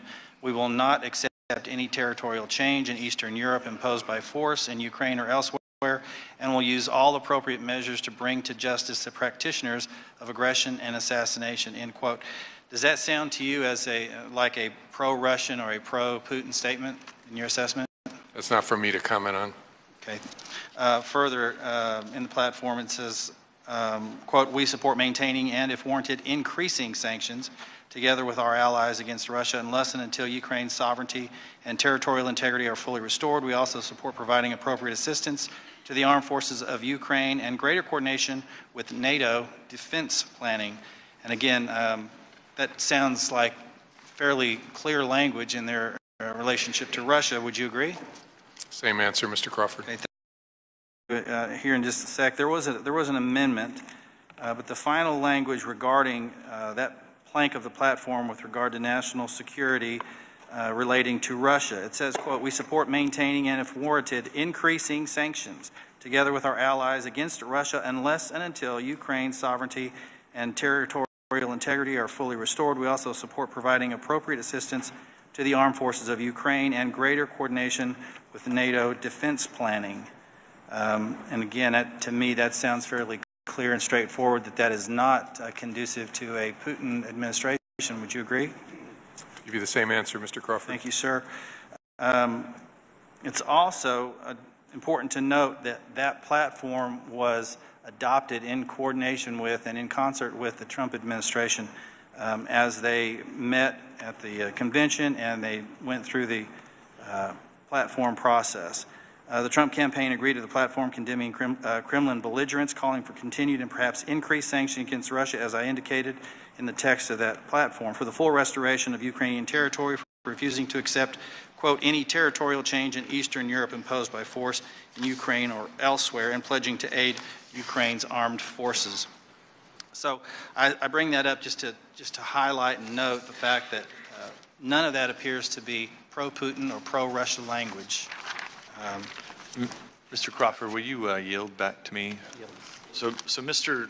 Comey, I just want to make sure, I know you're not going to comment on this, but I hope that you'll ta- take this back to your investigators because there seems to be the, the line out there that somehow the Republican Party watered down its platform. And that's not true. That didn't happen. And in fact, what happened is, is that the platform was actually increased, increased its certainty and against what the Russians were up to, uh, and it actually amended the platform uh, to make it stronger than what it initially was. So, you know, I know there's a lot of circumstan- uh, circumstantial evidence out there about all these supposed people that knew that knew the Russians, but the reality is, and remains the case, the Republican Party had a very strong platform that was against the Russians, and it was increased in its in its strength, not decreased like has been reported. So I know that you won't comment, but I hope that at least you will will provide this uh, to uh, your investigative team so that we can at least get this off the table. Will you, will you take this Sure. back? Okay, we'll get it to you. Uh, Sorry, Mr. Crawford, we'll go back. Oh, not at all. Um, uh, Thank thank you, Mr. Comey, I appreciate that. Uh, Admiral Rogers, would you like to make a comment about the New England Patriots before I move for- forward? I'm a Chicago Bears guy, born All and right. Um, Admiral, our employees, uh, you mentioned this before, but I just want to go through this list. Are employees of uh, intelligence community, intelligence community agencies required to disclose visits with foreign nationals? Um, yes, broadly, although I'll be the first to admit, not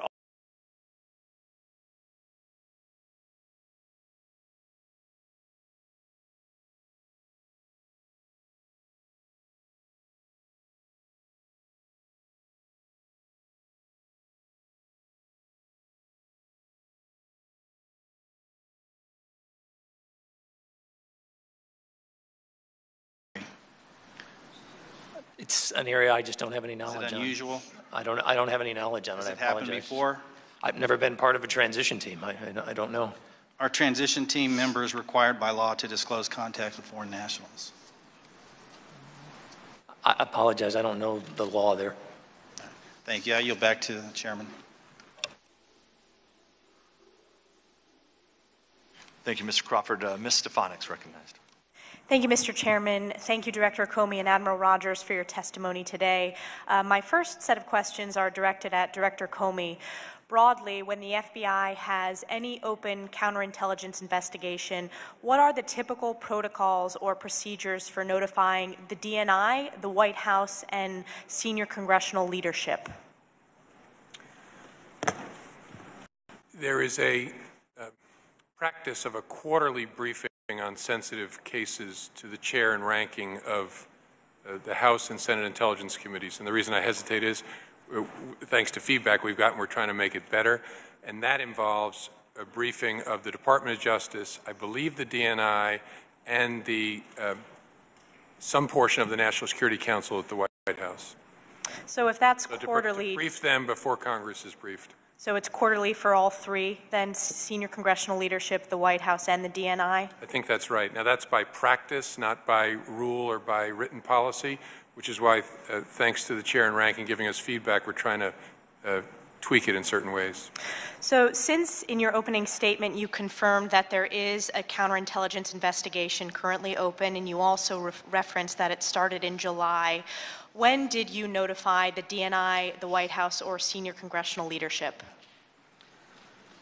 It's a good question. Congressional leadership, sometime recently, they were briefed uh, on the nature of the investigation in some detail, as I said.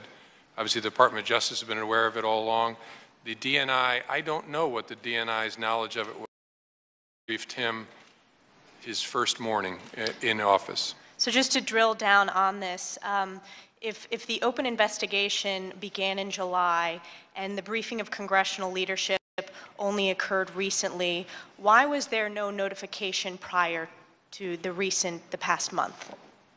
I think our decision was it was a matter of such sensitivity that we wouldn't include it in the quarterly briefings. So when you state our decision, uh, is that your decision? Is that usually your decision, what gets briefed uh, in those quarterly updates? No, it's usually the decision of the head of our counterintelligence division. And just, uh, again, to get the detailed uh, on the record, why was the decision made not to brief uh, senior congressional leadership until recently, when the investigation had been open since July, um, a very serious investigation? Why was that decision made to wait months? Because of the sensitivity of the matter?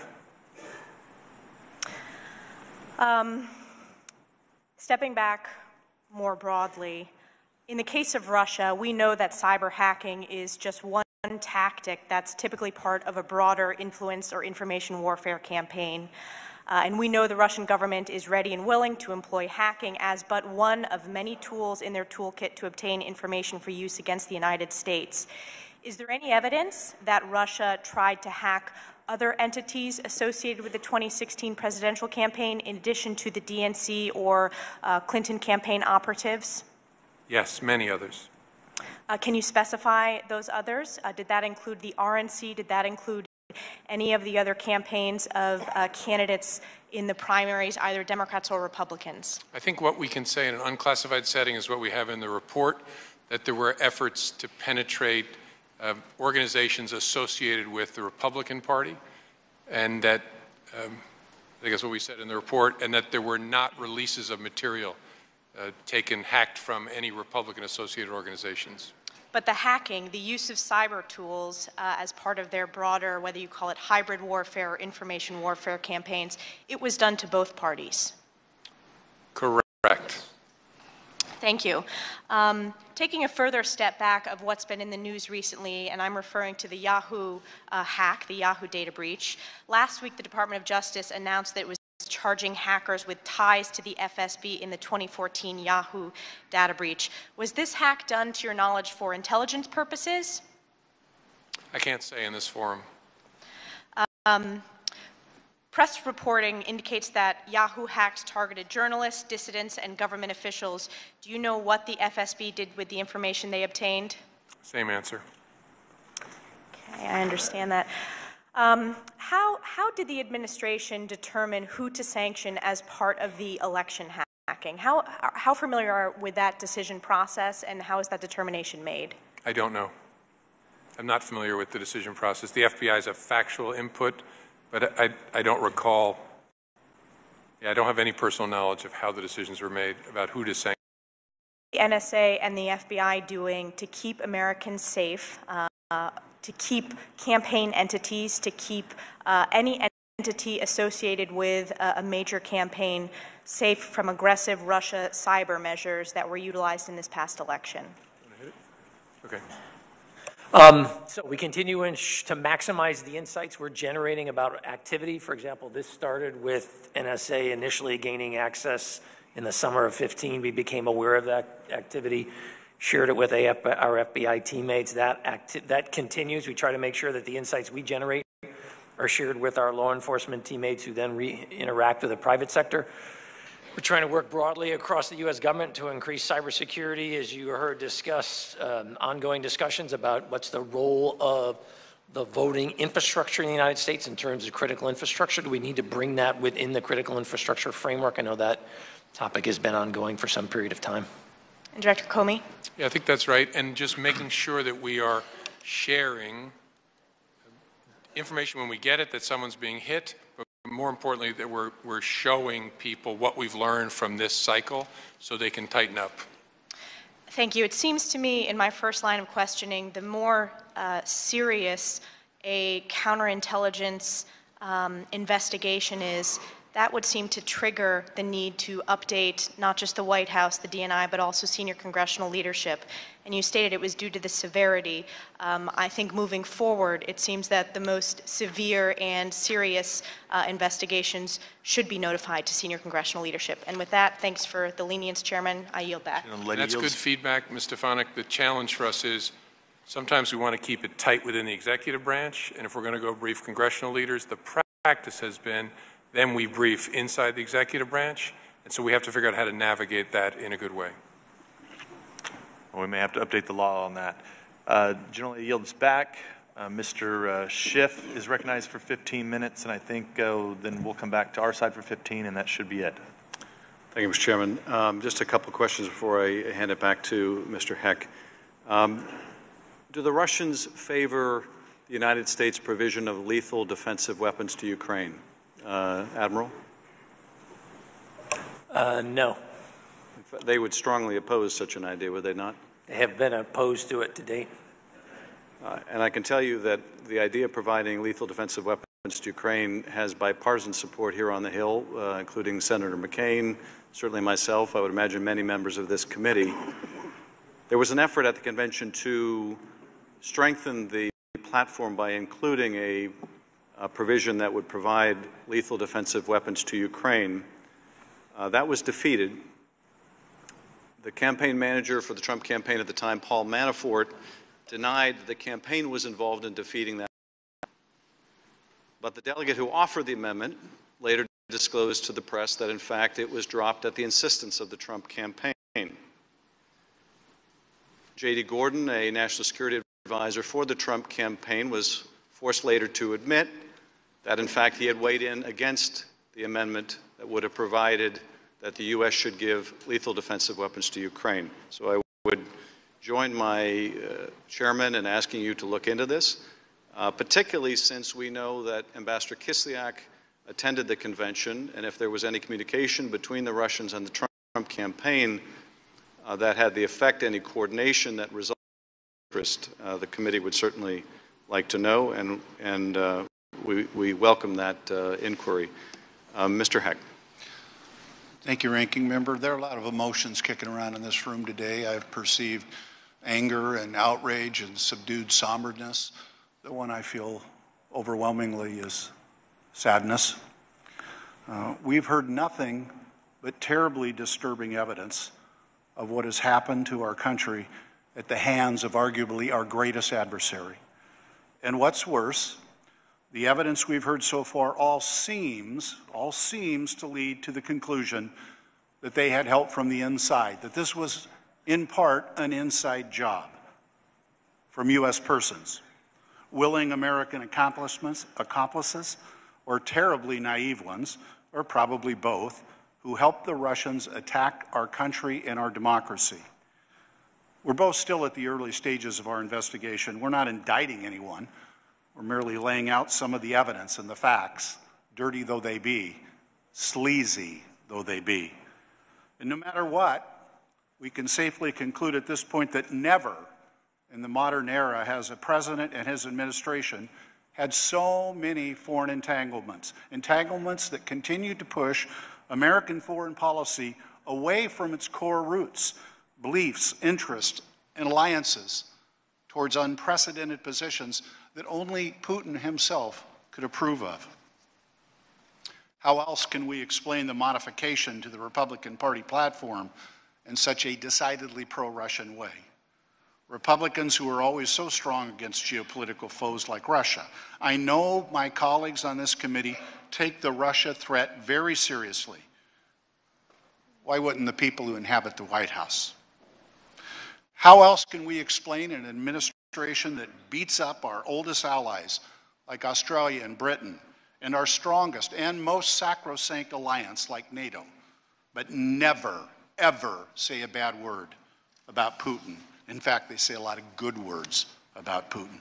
An administration that we have heard decisively makes up baseless wiretapping charges against a former United States president, equates our intelligence agencies to Nazi Germany and argues moral equivalence between a repressive authoritarian states with an abhorrent human rights record like Russia and our free and open democracy. And yet, this administration never, ever utters any criticism of Russia. Let's be clear, though. This is not about party. It's not about relitigating the election. It's not as if anything we do here will put a president from a different political party in the Oval Office. So I hope that it's clear that it's about something much more important. And no, it's not about political motivation, to my friend who said and suggested that earlier. This is about patriotism, about something way more important than party. This is about country and the very heart of what this country is built on, which is open, free, fair, trusted elections. We don't take our investigation lightly, and I know you don't. Indeed, you go through a process to even decide to do that, whether to expend the resources, to begin with credible allegations and reason to believe that there is something that warrants it. And I no doubt believe that you have talked to lawyers in and out of the prosecution, prosecution divisions about whether or not this warrants an investigation. I know you don't take this lightly. But what we have seen is damning evidence today of what Russia did. We've also seen damning evidence of how they did it. Russia has a history of using active measures, many of which we have heard about today. Let's recap them. We're getting near the end. Hacking and dumping information to damage or embarrass their enemies. We heard about this, of course, with respect to WikiLeaks and Guccifer 2.0. Using third parties and cutouts, business people, oligarchs, and other ostensibly private individuals to cultivate relationships. We've discussed Ambassador Sergei Kislyak, Rosneft CEO Igor Sechin, and of course, Vladimir Putin himself. We've also heard about Russia's use of companies like Gazprom, the Bank of Cyprus, Rosneft, Rosneft, and a confusing web of offshore shell companies used, it would seem, to hide or to launder money. We've also heard how Russia released disinformation to spread rumors and confuse the public and sow distrust in the ability to even know truth objectively using propaganda media outlets whether directly owned by Russia or not, to release such disinformation in order to claim plausible deniability of Russia's hands. Here again, we see WikiLeaks and Guccifer 2.0, but we also see the use of propaganda outlets like RT. And, of course, the use of U.S. persons of influence, whether through active collusion or coordination or naive acquiescence, we don't yet know the full extent to further Russia's attempts to undermine our elections and ultimately weaken our democracy. On that last point, we've heard about quite a few individuals in the Trump orbit who fell somewhere on that spectrum from mere naivete, disturbing enough if this naivete is a feature of those who are supposed to be running our country in foreign policy, to unwitting Russian dupes to willing blindness to active coordination. This rogues galleries includes those already fired, Roger Stone, advis advisor to Donald Trump, Paul Manafort, advisor to Donald Trump, Michael Flynn, national security advisor to Donald Trump, Carter Page, advisor to Donald Trump. But the cloud of deep suspicion and Russian entanglements extends to those still in power. Rex Tillerson, Secretary of State to Donald Trump, Michael Caputo, advisor to Donald Trump, Jeff Sessions, Attorney General for Donald Trump, and members of the Trump family itself. This matters. It's serious. Our battleships weren't sunk and our towers didn't collapse a la 2011. But make no mistake, 2016 is a year that we should mark on our calendars. And it's still going on. The attack didn't end on Election Day, and it will continue, as you have suggested, unless we, all of us in this room, stop it. Admiral Rogers, you've proudly worn that uniform your entire career. I am proud of your service and grateful for it. But I would, I would ask you, sir, not even with respect to this specific invest, investigation, to use your own words, as someone who no doubt has been in theater, who's lost brothers and sisters in combat, to explain to me, but more importantly to the American people. Don't assume they know the answer. Tell them in your words why we should care about Russia's active measures campaign aimed at destabilizing our democracy and that of our allies. In your words, sir, why should they care? I don't think it's in the best interest of our nation for any external entity to attempt to manip- manipulate outcomes, to shape choices. That should be the inherent role of, de- of a democracy. The investigation we're going through, I think, is a positive in the sense it'll help illuminate to all of us, regardless of party, what are the implications here and what does it mean for us? Because I think our conclusion and that of the intelligence community broadly here is this, absent some change, this behavior is not likely to stop. Absent some change in the dynamic, this is not likely to be the last time we'll be having these discussions about this kind of activity. And I don't think that's in anybody's best interest for us as a nation. Director Comey, parallel question. Uh, Again, in general terms, and not with respect to the specific investigation you have revealed here today. Not asking you to go into specifics on any individuals, but please explain, explain briefly to me, and more importantly to the American public, why we should care about Russia's use of U.S. persons, of Americans, helping Russia destabilize our democracy. Well, like Admiral Rogers, I, I truly believe we are a shining city on a hill, to quote a great American. And one of the things we radiate to the world is the importance of our wonderful, often messy, but free and fair democratic system and the elections that undergird it. And so when there's an effort by a foreign nation state to mess with that, to destroy that, to corrupt that, it's very, very serious, threatens what is America. And if any Americans are part of that effort, it's a very serious matter. And so you would expect the FBI to want to understand is that so? And if so, who did what? But again, I want to be very careful that people don't overinterpret my words. To preserve our ability to answer those questions, we're not talking about our work. I'm not here voluntarily, right? I would rather not be talking about this at all. But, but we thought it was important to share at least that much with the committee and the American people. And now we're going to close. They do indeed. I thank you both for those answers, and I thank you both for your service to our country. I would like to think that we can turn this from a sad event into a positive one. This country has stood up and fought on behalf of its own health and welfare and that of its citizens and met any number of challenges throughout our nation's history. The worst thing we could do is underestimate the nature of this challenge before us today. With that, Ranking Member, I would appreciate it if I could yield to my friend from Texas, Mr. Castro, briefly. Mr. Castro. Uh, Thank you. Um, One more question with respect to leaks. I know that's been a big topic of the line of questioning and, of course, is of concern to all of us, uh, regardless of political party. Uh, But I want to ask you, Director, uh, is it possible that some of those leaks could come from not the intelligence community, but from members of the White House staff, for example? Sure, it could come from lots of different places. And it's often one of the things that's challenging, as I said, about a leak investigation. You think it's going to be a small circle, but it turns out a lot of people either knew about it or heard echoes of it and had stories to tell to journalists about it.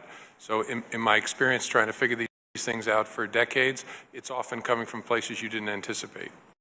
No, and the reason I ask the question is because the president has berated uh, the FBI and the intelligence community on the issue of leaks, and others have berated the intelligence community and the press because of these leaks.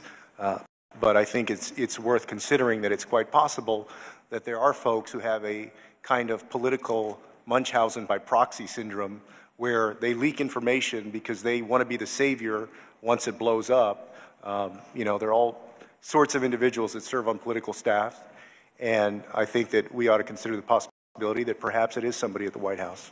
Thank you. I yield back. Chairman, we yield back. Gentleman yields back, and Mr. Hurd. Thank you, Chairman. And um, gentlemen, thank you all for, for being here, and, thank you for your continued service to your country.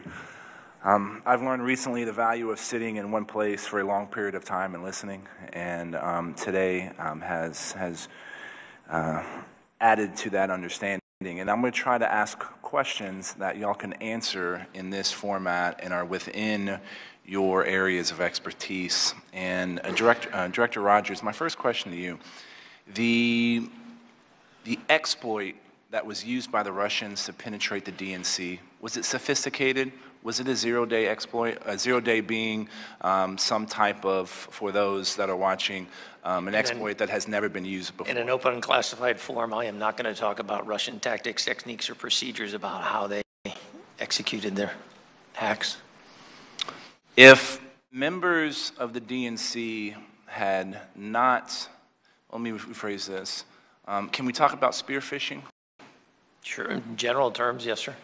Um, spear phishing is when somebody sends an email and um, they, uh, somebody clicks on something in that Right, the user thinks they're receiving an email either of interest or from a legitimate user. They open it up and they'll often click, click, if you will, on a link, an attachment.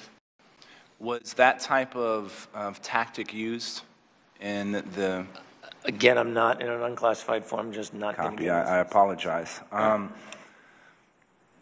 Director Comey, when was the first time the FBI, r- roughly, I think August of 2015. and was that prior to any of the information being leaked, to being um, um, sent on, Wik- wi- put on WikiLeaks? Yes, the, wic- the, the first um, Russian-directed releases were middle of June with, of the next year by DC Leaks and this Guccifer 2.0 persona, and then that was followed by WikiLeaks. So, So- so- about, a, about a year, a little less than a year earlier. So there was about a year between the FBI's first notification of some potential problems with the DNC network and then that information getting on. Ever get access to the DNC, DNC hardware? The NSA um, didn't ask for access. That's not in our job jar. That would be Good, good copy. So Director, um, FBI notified the DNC um, um, f- early, before any information was put on WikiLeaks, and when um, you have still been, never been given access to any of the technical or the physical uh, machines that were, that were, that were hacked by the Russians.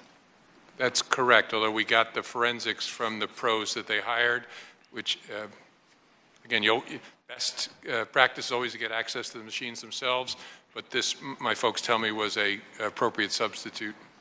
Um, the, at what point did the company, the DNC, use um, share that forensic information to you? I don't remember for sure. I think June. I could be wrong about that.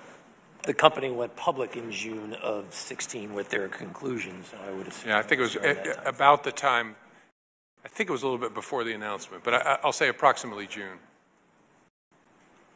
So, so that was how long after the first notification of, that the FBI did of the DNC? 10 months. 10 months. So the FBI notified the DNC of the hack, and it was not until 10 months later that you had any details um, about what was actually going on forensically on their network. That's, that's correct. Assuming I have the dates about right, but it was, it was some months later. Um, knowing what we know now, would the FBI have um, done anything different in trying to notify the DNC of what happened? Oh, sure. What, what, what measures would you have, have done differently? We'd have sent up a much larger flare. Uh, Yeah, we, we'd have just kept banging and banging on the door, knowing what I know now. We made extensive efforts to notify. We'd have, ran- I might have walked over there myself, uh, knowing what I know now. But uh, I think the efforts we made, that our agents made, were reasonable at the time. Good copy. And, and uh, do you have a, a ballpark of the number of private sector entities that you have to notify of these types of, of, of breaches? Hundreds and thousands. In this particular case, we had to notify hundreds, I think maybe more than a thousand en- entities that the Russians were hitting at the same time. Admiral Rogers, do you have anything to add to that? Uh, No, because as we passed the information to the FBI, what started all this was a pretty massive effort on the part of our Russian counterparts.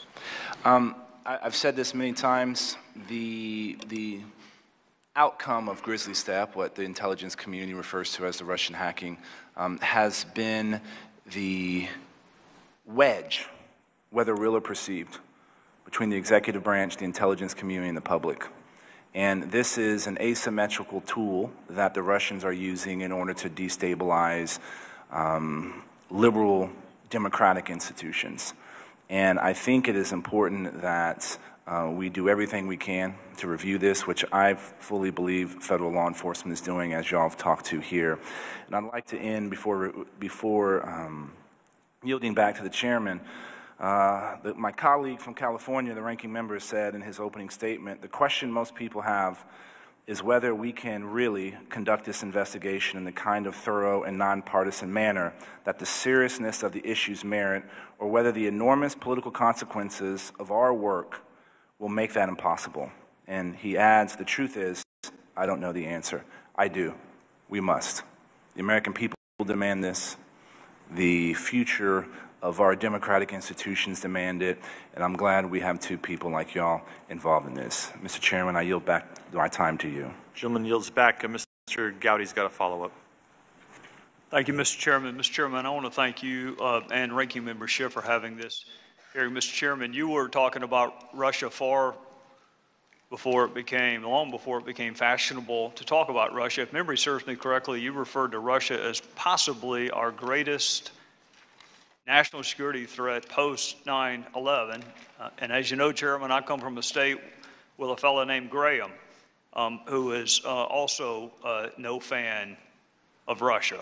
So, Director Comey, Admiral Rogers, um, people in your line of work are incredibly respected, both your current line of work and the work uh, that you came from. Um, and people in my line of work are not. And uh, there's a reason. The justice system is respected and the political process is not. So um, this is, um, while this hearing is important, what's really important is what you do after this hearing. And I want you to go find every single witness who may have information about interference, influence, motive, our response, collusion, coordination, whatever your jurisdiction is, wherever the facts may take you, though the heavens may fall, Go do your jobs. Because nature abhors a vacuum. And right now, you can't answer most of the questions, either by policy, by law, or because the investigation has not been complete. Therefore, a vacuum exists, which people in my line of work are more than happy to fill. So I need you to fill. I need you to do it with all deliberate speed.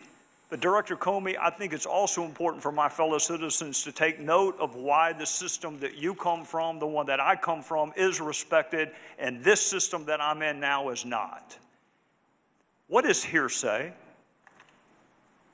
It's information you don't know of your own personal knowledge, but learned from someone else. It's an out-of-court statement offered to prove the truth of the matter asserted. I was trying to be a little less lawyerly. Right, well, we'll go with your answer. Um, and it is almost never admissible in court. How about anonymous sources? When you were in the Southern District, could you ever call an anonymous source to testify? And use hearsay unless there was some widely accepted exception. And what I've heard this morning in some cases is quadruple hearsay. So, so it would never, a newspaper article would never, ever be admitted as evidence in a courtroom. So the system we respect would laugh you out of court if you came in armed with a newspaper article. But in the political process, that's enough. Let me ask you this cross examination. Why are, you a, why, why are you able to cross examine witnesses in trial? Why do we have a right to confront witnesses? Well, it's embedded in our Constitution, and the reason it makes great sense is it's the crucible out of which you get truth. It is the single best way to elucidate the truth, to test and to probe and to challenge and to test someone's personal exposure to the facts. Cross examination is the best tool that we have. How do you cross examine an anonymous source? How do you cross examine hearsay? I, I hope that you go find every single witness that you need to talk to and examine every single document. People are counting on you two and your line of work to find the facts. And people are welcome to draw whatever conclusions they want from the facts. But when I hear the word evidence, as I've heard lots and lots this morning, let me ask you this, Director Comey. Did you ever, are you familiar with any trials where one witness may have said the light was red and one witness may have said the light was green? Does that ever happen? Yes, yes, that's why you have a trial. Does it ever happen where one bank teller said the, uh, the, the assailant was 5'10 and one said the assailant was 6'2? Sure. So that's evidence. You got evidence he's 6'2 and evidence he's 5'11. He just can't be both. The light can't be red and green. So, so the word evidence, while fancy and legal, the reality is you find facts, and then the finder of the fact can draw conclusions and inferences from those facts. So I wish you luck as you begin this process. It is all important. Uh, the fact that someone may have uh, had a line of questions about leaks does not mean that they're not interested in all aspects of Russia. And vice versa, the fact that they may not have asked questions about leaks doesn't mean they're not interested in them. You have jurisdiction over all of it. So God bless you as you go um, on this journey for the facts. And then people can draw whatever conclusions they want. I hope that you will fill the vacuum that is created when y'all are not able to. Back, uh, Mr. Comey, this is uh, my final uh, list of questions here. I just want to make sure we get this on the record. Uh, do you have any evidence that any current Trump White House or administration official coordinated with the Russian intelligence services? Not a question I can answer. I, I figured you were going to say that, but I just wanted to make sure we got it on the record. Uh, how about counselor to the president, Kellyanne Conway? It's the same answer. And as I said earlier, I constantly want to ask people, don't overinterpret the fact that I say I can't comment. I'm not going to comment on anybody. Well, I, I think I, I understand that, but you know, here's the challenge: is that you've that you know you've announced that you're going to that you have this